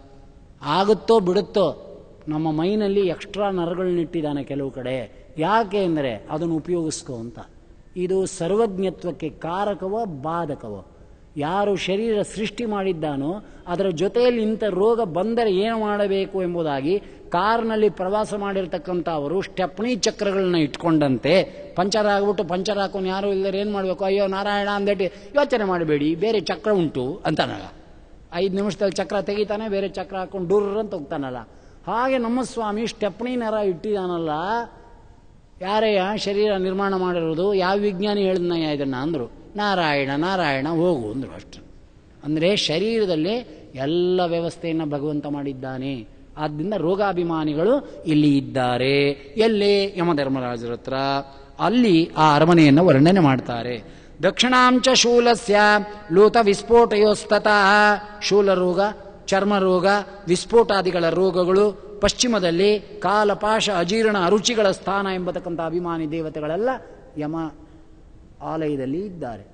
ಅವರೆಲ್ಲ ಅಂತ್ಯಕಾಲದಲ್ಲಿ ಬರ್ತಾರೆ. ತಸ್ಮಾತ್ ಅಂತ್ಯಕಾಲೇ ಕಶ್ಚಿತ್ ವ್ಯಾಧಿ ಪ್ರಜಾಯತೆ. ಅದಕ್ಕೆ ಔಷಧಿ ಇಲ್ಲ. ಅಂತ ವ್ಯಾಧಿಯಿಂದ ಇವನ್ನ ಕರ್ಕೊಂಡು ಹೋಗ್ತಾರೆ ಅಂತ ಮೊದಲು ಹೇಳಿದ್ವಲ್ಲ, ಅದಕ್ಕೆ ಇಲ್ಲಿ ಕೊಡ್ತಾ ಇದ್ದಾರೆ. ಅತಿಸಾರೋ ನೈಋತೇತೋ ವಾಯುವ್ಯಾಂ ಶೀತದಾಹಕವು. ಅತಿಸಾರದ ರೋಗ. ಹಾರ್ಟ್ ಅಟ್ಯಾಕ್ ಬೇಕಾಗಿರ್ತಕ್ಕಂಥ ರೋಗಗಳು. ಅಂದರೆ ರಕ್ತ ಗಟ್ಟಿ ಆಗೋದು ಪ್ಲಾಸ್ಮಾ ಅಂತ ಕರಿತೇವೆ. ಅದು ವೇರಿಯೇಷನ್ ಆದರೆ ರಕ್ತ ಗಟ್ಟಿ ಆಗೋದು ಅದರ ಸರಿಯಾಗಿ ನ್ಯಾಚುರಲ್ ಎಷ್ಟಿರಬೇಕು ಅಷ್ಟಿದ್ದರೆ ಅದಕ್ಕೆ ಕೊಲೆಸ್ಟ್ರಾಲ್ ಕಂಟ್ರೋಲ್ ಇಟ್ಕೊಳ್ಳಿ ಅಂತ ಹೇಳ್ತಾರೆ. ಅದಕ್ಕೆ ಈಕೋಸ್ಪ್ರಿನ್ ಎಂಬತಕ್ಕಂಥ ಮಾತ್ರೆ ಎಲ್ಲ ತಿಳ್ಕೊಂಡಿರ್ಬೇಕಲ್ವಾ? ಅಲ್ಲ, ನಿಮಗೆ ಹೆಂಗೆ ಗೊತ್ತು ಆಚಾರ್ಯ ಅಂದರೆ ನಾನು ತಗೋತಾ ಇದ್ದೀನಿ, ಅದಕ್ಕೋಸ್ಕರ ಹೇಳ್ತಾ ಇದ್ದೀನಿ. ನಂದೇ ಅನುಭವ ನಿಮಗೆ ಹೇಳ್ತಾ ಇರೋದು. ರಕ್ತ ಗಟ್ಟಿಯಾಗಿ ಬಿಡ್ತದೆ ನೀವು ಪ್ರವಚನ ಮಾಡ್ತಿರಲ್ಲ, ಶಾಖ ಜಾಸ್ತಿ ಆಗ್ತದೆ. ಶಾಖ ಜಾಸ್ತಿ ಆದಾಗ ಏನಾಗ್ತದೆ? ರಕ್ತ ಗಟ್ಟಿ ಆಗ್ತದೆ ಎಂದ. ನನ್ನ ಉಪನ್ಯಾಸಕ್ಕೆ ರಕ್ತ ಕರಗತ್ತೆ ಗಟ್ಟಿಯಾಗಲ್ಲ ಅಂದೆ ನಾನು. ಯಾರು ಏನೋ ಹೇಳ್ತೀವಿ, ಹೋಗ್ತಾ ಇದೆ ಅದರ ಪಾಡಿಗೆ ಅದು ವ್ಯಾವಹಾರಿಕ ಶರೀರ. ಪಾರಮಾರ್ಥಿಕ ಶರೀರದ ವಿಚಾರ ಇಲ್ಲಿ ಹೇಳ್ತಾ ಇರೋದು, ರಕ್ತ ಗಟ್ಟಿ ಆಗೋದು ರಕ್ತ ನೀರಾಗೋದು. ಕೊಲೆಸ್ಟ್ರಾಲ್ ಆಗೋದು, ಕೊಲೆಸ್ಟ್ರಾಲ್ ಕರಗೋದು, ಎಲ್ಲ ಇಲ್ಲಿ ಅಭಿಮಾನಿ ದೇವತೆಗಳಿದ್ದಾರೆ. ಅವರವರ ಕೆಲಸ ಈ ದೇಹದಲ್ಲಿ ಮಾಡ್ತಾ ಇದ್ದಾರೆ. ಅವರ ವಿಚಾರವನ್ನು ಗರುಡ ಪುರಾಣದಲ್ಲಿ ಹೇಳ್ತಕ್ಕಂಥವರಾಗಿದ್ದಾರೆ. ಧೃತಂ ಸ್ತಂಭ ಸಹಸ್ರೈಶ್ಚ ವೈಡೂರ್ಯ ಮಣಿಮಂಡಿತಂ. ಸಾವಿರ ವಜ್ರದ ಕಂಬಗಳಿಂದ ಯಮಧರ್ಮರಾಜರ ಅರಮನೆ ಅಂತ ಹೇಳ್ತಾ ಇದ್ದಾರೆ. ಮುಂದೆ ಹೋದಾಗ ನೋಡ್ತೀವಲ್ಲ, ಯಾಕೆ ಯೋಚನೆ ಮಾಡ್ತೀರಿ? ಯಮಾಲಯಕ್ಕೆ ನಮ್ಮನ್ನು ಕರ್ಕೊಂಡೋಗಿ ನಿಲ್ಲಿಸ್ತಾರೆ. ಆಗ ಅವನ ವೈಭೋಗ, ಅವನ ಅರಮನೆ ಎಲ್ಲ ನೋಡಿ, ಓ, ಇಂಥ ಬಿಲ್ಡಿಂಗು ನಮ್ಮಲ್ಲಿ ತಾಜ್ ಮಹಲ್ ಬಿಟ್ಟರೆ ಬೇರೆ ಯಾವುದೂ ಇಲ್ಲ. ಅಲ್ಲಿ ಹೋಗಿ ಯಮನ ಹತ್ರ ಹೇಳೋಣ, ಯಾರು ಬೇಡ ಅಂತ. ಜಗತ್ತಿನಲ್ಲಿರ್ತಕ್ಕಂಥ ಯಾವ್ಯಾವುದು ಬಿಲ್ಡಿಂಗ್ಗಳು ನೋಡಿ ಆಕರ್ಷಣೆ. ಮೈಸೂರು ಅರಮನೆ ಒಂಥರ, ಬ್ರಿಟನ್ ಅರಮನೆ ಒಂಥರ, ಜೈಪುರದ ಅರಮನೆ ಒಂಥರ, ಗುಜರಾತ್ ಅರಮನೆ ಒಂದು ಥರ, ಬೆಂಗಳೂರಿನ ವಿಧಾನಸೌಧ ಒಂದು ಥರ, ಹೈದರಾಬಾದಿನ ಬಿರ್ಲಾ ಟೆಂಪಲ್ ಒಂಥರ, ತಾಜ್ಮಹಲ್ ಒಂಥರ, ಹೇಳಿ ಹೇಳಿ ಅಕ್ಷರಧಾಮ ಒಂಥರ, ಸಂತೋಷ ಪಡ್ತಾ ಇದ್ದೀವಿ. ಅದೆಲ್ಲ ಈ ದೇಹದ ಜೊತೆಗೆ ಹೋಗ್ತಕ್ಕಂಥ ಬಿಲ್ಡಿಂಗ್ಗಳು. ಇಲ್ಲೇ ಬಿದ್ದೋಗುತ್ತೆ. ಗೊತ್ತಾಯ್ತಾ? ನಮ್ಮ ಅಲ್ಲಿದೆ, ನಮ್ಮ ಮನೆ. ನಾನಿಲ್ಲಿ ಬಂದೆ, ಸುಮ್ಮನೆ ಅಲ್ಲಿದೆ, ನಮ್ಮ ಮನೆ. ಕದ ಬಾಗಿಲಿರಿಸಿದ ಕಳ್ಳು ಮನೆಗಿದು ಮುದದಿಂದು ಓಲ್ಯಾಡೋ ಸುಳ್ಳು ಮನೆ. ನಾಳೆ ಬೆಂಕಿ ಇಟ್ಬಿಟ್ರೆ ಎಲ್ಲಿದೆ ಶರೀರ? ಇದ್ರಂತೆ ಅಂತಾರೆ ಅಂತೆ ಅಂತೆಕಂತೆ ಎಲ್ಲಿವರೆಗೆ ಬದುಕಿದ್ರು ನಿಮ್ಮ ತಂದೆ? ಅಂದರೆ ಸಾವಿರದ ಒಂಬೈನೂರ ಐವತ್ತೇಳರಲ್ಲಿ ಹುಟ್ಟಿದ್ರು, ಸಾವಿರದ ಒಂಬೈನೂರ ಅರವತ್ತ್ಮೂರಲ್ಲಿ ಹೋಗಿಬಿಟ್ರು ನಮ್ಮ ತಂದೆ. ಓ, ಹೌದಾ? ಅಂತ. ನಮ್ಮ ತಂದೆ ಸಾವಿರದ ಒಂಬೈನೂರ ಎಪ್ಪತ್ತ್ಮೂರಲ್ಲಿ ಹೋದರು ಅಂತ. ಏನು ಆಶ್ಚರ್ಯ ಅಂದರು. ಹುಟ್ಟದಾರಿಂದ ಹಿಡಿದು ಗರ್ಭದಿಂದ ನೂರು ವರ್ಷದವರೆಗೂ ಇದ್ದರೂ ಕೂಡ ಶರೀರ ಜ್ಞಾನಿಯಾದರೆ ಜ್ಞಾನದಿಂದ ತ್ಯಾಗ ಮಾಡ್ತಾನೆ. ಅಜ್ಞಾನಿ ಆದರೆ ದುಃಖ, ದುಮ್ಮಾನ, ರೋಗಾದಿಗಳಿಂದ ತ್ಯಾಗ ಮಾಡ್ತಾನೆ. ಆಯಸ್ ಯಾರಪ್ಪನ ಮನೆಯಲ್ಲಿ? ಯಾರಿಗೂ ಕೊಡಲ್ಲ. ಆಯಸ್ಸು ಬ್ರಹ್ಮದೇವರಿಗೂ ನೂರು ವರ್ಷದ ಮೇಲೆ ಒಂದು ನಿಮಿಷ ಫ್ರ್ಯಾಕ್ಷನ್ ಆಫ್ ಸೆಕೆಂಡ್ ಆಯಸ್ಸನ್ನು ಕೊಡೋದಿಲ್ಲ ಅಂತ ಅದನ್ನೇ ಶ್ರುತಿ ಹೇಳುತ್ತೆ. ಶತಂತೆ ರಾಜನ್ ಶತಂತೆ ರಾಜನ್ ಸಹಸ್ರಮೂರ್ವಿ ಗಬೇರ ಸುಮತಿಷ್ಠೆ ಅಸ್ತು. ಬ್ರಹ್ಮದೇವರಿಗೆ ಶತಾನಂದರು ಅಂತ ಹೆಸರು. ಯಾಕೆ ಶತಾನಂದರು ಅಂತ ಹೆಸರು? ಅವರ ಆಯಸ್ಸಿನ ನೂರು ವರ್ಷ ಮಾತ್ರ ಪರಿಪೂರ್ಣವಾಗಿ ಸುಖವನ್ನು ಪಡ್ತಾರಾದ್ರಿಂದ ಅವರಿಗೆ ಶತಾನಂದರು ಅಂತ ಹೆಸರು. ಅದನ್ನು ವಾದರಾಜರು ದೇವರ ನಾಮದಲ್ಲಿ ಪ್ರಯೋಗ ಮಾಡ್ತಾರೆ. ಇಂದಿವರಾದಿವರ್ಭೂತೆ ಶತಾನಂದ ಸರ್ವರಿಗತಿ ಪ್ರೀತೆ. ಶತಾನಂದ ಅಂತ ಶ್ರುತಿಯಲ್ಲಿ ಪ್ರಯೋಗ ಮಾಡಿದ್ದಾರೆ. ಶ್ರುತ್ಯರ್ಥ ಪ್ರತಿಪಾದಕರಾದಂಥ ರುಜುಗಳು ಶತಾನಂದ ಅಂತ ಬ್ರಹ್ಮದೇವರಿಗೆ ದೇವರ ನಾಮದಲ್ಲಿ ಪ್ರಯೋಗ ಮಾಡಿದ್ದಾರೆ. इन्दिवरादिवरबूते शतनन्द सर्वरि प्रीते मुकुन्द कथामृत जाते कुन्द मन्दार मालविराजिते आहा मन्धरोदर गोविन्द राजनराणि चन्द चरनार वृन्दाव बजि सुवे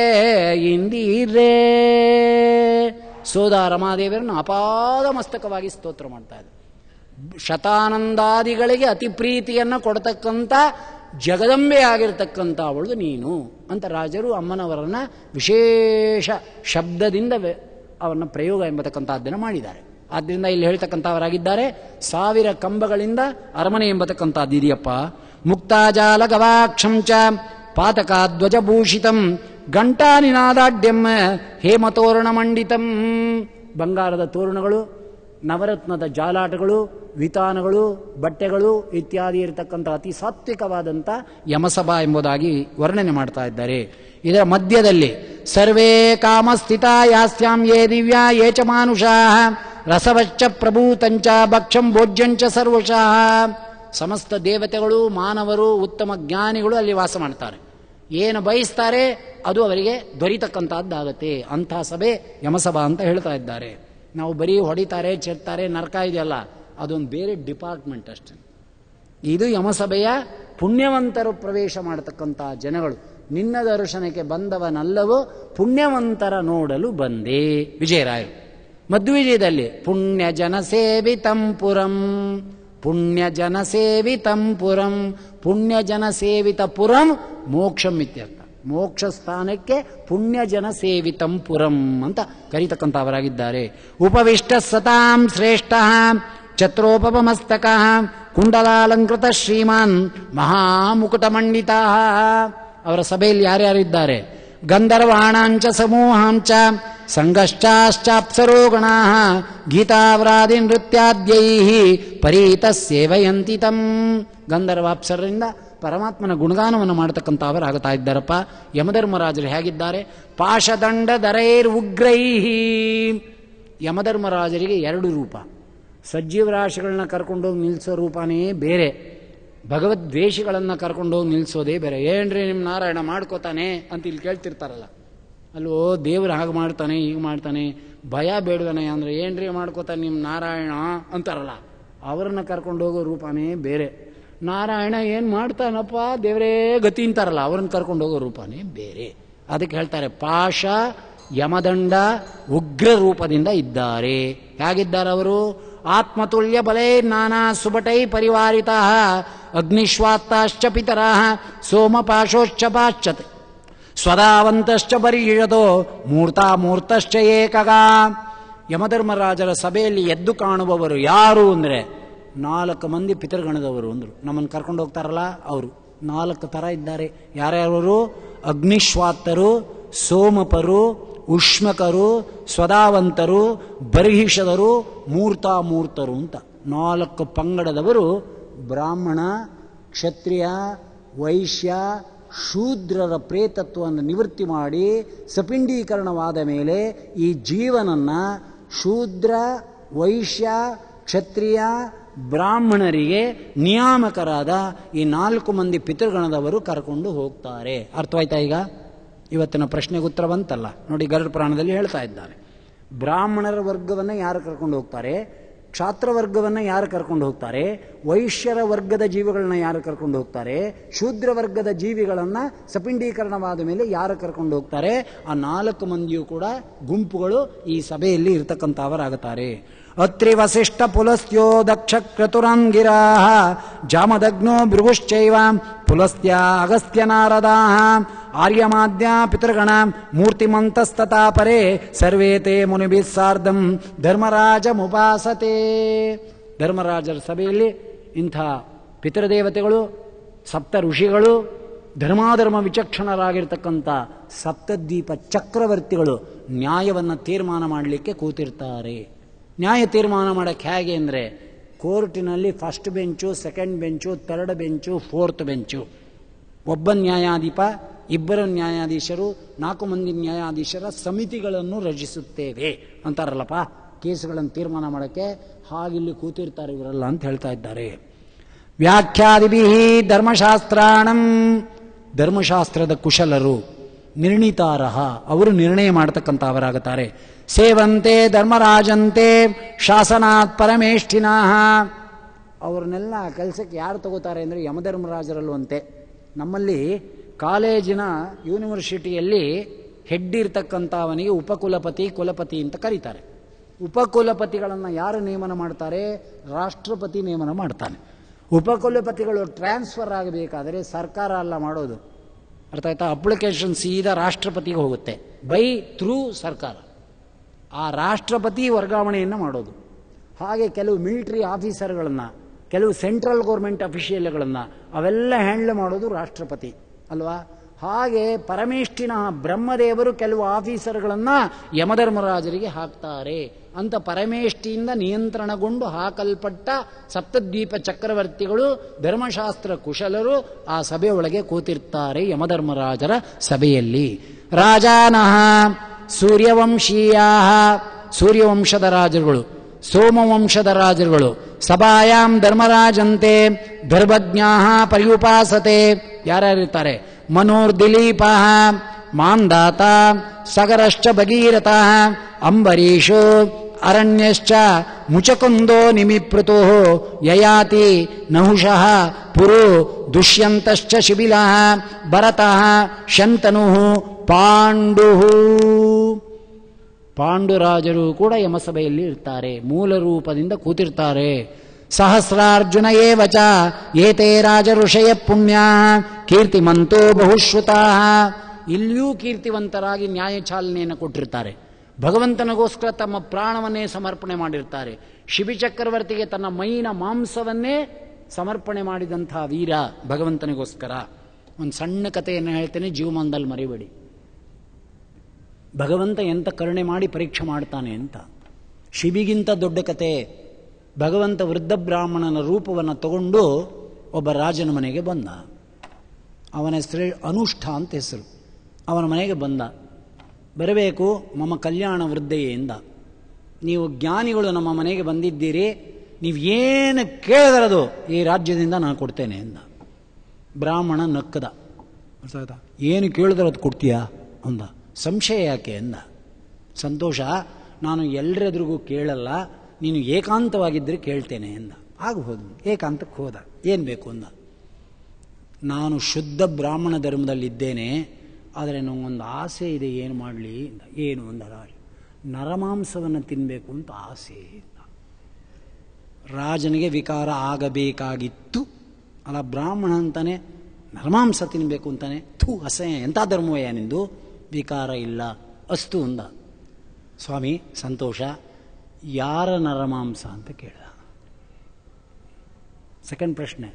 ಬ್ರಾಹ್ಮಣ ಹೇಳಿದ, ನೀ ಏನು ಅನ್ಕೋತೀಯೋ, ಏನೋ? ಅದಕ್ಕೆ ನಂಗೆ ಹೇಳಕ್ಕೆ ಸಂತೋಷ ಆಗಲ್ಲ, ಸಂದೇಹ. ಇಲ್ಲ ಇಲ್ಲ, ಸಂದೇಹ ಬೇಡ, ಕೊಡ್ತೀನಿ ಅಂದಮೇಲೆ ಮುಗಿದೋಯ್ತು. ನಾ ತಾವು ಹೇಳಿ ಇಂದ. ನಿನ್ನ ಮಗನ ಮಾಂಸ ಅಂದ. ಸಂತೋಷ ಆಗ್ಬೋದು ಅಂದ. ಮಗನ ಎಳ್ಕೊಂಬಂದ ಬ್ರಾಹ್ಮಣ ಹೇಳಿದ, ನಂಗೆ ಬೇಡ ಅಂದ. ಯಾಕೆ ಅಂದ ರಾಜ? ನೀನೇನೋ ಮಗನ ಎಳ್ಕೊಂಬಂದು ಕತ್ತರಿಸ್ಬಿಟ್ಟು ನರಮಾಂಸ ಹಾಕ್ಬಿಡ್ತೀ. ಆದರೆ ನಿನ್ನ ಮಗ ಸಂತೋಷದಿಂದ ಸಮರ್ಪಣೆ ಮಾಡಿದಾನೆ ಅಂತ ನನಗೇನಯ್ಯ ಗ್ಯಾರಂಟಿ? ಅವನು ದುಃಖದಿಂದ ಸಮರ್ಪಣೆ ಮಾಡಿದರೆ ಆ ಧರ್ಮ ನನಗೆ ಬೇಡ. ಇಲ್ಲ ಸ್ವಾಮಿ, ಅವನು ಸಂತೋಷದಿಂದ ಸಮರ್ಪಣೆ ಮಾಡ್ತಾನೆ ಅಂದ. ಅದು ನನಗೆ ಹ್ಯಾಕೆ ಗ್ಯಾರಂಟಿ ಇಂದ ಸ್ವಾಮಿ? ಏನು ಅಂದ್ಕೊಂಡಿದ್ದೀರಿ ಇಂಥ ರಾಜರುಗಳು ಅಂದರೆ? ಅದಕ್ಕೆ ರಾಜ ಹೇಳಿದ, ನೀವೇ ಅವನ್ನ ಪರೀಕ್ಷೆ ಮಾಡಿ ಇಂದ. ಏಕಾಂತಕ್ಕೆ ಮಗನ್ನ ಕರೆಸಿದ್ರು.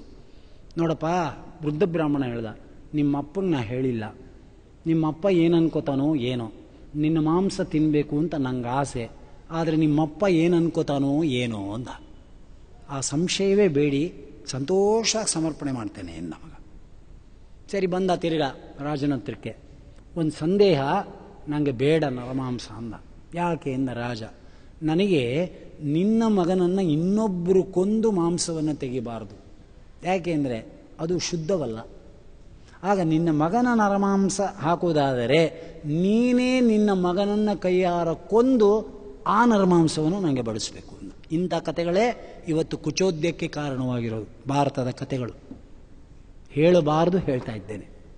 ಆಗ ರಾಜ ಹೇಳಿದ, ನಾನೇ ಕೈಯಾರ ನನ್ನ ಮಗನ ಮಾಂಸವನ್ನು ಅವನ್ನು ಕೊಂದು ಬಡಿಸ್ತೇನೆ, ಸಂಶಯ ಬೇಡ ಅಂದ. ಬೇಡ ಅಂದ ಮಹಾರಾಜ.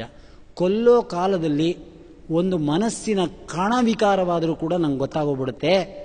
ಆಮೇಲೆ ಕೊಂದ ಮೇಲೆ ಆ ಮಾಂಸ ನಂಗೆ ಬೇಡ ಅಂತ ಅನ್ನಿಸ್ಬಿಟ್ರೆ ಕೊಂದದ್ದು ವ್ಯರ್ಥವಾಗತ್ತಲ್ಲ, ಅದಕ್ಕೆ ಬೇಡ ಅಂತ ರಾಜ ಹೇಳಿದ, ಅಂಥ ಸಂಶಯ ನಿಮಗೆ ಬಂದರೆ ಅರ್ಥ ಆಯ್ತಾ? ನನ್ನ ಮಗನಿಗೆ ನಾನು ಪುನಃ ಪ್ರಾಣ ಕೊಡ್ತೇನೆ ಎಂದ ರಾಜನ ಯೋಗ್ಯತೆ ನೋಡಿ ಆಗಿದೆ. ಬ್ರಾಹ್ಮಣ ಆಶ್ಚರ್ಯಪಟ್ಟ ಸಂತೋಷ ಆಗಬಹುದು ಅಂದ ಎರಡೆಲೆ ಹಾಕಿದ್ರು, ಮಗನ ಕರೆಸಿದ್ರು, ಸೀಳ್ದ, ಮಾಂಸವನ್ನು ತೆಗೆದ ಎರಡೆಲೆಗೂ ಬಡಿಸ ಬ್ರಾಹ್ಮಣ ಹೇಳ್ದ ನನಗೆ ಬೇಡ ಮಾಂಸ ಅಂದ. ಯಾಕೆ ಸ್ವಾಮಿ ಇಂದ? ನಂದೊಂದು ನಿಯಮ ಇದೆ ರಾಜ. ನಾನು ಯಾವುದೇ ಪದಾರ್ಥವನ್ನು ನಾವು ಒಬ್ಬನೇ ತಿನ್ನೋದಿಲ್ಲ, ಇನ್ನೊಬ್ಬರ ಜೊತೆಯಲ್ಲಿ ತಿಂತೇನೆ. ಆದ್ದರಿಂದ ನೀನು ಆ ಎರಡನೇ ಎಲೆಯಲ್ಲಿ ಕೂತು ನೀನು ಭಕ್ಷಣ ನನ್ನ ಜೊತೆಯಲ್ಲಿ ಮಾಡಬೇಕು. ಆಗ್ಬೋದು. ಓಂ ಬೂರ್ ಬುಸ್ ನೋಡಿ, ಮಾಂಸಕ್ಕೂ ಕೂಡ ಪ್ರಶಂಚಾಮಿ ಆಯಿತು. ಆಪೋಷ್ಣ ತಗೊಂಡ್ರು ಇಬ್ಬರೂ ಅಲ್ಲ, ಓಂ ಅಂದ ಬ್ರಾಹ್ಮಣನ ಆಜ್ಞೆ ತಗೊಂಡು. ಬ್ರಾಹ್ಮಣ ನೋಡ್ತಾ ಇದ್ದಾನೆ. ಏನು ಪುಣ್ಯಾತ್ಮನಲ್ಲಿ, ರಾಜನಲ್ಲಿ ವಿಕಾರವೇ ಇಲ್ಲ? ತಿನ್ನಕ್ಕೆ ಅಂತ ತಗೊಂಡ ರಾಜ ಕೈ ಹಿಡಿದು ಬಿಟ್ಟ ಸ್ವಾಮಿ. ಪರೀಕ್ಷೆ ಮಾಡಿದೆ. ಅರ್ಥ ಆಯ್ತೇನೆ? ಗೆದ್ದಿ ನೀನು ಅಂದ. ತಕ್ಷಣ ಚಂಕುಚಕ್ರಧಾರಿಯಾಗಿ ಗದಾಧರನಾಗಿ ಸ್ವಾಮಿ ದರ್ಶನ ಕೊಟ್ಟ ಅಂತಾರೆ. ಗಯಾ ಗದಾಧರ, ಅಲ್ವಾ?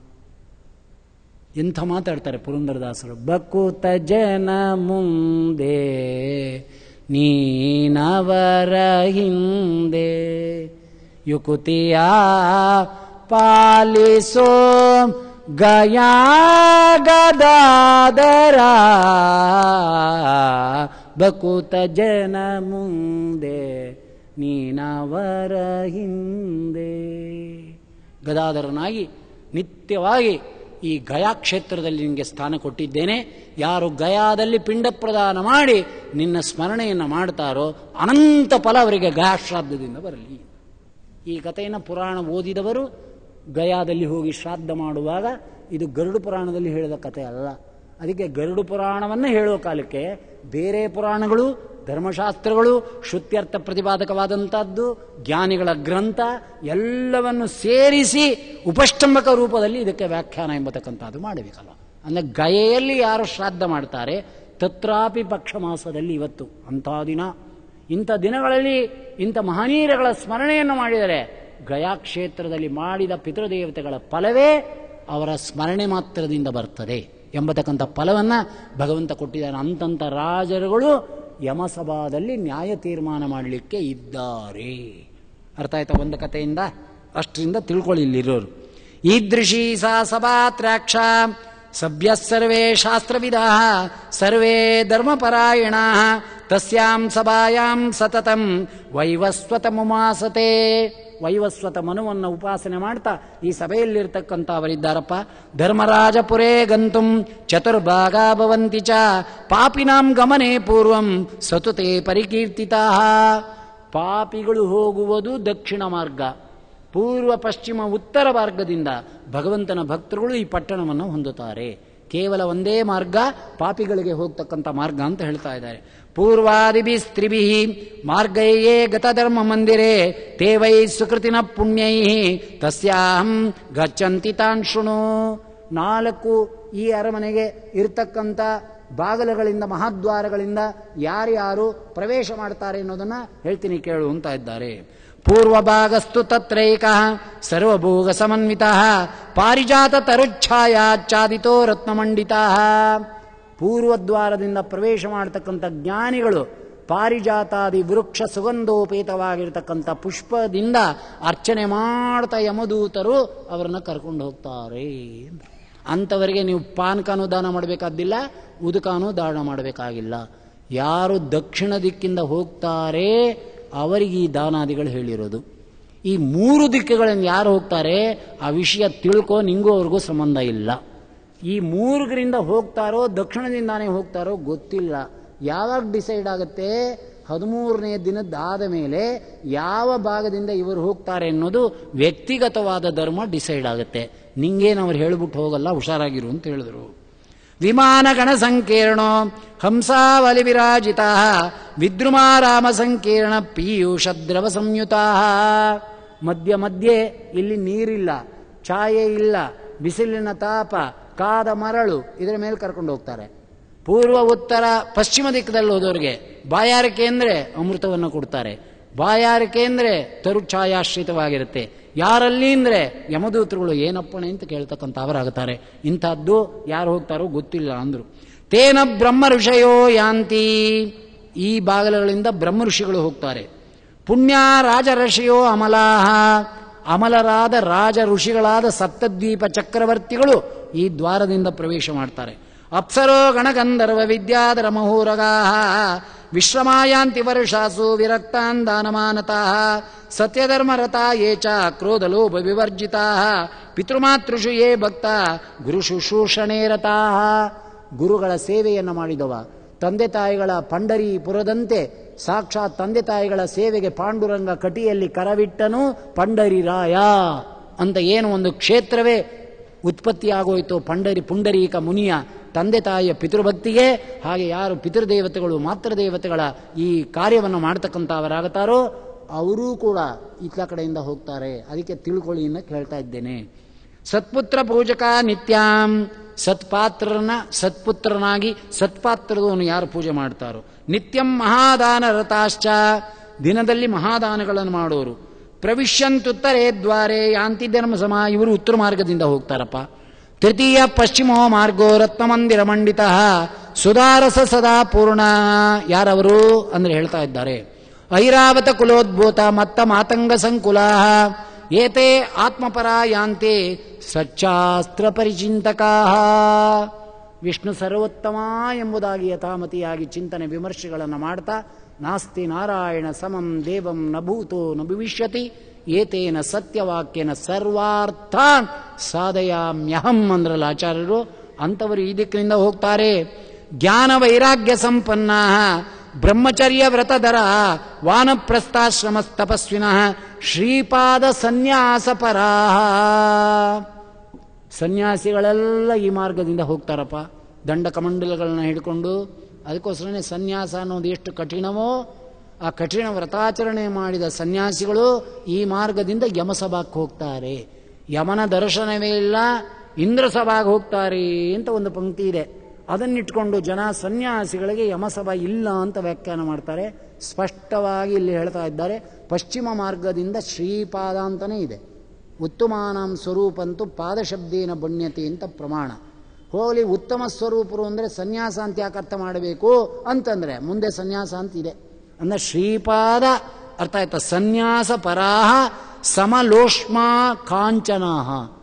ಬಂಗಾರ ಮಣ್ಣಿನ ಹೆಂಟೆಯನ್ನು ಒಂದೇ ಎಂಬುದಾಗಿ ತಿಳಿದು ಚಿಂತನೆ ಮಾಡತಕ್ಕಂಥ ಭ್ರಮ ಅಲ್ಲ. ತದ್ವತು ಅಂತ ಅರ್ಥ.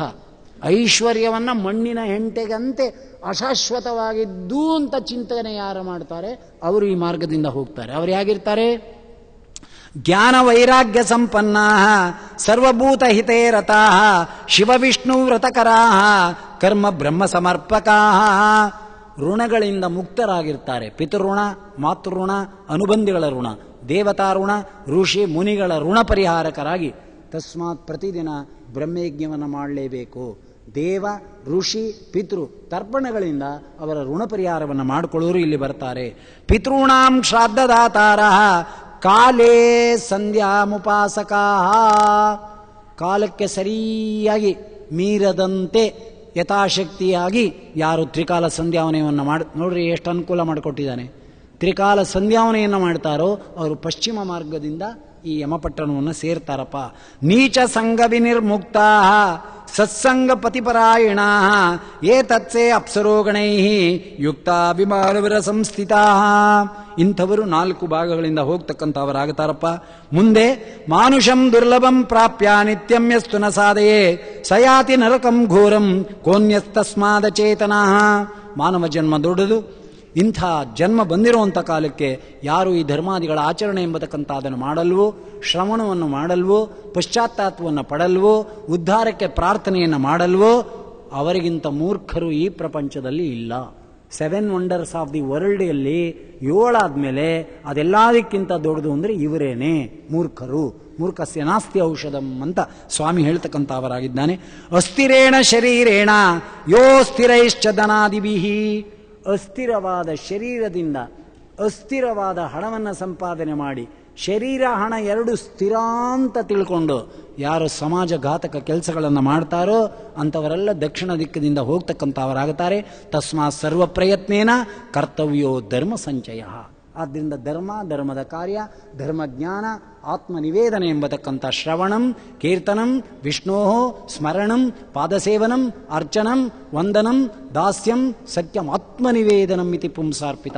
ಅಂತ ಏನು ಭಾಗವತ ಹೇಳುತ್ತದೆ? ಅಂತ ಧರ್ಮಾಚರಣೆ ಎಂಬತಕ್ಕಂಥ ಅದನ್ನು ಮಾಡಬೇಕು ಎಂಬುದಾಗಿ ಯಮಧರ್ಮರಾಜರ ಸಭೆಯಲ್ಲಿ ನಿರ್ಣಯಿಸಲ್ಪಟ್ಟ ಮೇಲೆ ಈ ಜೀವ ಪಾಪ ಜಾಸ್ತಿನೋ, ಪುಣ್ಯ ಜಾಸ್ತಿನೋ ಎಂಬತಕ್ಕಂಥದ್ದು ಡಿಸೈಡ್ ಆದ ಮೇಲೆ ಪಾಪ ಜಾಸ್ತಿ ಇದ್ದರೆ ತಿರಿಯಕ್ ಯೋನಿಗಳಿಗೆ ಹಾಕ್ತಾನೆ, ಪುಣ್ಯ ಜಾಸ್ತಿ ಇದ್ದು ಜ್ಞಾನದ ಪ್ರಾರ್ಥನೆ ನಡೆದಿದ್ದರೆ ಶ್ರೀಮತಾಂಗೆ ಹೇ. ದೊಡ್ಡವರ ಮನೆತನ, ದೊಡ್ಡಸ್ತಿಗೆ ಮನೆ, ಸಂಪತ್ತಿರ್ತಕ್ಕಂಥ ಕುಲದಲ್ಲಿ ನಮ್ಮನ್ನು ಮತ್ತೆ ಮಾತೃಗರ್ಭಕ್ಕೆ ಹಾಕ್ತಕ್ಕಂಥವರಾಗಿ ಸೈಕ್ಲಿಕ್ ಹೊಡಿತಾನೇ ಇರ್ತಾನೆ. ಎಲ್ಲಿವರೆಗೆ? ಲಿಂಗ ಶರೀರ ಭಂಗವಾಗುವವರಿಗೆ ಎಂಬುದಾಗಿ ಈ ಪುರಾಣದಲ್ಲಿ ಹೇಳ್ತಾ ಗರುಡನಿಗೆ ಉಪದೇಶ ಮಾಡ್ತಾ ಇದ್ದಾನೆ ಭಗವಾನ್ ವಾಚ ಶೃಣುತ್ರಾಕ್ಷ ಪ್ರವೀಕ್ಷಾಮಿ, ಎನ್ಮಾಂ ತ್ವಂ ಪರಿಪೃಚ್ಛಸಿ. ಇನ್ನೇನಾದ್ರು ಕೇಳಬೇಕು ಅಂತ ಇಷ್ಟಪಡ್ತೀಯೇನೆ ಅಂದ.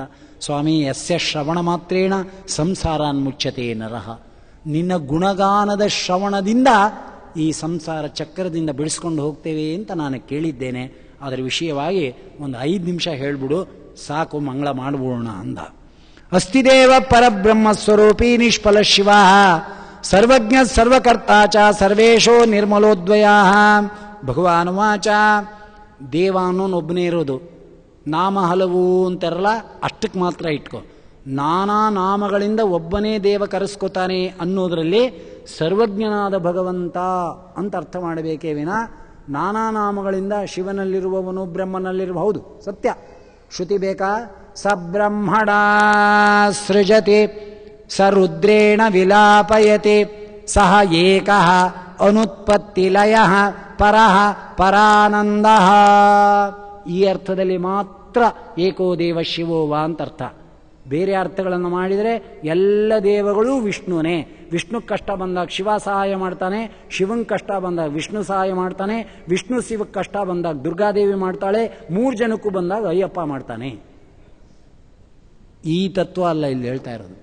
ಅರ್ಥ ಆಯ್ತಾ? ಅದಕ್ಕೋಸ್ಕರ ಎಚ್ಚರಿಕೆ ಆಗಿರಿ ಅಂತ ಹೇಳ್ತಾ ಇದ್ದಾರೆ.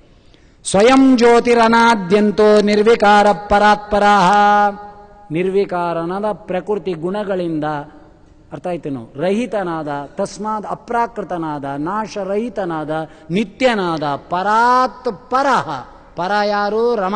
ಅವರಿಗೂ ಕೂಡ ವಿಲಕ್ಷಣನಾಗಿರ್ತಕ್ಕಂಥ, ಪರಾತ್ಪರನಾಗಿರ್ತಕ್ಕ ಪ್ರೂ ಪಾಲನ ಪೂರ್ಣಯೋ ಹೋದಾತ್. ಪೂರ್ಣನಾದ, ಸರ್ವಂತರ್ಯಾಮಿಯಾದ, ಸರ್ವಜ್ಞ ಪೂರ್ಣಕಾಮೋಪಿ ಶಿಷ್ಟಾಚಾರಾನುಶಿಕ್ಷಕ. ರಾಘವೇಂದ್ರ ಸ್ವಾಮಿಗಳ ವ್ಯಾಖ್ಯಾನ. ಅರ್ಥ ಆಯ್ತಾ? ಆದ್ದರಿಂದ ಅಪ್ರಾಕೃತನಾಗಿದ್ದಾನೆ. ಸಮಸ್ತ ಪ್ರಪಂಚದಲ್ಲಿ ಒಳ ಹೊರಗೆ ವ್ಯಾಪ್ಸಿರ್ತಕ್ಕಂಥವನಾಗಿದ್ದಾನೆ. ವೇದವ್ಯಾಸ ವಿಶ್ವವ್ಯಾಪಕ ದಾಸರಾಯರು ಛೇದ ಭೇದಾದಿ ಅಂತ್ಯರಹಿತ ಹರೆ ಛೇದ ಭೇದಾದಿ ಅಂತ್ಯರಹಿತ ಹರೆ ಘಟಘಟ ವ್ಯಾಪಕ ಜ್ಞಾನ ಪ್ರಕಾಶ ವೇದವ್ಯಾಸ ವಿಶ್ವವ್ಯಾಪಕ ವಿಶ್ವವ್ಯಾಪನಾಗಿ ಪ್ರಪಂಚದ ಒಳವರೆಗೆ ಓತಾಶ್ಚ ಪ್ರೋತಾಶ್ಚ ವಿಷ್ಣವೇವಾ ಭವತಿ ಓತಾಶ್ಚ ಪ್ರೋತಾಶ್ಚ ಅಂತರ್ಬಹಿಶ್ಚ ತತ್ಸರ್ವಂ ವ್ಯಾಪ್ಯ ನಾರಾಯಣ ಸ್ಥಿತ ಬ್ರಹ್ಮಾಂಡದ ಒಳಹೊರೆಗೆ ಅಣುರೇಣು ತೃಣಕಾಷ್ಟ ಪರಿಪೂರ್ಣನಾಗಿ ವ್ಯಾಪಿಸಿ ತದಾಕಾರ ತದ್ಭಿನ್ನ ತದ್ವಾಚ್ಯನಾಗಿ ಸಕಲ ಕಾರ್ಯಗಳನ್ನು ಮಾಡಿ ಮಾಡಿಸ್ತಾ ಜೀವರಾಶಿಗಳಿಗೆ ಸುಖ ದುಃಖಪ್ರದನಾಗಿರ್ತಕ್ಕಂಥವನು ಏಕೋ ದೇವ ಸೈವ ನಾರಾಯಣ. ಅರ್ಥ ಆಯ್ತಾ? ವಾಸುದೇವೋ ವಾ ಇದಮಗ್ರಮಾಸೀತ್ನ ಬ್ರಹ್ಮ, ನ ಶಂಕರ. ವಾಸುದೇವೋ ವಾ ಇದಮಗ್ರಮಾಸೀತ್ ಇದನ್ನೇ ರಾಘವೇಂದ್ರ ಸ್ವಾಮಿಗಳು.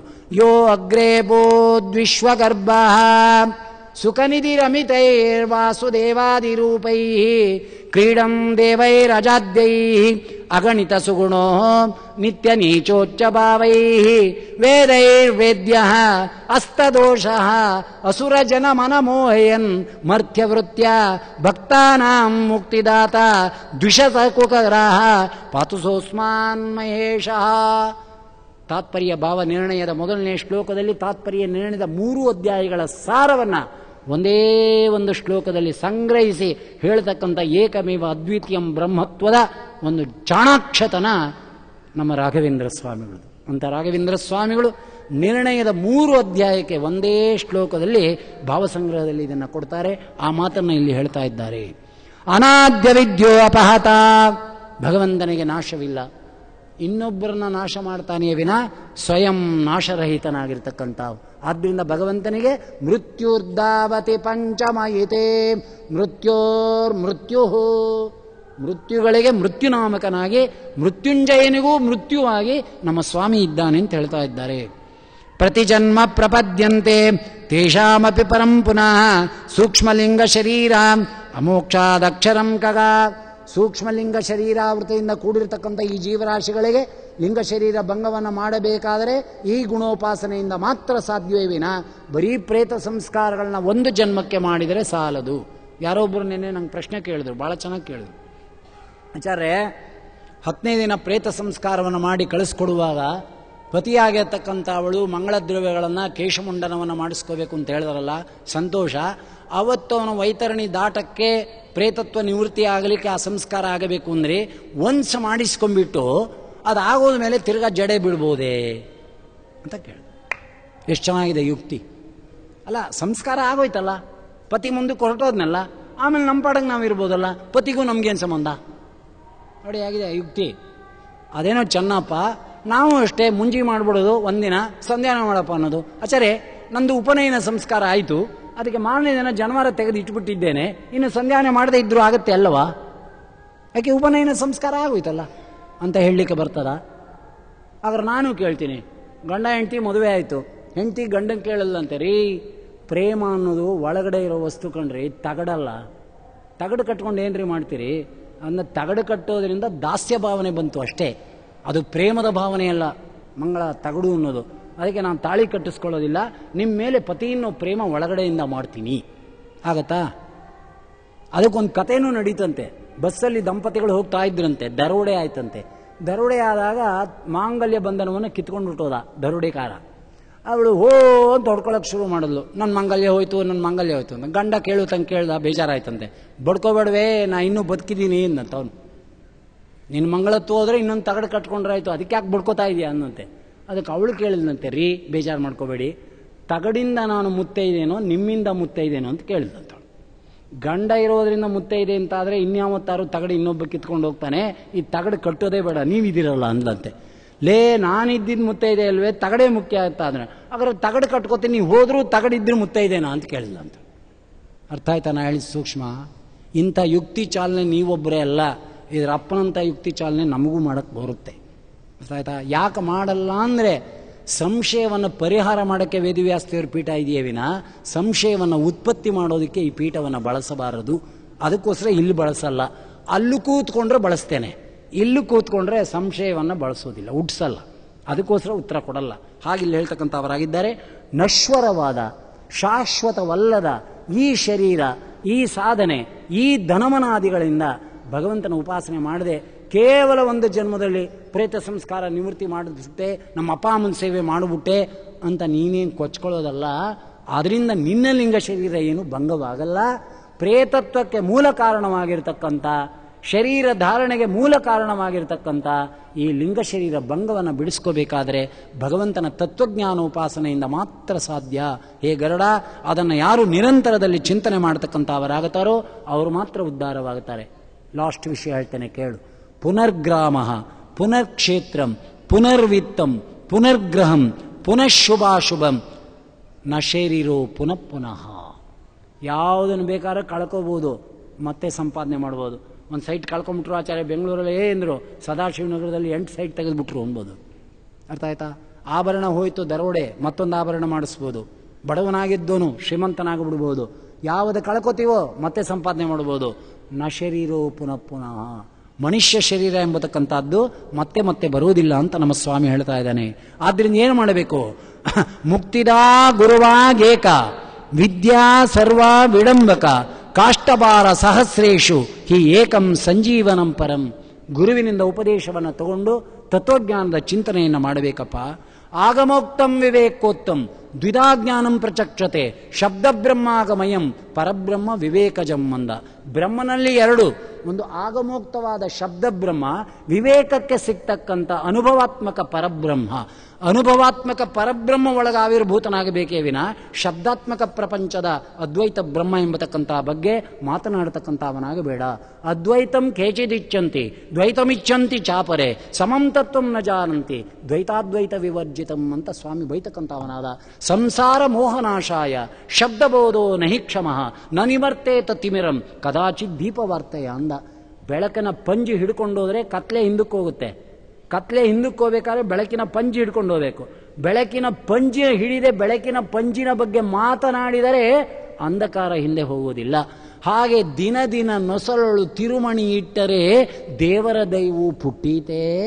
ಮೋಸದಿ ಜೀವಿಯ ಘಾಸಿಯ ಮಾಡಿದ ಫಲ ಕಾಶಿಗೆ ಹೋದರೆ ಹೋದೀತೆ. ಶ್ರೀಶನ ಭಜಕರ ದೂಷಿಸಿದ ಫಲ ಕಾಸು ಕೊಟ್ಟರೆ ಹೋದೀತೆ.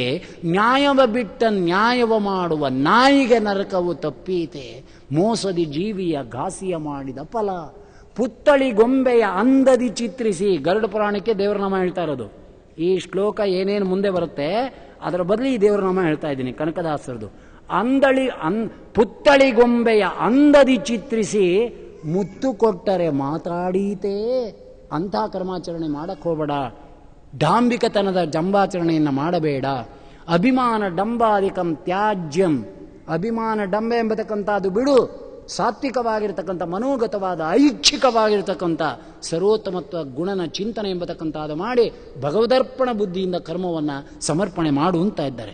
ದ್ವೇಪದೇ ಬಂದ ಮೋಕ್ಷಾಯ, ದ್ವೇಪದೇ ಬಂದ ಮೋಕ್ಷಾಯ, ನ ಮಮೇತಿ ಮಮೇತಿ ಚ, ಮಮೇತಿ ಬದ್ಯತೆ ಜಂತು ನ ಮಮೇತಿ ಪ್ರಮುಚ್ಯತೆ ನೀನು ಅಂದರೆ ಶರಣಾಗತ ಅಂತರ್ಥ ನಾನು ಅಂದರೆ ಮದ ಅಂತರ್ಥ ಮದ ಅಂತ ಅಳ್ತಳ್ಕ ಮಾಡಿದರೆ ದಮ ಅಂತ ಅರ್ಥ, ರಾಯರ ಅರ್ಥ ಬರೀತಾರೆ.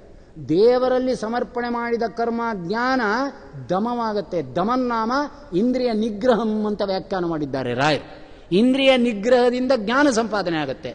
ದೇವರ ಸಂಬಂಧವಿಲ್ಲದೆ ಸಮರ್ಪಣೆ ಇಲ್ಲದ ಯಾವುದೇ ಕಾರ್ಯವಾದರೂ ದಮ ಅನ್ನೋ ತಳ್ತಳ್ಕ ಮಾಡಿದ್ರೆ ಮದ ಆಗುತ್ತೆ. ಮದ ಅಂದ್ರೆ ಏನರ್ಥ? ದುರಹಂಕಾರ ಅಂತ ಅರ್ಥ. ಅಂತ ದುರಹಂಕಾರದಿಂದ ಮತ್ತೆ ಮತ್ತೆ ಕರ್ಮದ ಕೆಸರಿನಲ್ಲಿ ಸಿಕ್ಕಾಕೊಳ್ತಕ್ಕಂಥ ಅವನಾಗುತ್ತಾನೆ ಆದ್ರಿಂದ ತತ್ಕರ್ಮ ಎನ್ನ ಬಂದಾಯ, ಸಾವಿದ್ಯ, ಯಾ ಮುಕ್ತಿದ? ಯಾವ ತತ್ವಜ್ಞಾನ, ಯಾವ ಶ್ರುತಿಯುಕ್ತವಾದ ಜ್ಞಾನ, ಯಾವುದು ಭಗವಂತನಿಂದ ಉಪದೇಶಿಸಲ್ಪಟ್ಟಿರತಕ್ಕಂಥ ಗೀತಾ ಜ್ಞಾನ, ವಿಶ್ವಕ್ಕೆ ಬೆಳಕನ್ನು ಕೊಡ್ತಕ್ಕಂಥ ಜ್ಞಾನವಾಗಿದೆಯೋ ಅಂಥದ್ದನ್ನು ಆಶ್ರಯಿಸು ಎಂಬುದಾಗಿ ಹೇಳ್ತಾ ಇದ್ದಾನೆ. ಮತ್ತೆ ತಸ್ಮಾ ಸರ್ವ ಪ್ರಯತ್ನೇನ ಸರ್ವಾವಸ್ಥಸು ಸರ್ವದ, ತತ್ವನಿಷ್ಠೋ ಭವೇತ್ರ್ಯಾಕ್ಷ ಯದಿ ಜ್ಯೇಷ್ಠೋ ಮೋಕ್ಷಮಾತ್ಮನಃ ತತ್ವನಿಷ್ಠಕ್ಕಿಂತ ದೊಡ್ಡದು ಯಾವುದೂ ಇಲ್ಲ. ಅಂಥ ತತ್ವನಿಷ್ಠಸ್ಯ ಬ್ರಹ್ಮನಿಷ್ಠತ್ವವನ್ನು ನೀನು ಸಂಪಾದನೆ ಮಾಡಿದ್ರೆ ಯಾರೂ ನಿಂಗೆ ಮಾಡಬೇಕಾದ್ದಿಲ್ಲಪ್ಪ. ಅದನ್ನ ನಾಲ್ಕು ವರ್ಣದವರು ತತ್ವನಿಷ್ಠಕ್ಕೆ ಬೇಕಾದ ಭಗವಂತನ ಜ್ಞಾನವನ್ನು ಹೊಂದಲಿ. ನೋಡಿ, ಇಲ್ಲಿ ಹೇಳ್ತಾ ಇದ್ದಾನೆ, ಮುಗಿಸ್ತಾ ಇದ್ದೇನೆ. ಬ್ರಾಹ್ಮಣ ಕ್ಷತ್ರಿಯ ವೈಶ್ಯ ಶೂದ್ರಶ್ಚೈವೇತರಪಿ ಚ ತೇ ಜ್ಞೇಯ ಸರ್ವೇ ಪ್ರೇತಕ್ರಿಯಾಂ ವಿನಾ. ಪ್ರೇತಕ್ರಿಯವನ್ನು ಈ ನಾಲ್ಕೂ ವರ್ಣದವರು ಮಾಡಬೇಕು. ನಿಮ್ಮ ಪ್ರಶ್ನೆಗೆ ಉತ್ತರ ಬಂತು. ಕ್ರಮಾಂತರದಿಂದ ಮಾಡಬೇಕು. ತತ್ತತ್ ಕ್ರಮ ವಿಭಾಗೋಕ್ತವಾದ ಕ್ರಮದಿಂದ ಮಾಡಬೇಕು. ಆ ಮಾಡಿ ಈ ಬ್ರಹ್ಮನಿಷ್ಠತ್ವ ಭಾವವನ್ನು ಯಾರು ಹೊಂದಿರ್ತಾರೋ ಅವರಿಗೆ ಪ್ರೇತ ಶರೀರ ಎಂಬತಕ್ಕಂಥದ್ದು ಬಿಡುಗಡೆ ಆಗುತ್ತಪ್ಪ. ಪ್ರೇತಕಲ್ಪಮಿದಂ ಪುಣ್ಯಂ ಶೃಣೋತಿ ಯಾ ಶ್ರಾವಯೇಚ್ಛ. ಇಂಥ ಪಿತೃಪಕ್ಷದಲ್ಲಿ ಶೂದ್ರು ಕೂಡ ಇವತ್ತು ಆಚರಣೆ ಮಾಡ್ತಾರೆ. ಹೊಸ ಬಟ್ಟೆ ಉಟ್ಕೋತಾರೆ, ಪಿತೃದೇವತೆಗಳಿಗೆ ತರ್ಪಣ ಕೊಡ್ತಾರೆ, ಮನೆಗೆಲ್ಲ ಸುಣ್ಣ ಹೊಡಿತಾರೆ, ಹೊಸ ಬಟ್ಟೆ ಉಡ್ತಾರೆ ಅವರು. ನಾವು ಉಡಲ್ಲ, ಶೂದ್ರು ಹೊಸ ಬಟ್ಟೆ ಉಡ್ಬೇಕು ಇವತ್ತು. ನಾವು ದೀಪಾವಳಿಯಲ್ಲಿ ಹೇಗೆ ಉಡ್ತೇವೆ, ಹಾಗೆ ಇವತ್ತು ಶೂದ್ರು ಹೊಸ ಬಟ್ಟೆ ಉಟ್ಟು ಐನೂರನ್ನ ಕರೆಸಿ, ಮನೆಗೆ ಸುಣ್ಣ ಹೊಡೆದು, ಅರ್ಥ ಆಯ್ತಾ? ಪ್ರಾಚೀನರನ್ನೆಲ್ಲ ನೆನೆಸ್ಕೊಂಡು ಅವರಿಗೆಲ್ಲ ತರ್ಪಣವನ್ನು ಕೊಡಿಸ್ತಾರೆ. ಅದಕ್ಕೋಸ್ಕರ ಸರ್ವ ಪಿತೃ ಅಮಾವಾಸ್ಯೆ. ಸರ್ವ ಪಿತೃ ಅಂದ್ರೆ ನಮ್ಮ ಸರ್ವ ಪಿತೃಗಳಲ್ಲ ಸರ್ವ ವರ್ಣಾಶ್ರಮದವರ ಪಿತೃಗಳು ಬರ್ತಾರೆ ಅಂತ ಅರ್ಥ. ಅಂತ ಅಮಾವಾಸ್ಯೆ ಇದು. ಆದ್ದರಿಂದ ಯಾರು ಇಂಥ ಪ್ರೇತಕಲ್ಪವನ್ನು ಶೃಣೋತಿ ಯಹ ಶ್ರಾವಯೇತ್, ಯಾರು ಕೇಳ್ತಾರೋ, ಯಾರು ಹೇಳ್ತಾರೋ, ಅವರಿಗೆ ಏನಪ್ಪಾ ಅಂದ್ರೆ ಉಭೌ ತೌ ಪಾಪ ನಿರ್ಮುಕ್ತವು ಅವರಿಬ್ಬರು ಕೂಡ ಪಾಪದಿಂದ ಆಗಿ, ಆ ವಿಮೂರ್ತಿಯಾಗಿ ದುರ್ಗತಿಂ ನೈವ ಗಚ್ಚತಃ. ದುರ್ಗತಿ ಎಂಬತಕ್ಕಂಥದ್ದು ಹೊಂದೋದೇ ಇಲ್ಲ ಹೇಗಲ್ಲ. ಮಾತಾ ಪಿತ್ರೋಶ್ಚ ಮರಣೆ, ಸೌಪರ್ಣಂ ಶೃಣುತೇತು ಯಹ. ಪಿತರೌ ಮುಕ್ತಿಮಾಪನ್ನವು ಸುತ ಸಂತತಿಮಾನ್ ಭವೇತ್. ಮಕ್ಕಳಿಲ್ಲದೆ ಇದ್ದವರು ಮಕ್ಕಳಾಗತ್ತೆ ಅಂದ್ರೆ ಗರುಡ ಪುರಾಣ ಕೇಳಿದ್ರೆ. ನಾವು ಗರುಡ ಪುರಾಣ ಕೇಳಿದ್ರೆ ಪ್ರೇತ ಮೆಟ್ಕೊತ್ತೆ ಅಂತ ತಿಳ್ಕೊಂಬಿಟ್ಟಿದ್ದೀವಿ ಬೇಜಾರು ಮಾಡ್ಕೋಬೇಡಿ. ನಮ್ಮ ಬೆಂಗಳೂರಿನಲ್ಲಿ ಗರುಡ ಪುರಾಣ ಹೇಳಿದೆ, ಪೂರ್ಣ ಪ್ರಜ್ಞ ವಿದ್ಯಾಪೀಠದಲ್ಲಿ. ಮದುವೆ ಆದ ವರ್ಷದಲ್ಲಿ ಗಂಡ ಹೆಂಡತಿ ಇಬ್ಬರು ದಂಪತಿಗಳು ಕೂತ್ಕೊಂಡ್ರು. ಯಾರು ಹೇಳಿದ್ರಂತೆ? ಬರ್ತಾಯ್ತಾ ಶ್ರವಣ ಮಾಡಬಾರದು ಗರುಡ ಪುರಾಣವನ್ನು ಮದುವೆ ವರ್ಷದಲ್ಲಿ ಅಂತ. ಅವರಿಗೆ ಸ್ವಪ್ನ ಆಗಿತ್ತಂತೆ. ಗರುಡ ಪುರಾಣ ಶ್ರವಣ ಮಾಡು, ಯಾರ ಮಾತು ಕೇಳಬೇಡ, ದಿವ್ಯವಾದ ಗಂಡ ಮಗುವಾಗತ್ತೆ ಅಂತ. ಮದುವೆಯಾದ ವರ್ಷದಲ್ಲಿ ಗರುಡ ಪುರಾಣ ಶ್ರವಣ ಮಾಡಿದರು. ದಿವೀ ಗಂಡ ಮಗು. ಇಲ್ಲಿ ಕೂತಿರೋರು ಪ್ರತ್ಯಕ್ಷದಲ್ಲಿ ಇದ್ದಾರೆ, ನೋಡಿದವರು. ಹೇಗಿದೆ ಆ ಮಗು ಅಂದರೆ, ಏನು ಮಾಡಿದ್ರು ಹರಿ ಅನ್ನೋದು ಬಿಡ ಅಂತ ಪ್ರಹ್ಲಾದರಾಜರಿಗೆ ಹೇಳ್ತಿದ್ರಲ್ಲ ಆ ಮಗು ಆಗಿದೆ. ಇವತ್ತು ಬೆಂಗಳೂರಿನಲ್ಲಿ. ಆದ್ದರಿಂದ ಯಾರು ಗರುಡ ಪುರಾಣವನ್ನು ಶ್ರವಣ ಮಾಡ್ತಾರೋ, ನೋಡಿ ಸಂತತಿಮಾನ್ ಭವೇತ್. ಅವರಿಗೆ ಪುತ್ರಕಾಮಸ್ಯ ಪುತ್ರದಂ ಧನಕಾಮಸ್ಯ ಧನದಂ ಜ್ಞಾನಿನಾಂ ಜ್ಞಾನ ಸಾಧನಂ ಅಂತ ಶ್ರೀನಿವಾಸ ಕಲ್ಯಾಣದಲ್ಲಿ ಏನು ಹೇಳ್ತಿರೋ ಹಾಗೆ ಗರುಡ ಪುರಾಣವನ್ನು ಶ್ರವಣ ಮಾಡಿದವರಿಗೆ ಬರೀ ಪ್ರೇತ ನಿವೃತ್ತಿ ಆಗುವುದಲ್ಲ ಉತ್ತಮ ಗತಿಯಾಗುವುದಲ್ಲ, ಉತ್ತಮ ಸದ್ಭಕ್ತರ ಸಂತತಿಯು ಕೂಡ ಅವರಿಗೆ ಆಗುತ್ತೆ ಅಂತ ಹೇಳಿದ್ದಾರೆ. ನಶ್ರುತಂ ಗಾರುಡಂ ಏನ? ಯಾರ ಗರುಡ ಪುರಾಣವನ್ನು ಶ್ರವಣ ಮಾಡೋದಿಲ್ವೋ, ಅಥವಾ ಗಯಾಶ್ರಾದ್ದಂ ಚ ನೋ ಕೃತಂ? ಗಯಾಶ್ರಾದ್ದ ಮಾಡದೇ ಇರೋನು, ಗರುಡ ಪುರಾಣ ಕೇಳದೇ ಇರೋನು ವೃಷೋತ್ಸರ್ಗವನ್ನು ಮಾಡದೇ ಇರೋನು, ನೈವನ ನಚ ಮಾಸಿಕ ವಾರ್ಷಿಕಂ. ಯಾರು ಮಾಸಾನುಮಾಸಿಕ, ವಾರ್ಷಿಕ ತಿಥಿಮತಿಗಳನ್ನು ಶ್ರಾದ್ದ ಕ್ರಮಗಳನ್ನು ಮಾಡದೆ, ಗಯಾಶ್ರಾದ್ದವನ್ನು ಮಾಡದೆ, ಗರುಡ ಪುರಾಣವನ್ನು ಕೇಳದೆ, ವೃಷೋತ್ಸರ್ಜವನ್ನು ಮಾಡದೆ ಯಾರಿರ್ತಾರೋ ಅವರಿಗೆ ಅಂಧಂತಮಸ್ಸಿಗೆ ಹೋಗಿ ಬೀಳ್ತಾರೆ. ಅಂಧನ ತಮಸ್ಸು ಅಂದ್ರೆ ಏನು ಅಸೂರ್ಯ ನಾಮತ ಲೋಕ ಅಂಧೇರ ತಮಸಾವೃತಾ ಅಂತ ಹೇಳಿದ್ದೆ ಶ್ರುತಿ. ಅಂತ ನಿತ್ಯ ನರಕಕ್ಕೆ ಹೋಗಿ ಬೀಳ್ತಾರೆ. ಸಕತಂ ಕತ್ಯತೆ ಪುತ್ರ ಕಥಂ ಮುಚ್ಚೇದ ಶೃಣಯಾತ್ರೆ. ಈ ಕೆಲಸವನ್ನು ಮಾಡದೇ ಇದ್ದ ಮೇಲೆ ಅವನ ಮಗ, ಮಕ್ಕಳು ಅಂತ ಯಾಕೆ ಕರಿಬೇಕಪ್ಪ? ಮಾತರಂ ಪಿತರಂ ಚೈವ ಕಥಂ ತಾರಯಿತು ಕ್ಷಮ, ತಸ್ಮಾ ಸರ್ವ ಪ್ರಯತ್ನೇನ ಶ್ರೋತ್ಯಂ ಎಂ ಗಾರುಡಂ ಕಿಲ. ಸರ್ವ ಪ್ರಯತ್ನದಿಂದ ಗರುಡ ಪುರಾಣ ಎಂಬತಕ್ಕಂಥ ಅದನ್ನು ಕೇಳಬೇಕು. ಧರ್ಮ, ಅರ್ಥ, ಕಾಮ, ಮೋಕ್ಷಾಣಂ, ದಾಯಕಂ, ದುಃಖನಾಶನ, ಪುರಾಣಂ, ಗಾರುಡಂ, ಪುಣ್ಯಂ. ಪವಿತ್ರಂ ಪಾಪನಾಶನಂ, ಶೃಣ್ವತಾಂ ಕಾಮನಾಪೂರಂ, ಶ್ರೋತವ್ಯಂ ಸರ್ವದೈವಹಿ, ಬ್ರಾಹ್ಮಣೋ ಲಭ್ಯತೆ ವಿದ್ಯಾಂ. ಕ್ಷತ್ರಿಯ ಪೃಥಿವೀಂ ಲಭೇತ್, ವೈಶ್ಯೋ ದನಿಕತಾಮೇತಿ ಶೂದ್ರ ಶುದ್ಧತಿ ಪಾತಕ ಯಾರು ಶೂದ್ರ ಗರುಡ ಪುರಾಣವನ್ನು ಕೇಳ್ತಾರೋ ಮಹಾಪಾತಕರಿಂದ ಬಿಡುಗಡೆ ಆಗತ್ತೆ ಮಹಾಪಾತಕ ಕೆಲಸಗಳನ್ನು ಯಾರು ಮಾಡ್ತಾರೋ ಅಂಥವರು ಶುದ್ಧರಾಗತಕ್ಕಂಥವರಾಗುತ್ತಾರಾದ್ದರಿಂದ ಶುತ್ವ ದಾನಾನಿ, ದೇಯಾನಿ, ವಾಚಕಯ ಕಿಲಾನಿ ಚ. ಯಾರು ಪುರಾಣ ಹೇಳ್ತಾರೋ, ಯಾರ ಕೇಳ್ತಾರೋ, ಏನು ದಾನ ಹೇಳಿದ್ದಾರೋ, ಅದೆಲ್ಲವನ್ನ ಮನುಷ್ಯನಾಗಿರ್ತಕ್ಕಂಥವನು ಮಾಡಬೇಕಪ್ಪ. ಪುರಾಣಂ ಪೂಜೆಯೇತ್ ಪೂರ್ವಂ. ಪುರಾಣ ಪುಸ್ತಕವನ್ನು ಪೂಜೆ ಮಾಡಬೇಕು. ವಾಚಕಂ ತದನಂತರ ಪುರಾಣ ಹೇಳಿರ್ತಕ್ಕಂಥವನನ್ನು ಸನ್ಮಾನ ಮಾಡಬೇಕು. ಆಚಾರ್ಯ, ಪರವಾಗಿಲ್ಲ, ಚೆನ್ನಾಗಿ ಬರ್ಕೊಂಡ್ಬಿಟ್ಟಿದ್ದೀರಿ ಅಂತ ಅನ್ಬೇಡಿ ಹೇಳುವವರಲ್ಲಿ ವೇದವ್ಯಾಸ್ತಿಯವರಿರ್ತಾರೆ ಸೂತಾಚಾರ್ಯರಿರ್ತಾರೆ ಕೇಳುವವರಲ್ಲಿ ಶೌನಕಾದಿಗಳಿರ್ತಾರೆ ಎಂಬತಕ್ಕಂಥ ಅನುಸಂಧಾನದಿಂದ ಪುರಾಣ ಹೇಳಬೇಕು. ನೀವು ಚಿಕ್ಕೋರು, ನಾ ದೊಡ್ಡವನು ಅಂತಲ್ಲ, ನಿಮ್ಮಲ್ಲಿ ಶೌನಕರು ಇರ್ತಾರೆ ನಮ್ಮಲ್ಲಿ ಸೂತಾಚಾರ್ಯ ಇರ್ತಾರೆ. ಸೂತ ಶವನಕಾದಿಗಳ ಸಂವಾದದಂತೆ ಈ ಪುರಾಣ ಕಥನ ನಡೆಯುತ್ತೆ ಅಂತ ಅನುಸಂಧಾನ ಮಾಡಬೇಕಪ್ಪ. ವಸ್ತ್ರಾಲಂಕಾರ ಗೋದಾನೈ ದಕ್ಷಿಣಾಭಿಶ್ಚ ಸಾಧನಂ ಅನ್ಯೈಶ್ಚ ಹೇಮದಾನೈಶ್ಚ ಭೂಮಿದಾನೈಶ್ಚ ಭೂರಿವಿ ಪೂಜೆಯೇದ್ವಾಚಕಂ ಭಕ್ತ್ಯ, ಬಹುಪುಣ್ಯ ಫಲಾಪ್ತೇ. ಯಾರು ಪುರಾಣವನ್ನು ಹೇಳ್ತಾರೋ ಅಂಥವರಿಗೆ ಸನ್ಮಾನವನ್ನು ಮಾಡಬೇಕಪ್ಪ. ಮಾಡದೇ ಇದ್ದರೆ ಗರುಡ ಪುರಾಣದ ಫಲ ಬರೋದಿಲ್ಲ. ಎಷ್ಟು ಚೆನ್ನಾಗಿ ಬರ್ಕೊಂಡಿದ್ದೀರಿ ಆಚಾರ್ಯ ಅಂತ ಕೇಳಿದ್ರೆ. ಪುರಾಣ ಹೇಳೋರಿಗೆಲ್ಲ ಕೊಟ್ಬಿಡ್ಬೇಕಾ? ಅಂತ ಹಾಗೆ ಅರ್ಥ ಮಾಡಬಾರದು.